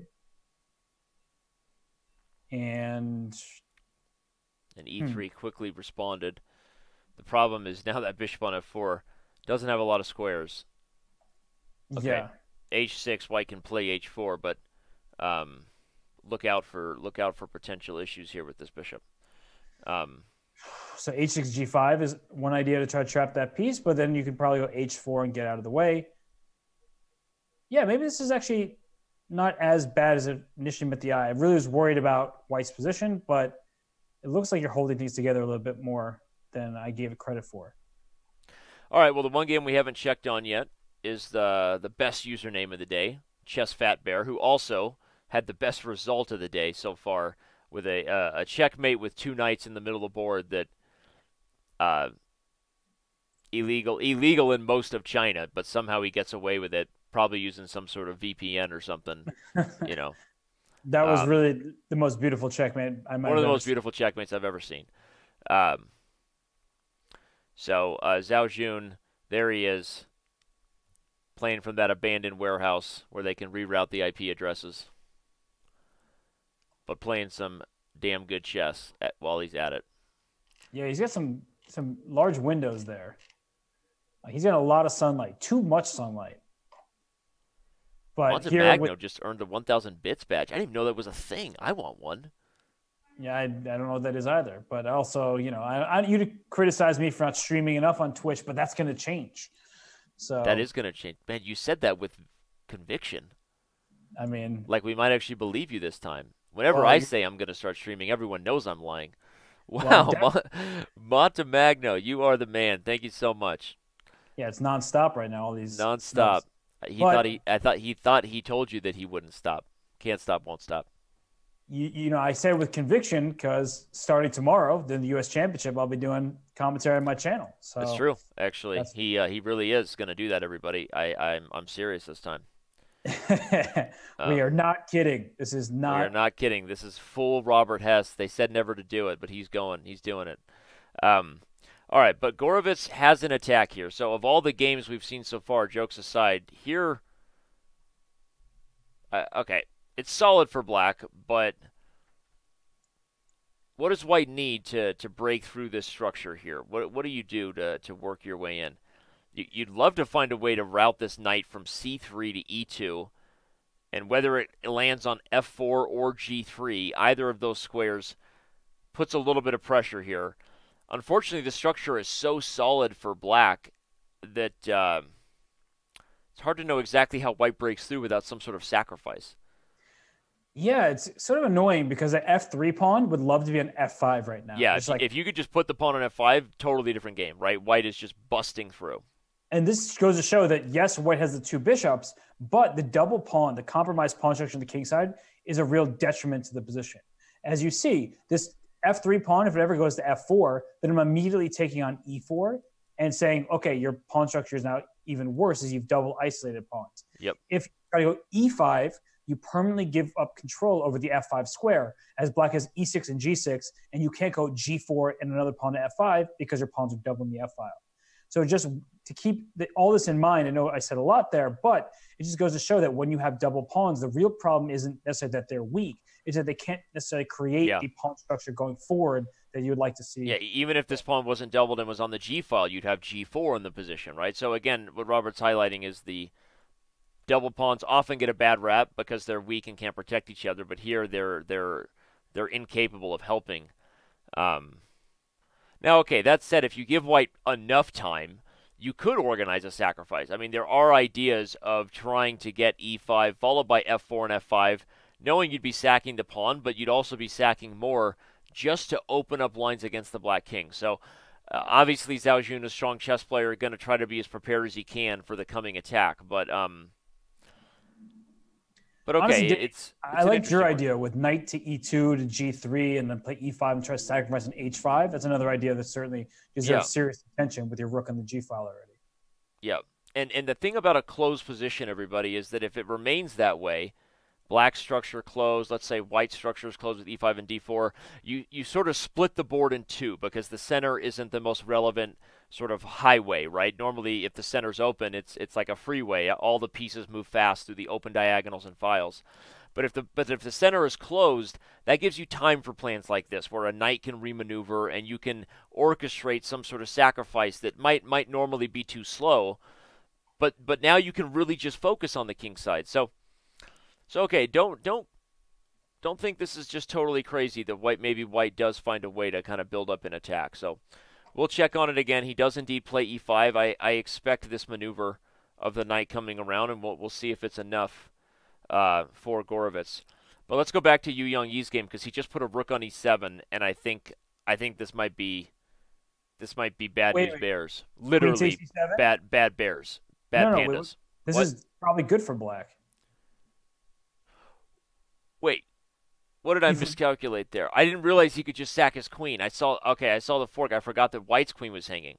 Yeah, so exactly. I was like, I had the same reaction. I was like, wait a second. There's no way that you know Black is just getting toasted on G7. And here actually isn't Black no even material, but right, the, but the pawn A4 is very weak, and then knight can go to B2 and then to C4 if necessary. That's a great point about the knight coming to B2 because it makes this rook just uh, a dull boy here, right? All work and no play. Having to stick behind the A pawn. This is this is really difficult here. I know I just referenced one of your favorite movies of all time. You're welcome. Yep, you did. Um, but I'm, no, there's no dull boys here. Nope. All work and no play makes the rook a dull boy. But uh, how does Conrad take advantage of it? Is he in time to get King D6 and get the rook over to the E file? Looks like he is. In fact, could could we say that the Pandas might win this match with Yu Yangyi getting half out of four? Like, just, re- I mean, redunkabunk. Yeah, it's, it is ridiculous. He's not the shining star that you want him to be. Oh man. Here's Conrad.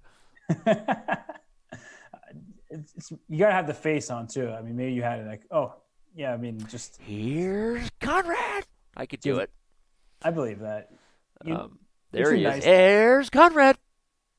You're you're too nice. Oh wow, yeah, this actually is kind of worrisome. Seeing him there, that I swear it looks like he's outside someone's apartment. I feel so. like Samara is about to crawl out of the TV back there. yeah, so I mean, he put his knight on b2, which is clearly smart. He's about even on the clock. He's, I mean, it's just the end game. Anytime there's an end game like this, you look at where the weaknesses may be, and in this case, the pawn a4 can't be protected by another pawn. So, in the knight, when it comes to c4, is on an outpost square defending a5 as well. So, all of these kind of um, nuances in the position favor black, whereas the king situation looks level. We both have our kings in the center, can go to d6 and eventually go to d3, but black has more control over the board. So shout out to Smarter Chess with the gifted sub there. But seriously, Conrad, uh, we're joking about it, but he might he might be about to do work here, and if the Destiny are going to come back, they're going to need it. Also, sporting a robe that uh, pretty sure my mom wore in the '80s. Um, but if it's comfortable, it works. You know. And if it can lead him to upsetting Yu Yangyi, well, then more power. I'll take him. it. It could be a lucky robe, right? All right, now now Black has to play B6, I guess, but after B6 is the knight coming into A6. Are we really going to put a knight on A6 just to target? I don't think so. I guess we want to come to D3. We're trying to simplify it here. Yeah, and then we trade knights in D3, and then Black will try to go Rook F8 to F4, something like that. And again, yeah. this A4 pawn is the target. So I ooh don't like that move. Not a fan of that. That's a move that you play because you're worried about losing some of your squares. So you don't want to allow the knight to the C6 square. That's why you don't play B6. But I think what Black really had to play energetically there instead of playing like this. Cause... Well, you know what? He might also be trying to lay a trap. I just realized that if if uh, Yu Yangyi plays a move like Rook B1, he can maybe play King D6, and now the Knight on C5 is overworked if it moves the A4 pawn falls. Hmm. Maybe he's trying to be sneaky about it. Wait, but there's Knight takes B7 with check. No, I saw that. But if Knight takes B7 and takes, the Black King still comes into C5 and it's super active. Although King D3, and maybe you're right. Maybe it's just too slow. No, but that's actually something a very important thing to keep in mind. There, there are some times where you sacrifice your knight to get yeah. the other enemy knight to advance your king up in an endgame. So, okay, I'm not the biggest fan of that move, but we'll see as this continues.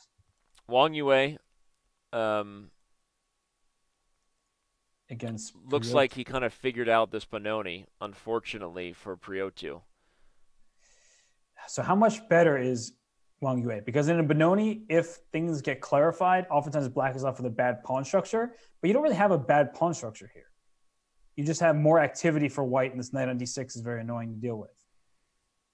Can I just say we have not been reading all the subs on camera, but just thank you so much. All the generosity, all the love.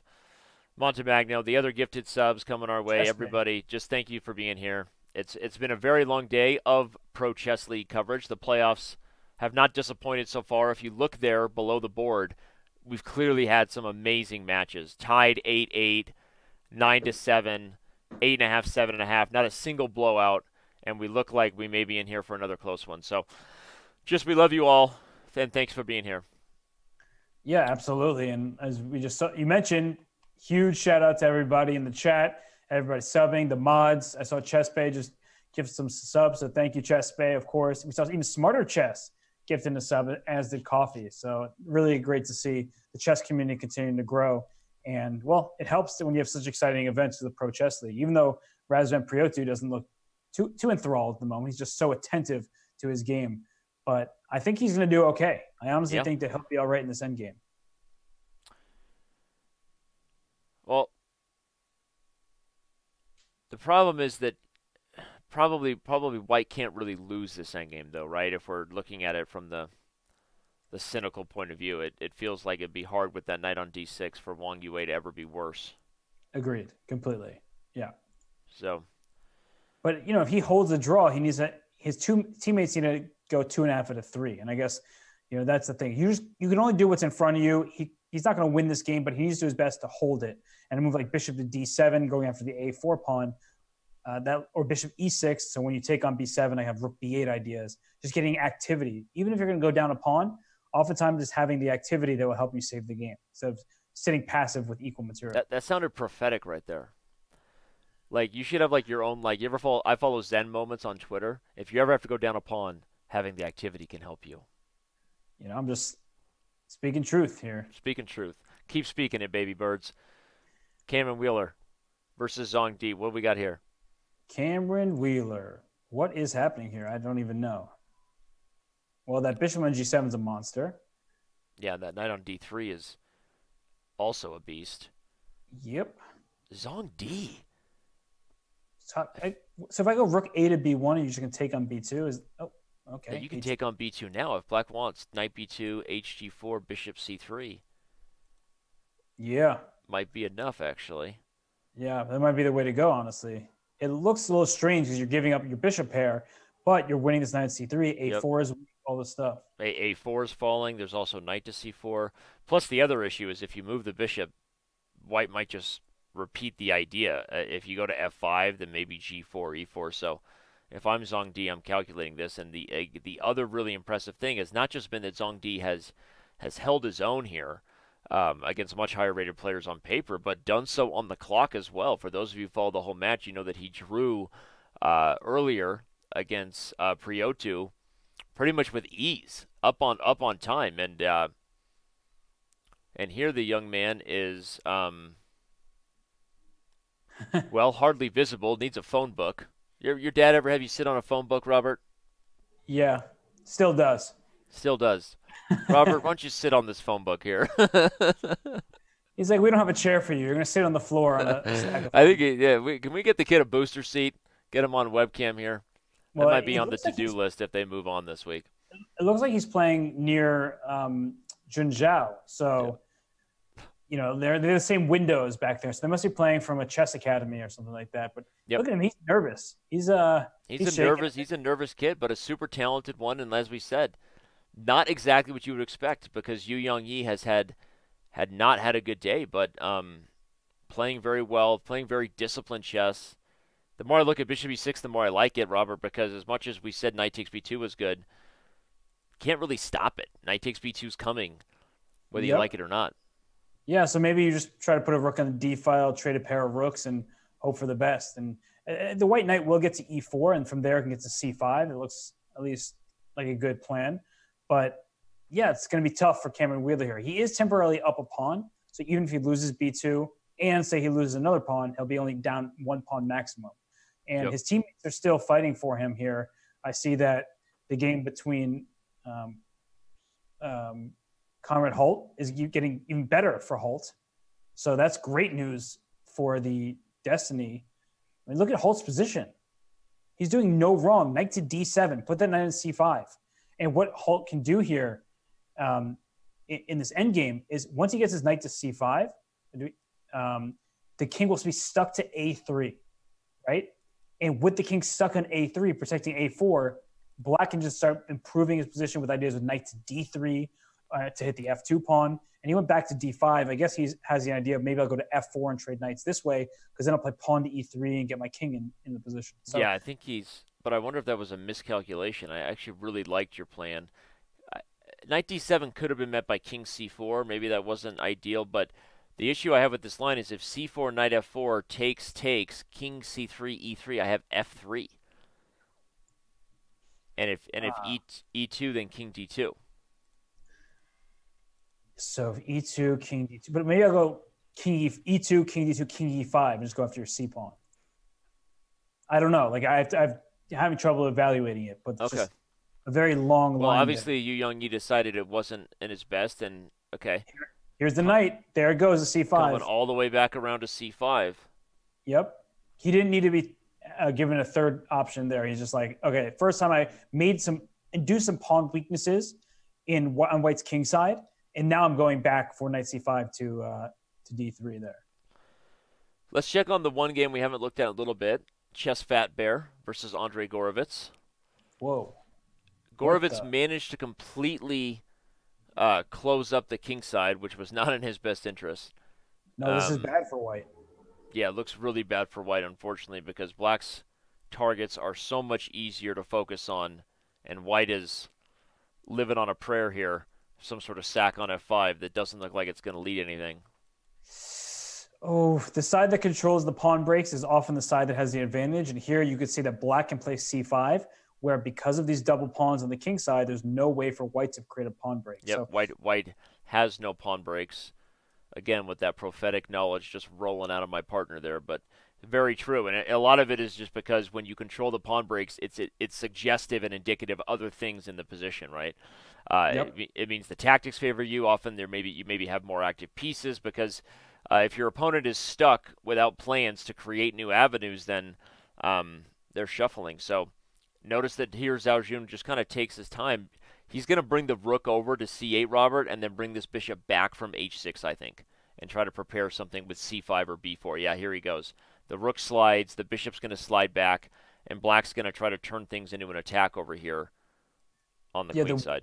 The one good thing for white is that if black tries to do this big b4, a4, then push one of the pawns, then white just pushes the pawn that is, is under attack, right? So like White yep. can try to close down the structure as well. And if you ever play b4 and white plays c4, then the rook gets an open c file to work with. So you do have to be careful if you're Zhao Jun here, as the position opening seems good at first glance, but could have some clear drawbacks. So it's still a fight for sure in this one. From a practical point of view, Zhao Jun seems very aware of the match situation, up on the clock, knows that they're up two games here, probably won't rush the opening of the position for the reasons you said, right? Got to be careful both positionally. You don't want to weaken things like d5, but also also maybe no need to rush things while the other games are still unclear. In fact, there you go. Let's go back to that because Zhang Di did eventually win both the queenside pawns. The B and the A pawns fell. Um, did Cameron Wheeler get enough compensation to go with it and manage to expand the king side? Perhaps he'll push f5 here, but feels feels very dubious here for White. Yeah, it feels like not enough. And yeah. a draw was agreed, by the way, in the game between Gorovets and uh, Zhao Jun. So that means the Pandas need just one more point total out of the three games. And, well, this game is looking good for the Pandas. The game between Wang Yue and Razvan Preotu is also looking good for the Pandas. And the only one struggling still is Yu Yangyi. Yikes. Yu Yangyi up against it against Conrad Holt would be a very instructive game if we can see Black convert this one. We'll keep our eye on it. But uh, just to show you quickly, Wang Yue's game against Preotu likely petering out to a draw.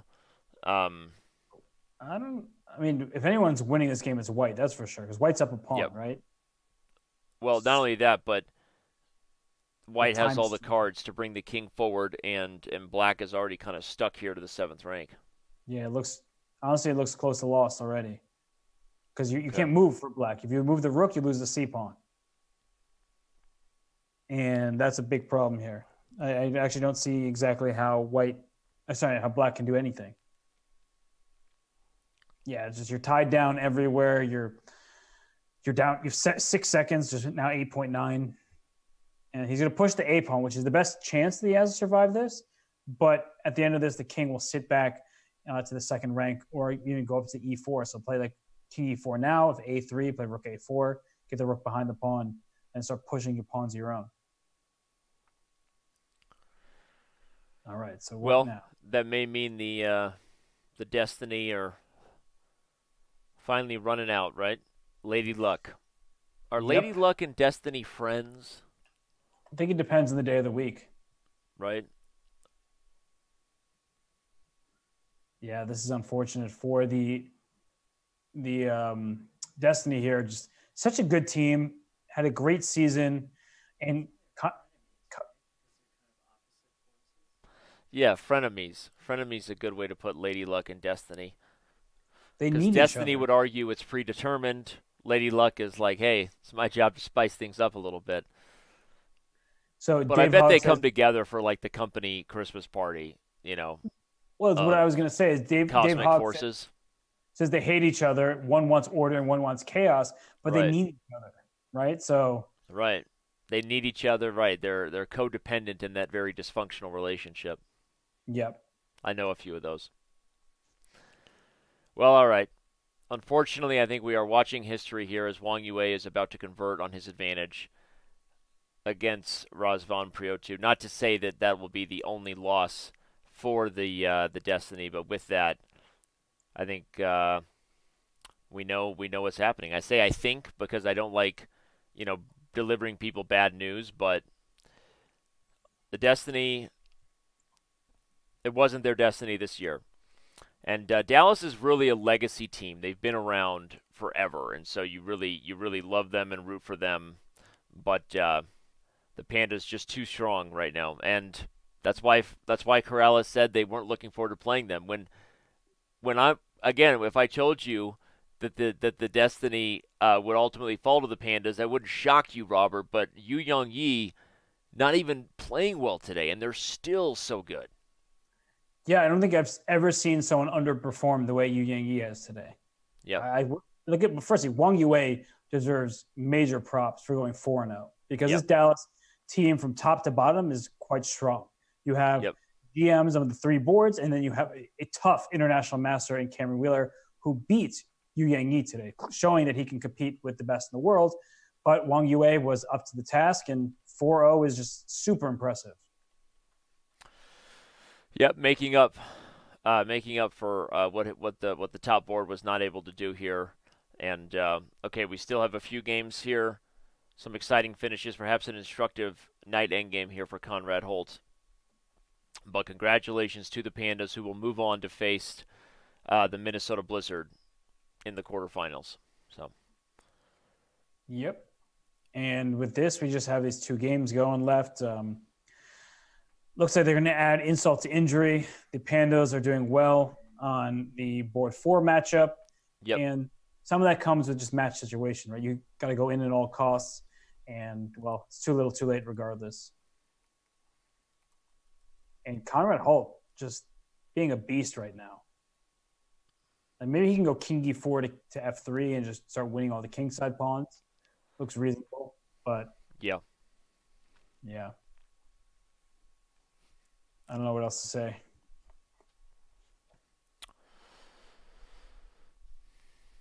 Sometimes you don't have to know what to say. Sometimes you say it best when you say nothing at all.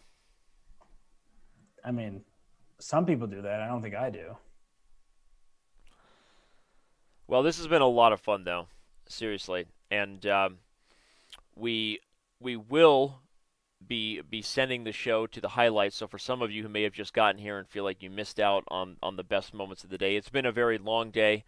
Uh, more than nine hours of total coverage here on the the chess.com channel, but um, we are gonna we're gonna send things over to Levy Rozman at the twitch.tv slash pro chess league channel where he will have an interview with the manager of the Pandas, Li Chao.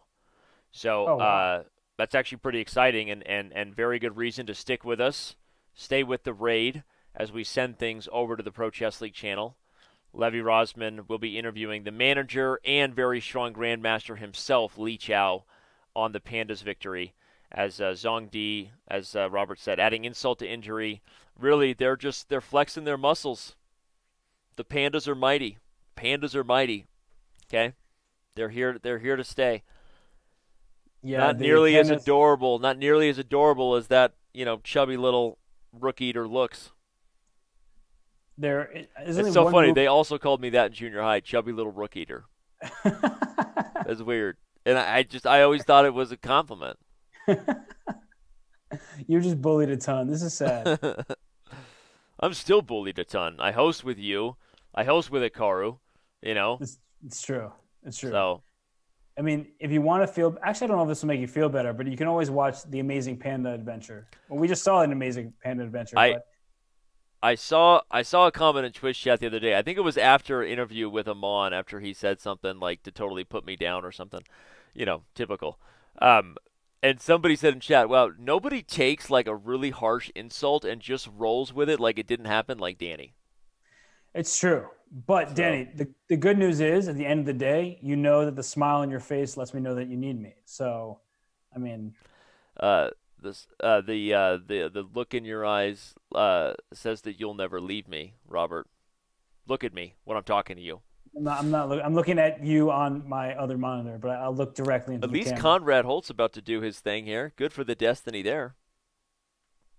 Yep. He found a way to convert on this knight ending. We didn't focus a lot on the X's and O's, but probably super instructive. We probably just deprived the fans of some education there.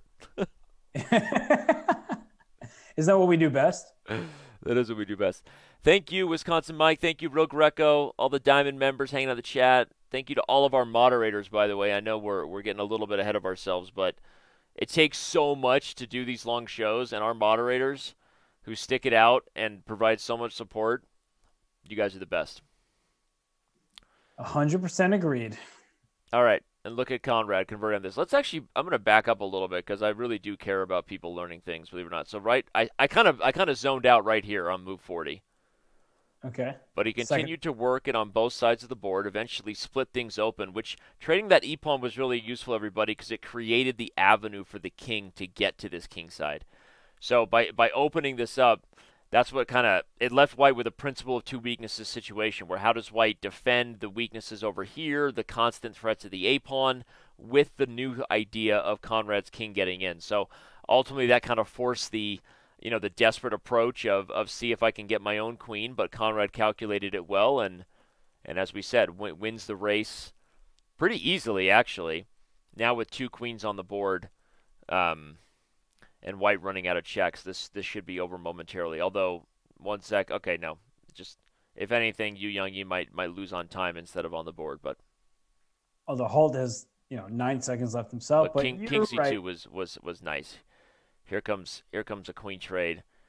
Although I'm pretty sure the queen h8 check was stronger, but okay. Um, should be good enough here. Nice little fork.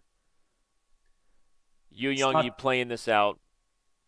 It's not too late to blunder your queen. But again, you just saw a 2760 plus grandmaster go half out of four, and the Pandas ran away with the match. I don't yep. want to. I don't want to play the Pandas either. I mean, is that if that's not a message to the league? I don't know what is. I mean, this team is so good. I mean, you and I were shocked last year when they did not ultimately win the championship. Really, the Armenia Eagles, a Cinderella story in many ways last year. But perhaps the Pandas are uh, are just hell bent on revenge. Because again, Holt, congratulations to him winning with the black pieces over uh, 2750 plus GM doesn't happen every day, but it doesn't matter. As we bring up our final standings here to remind you of everything that went down in the first day of the 2019 Pro Chess League playoffs.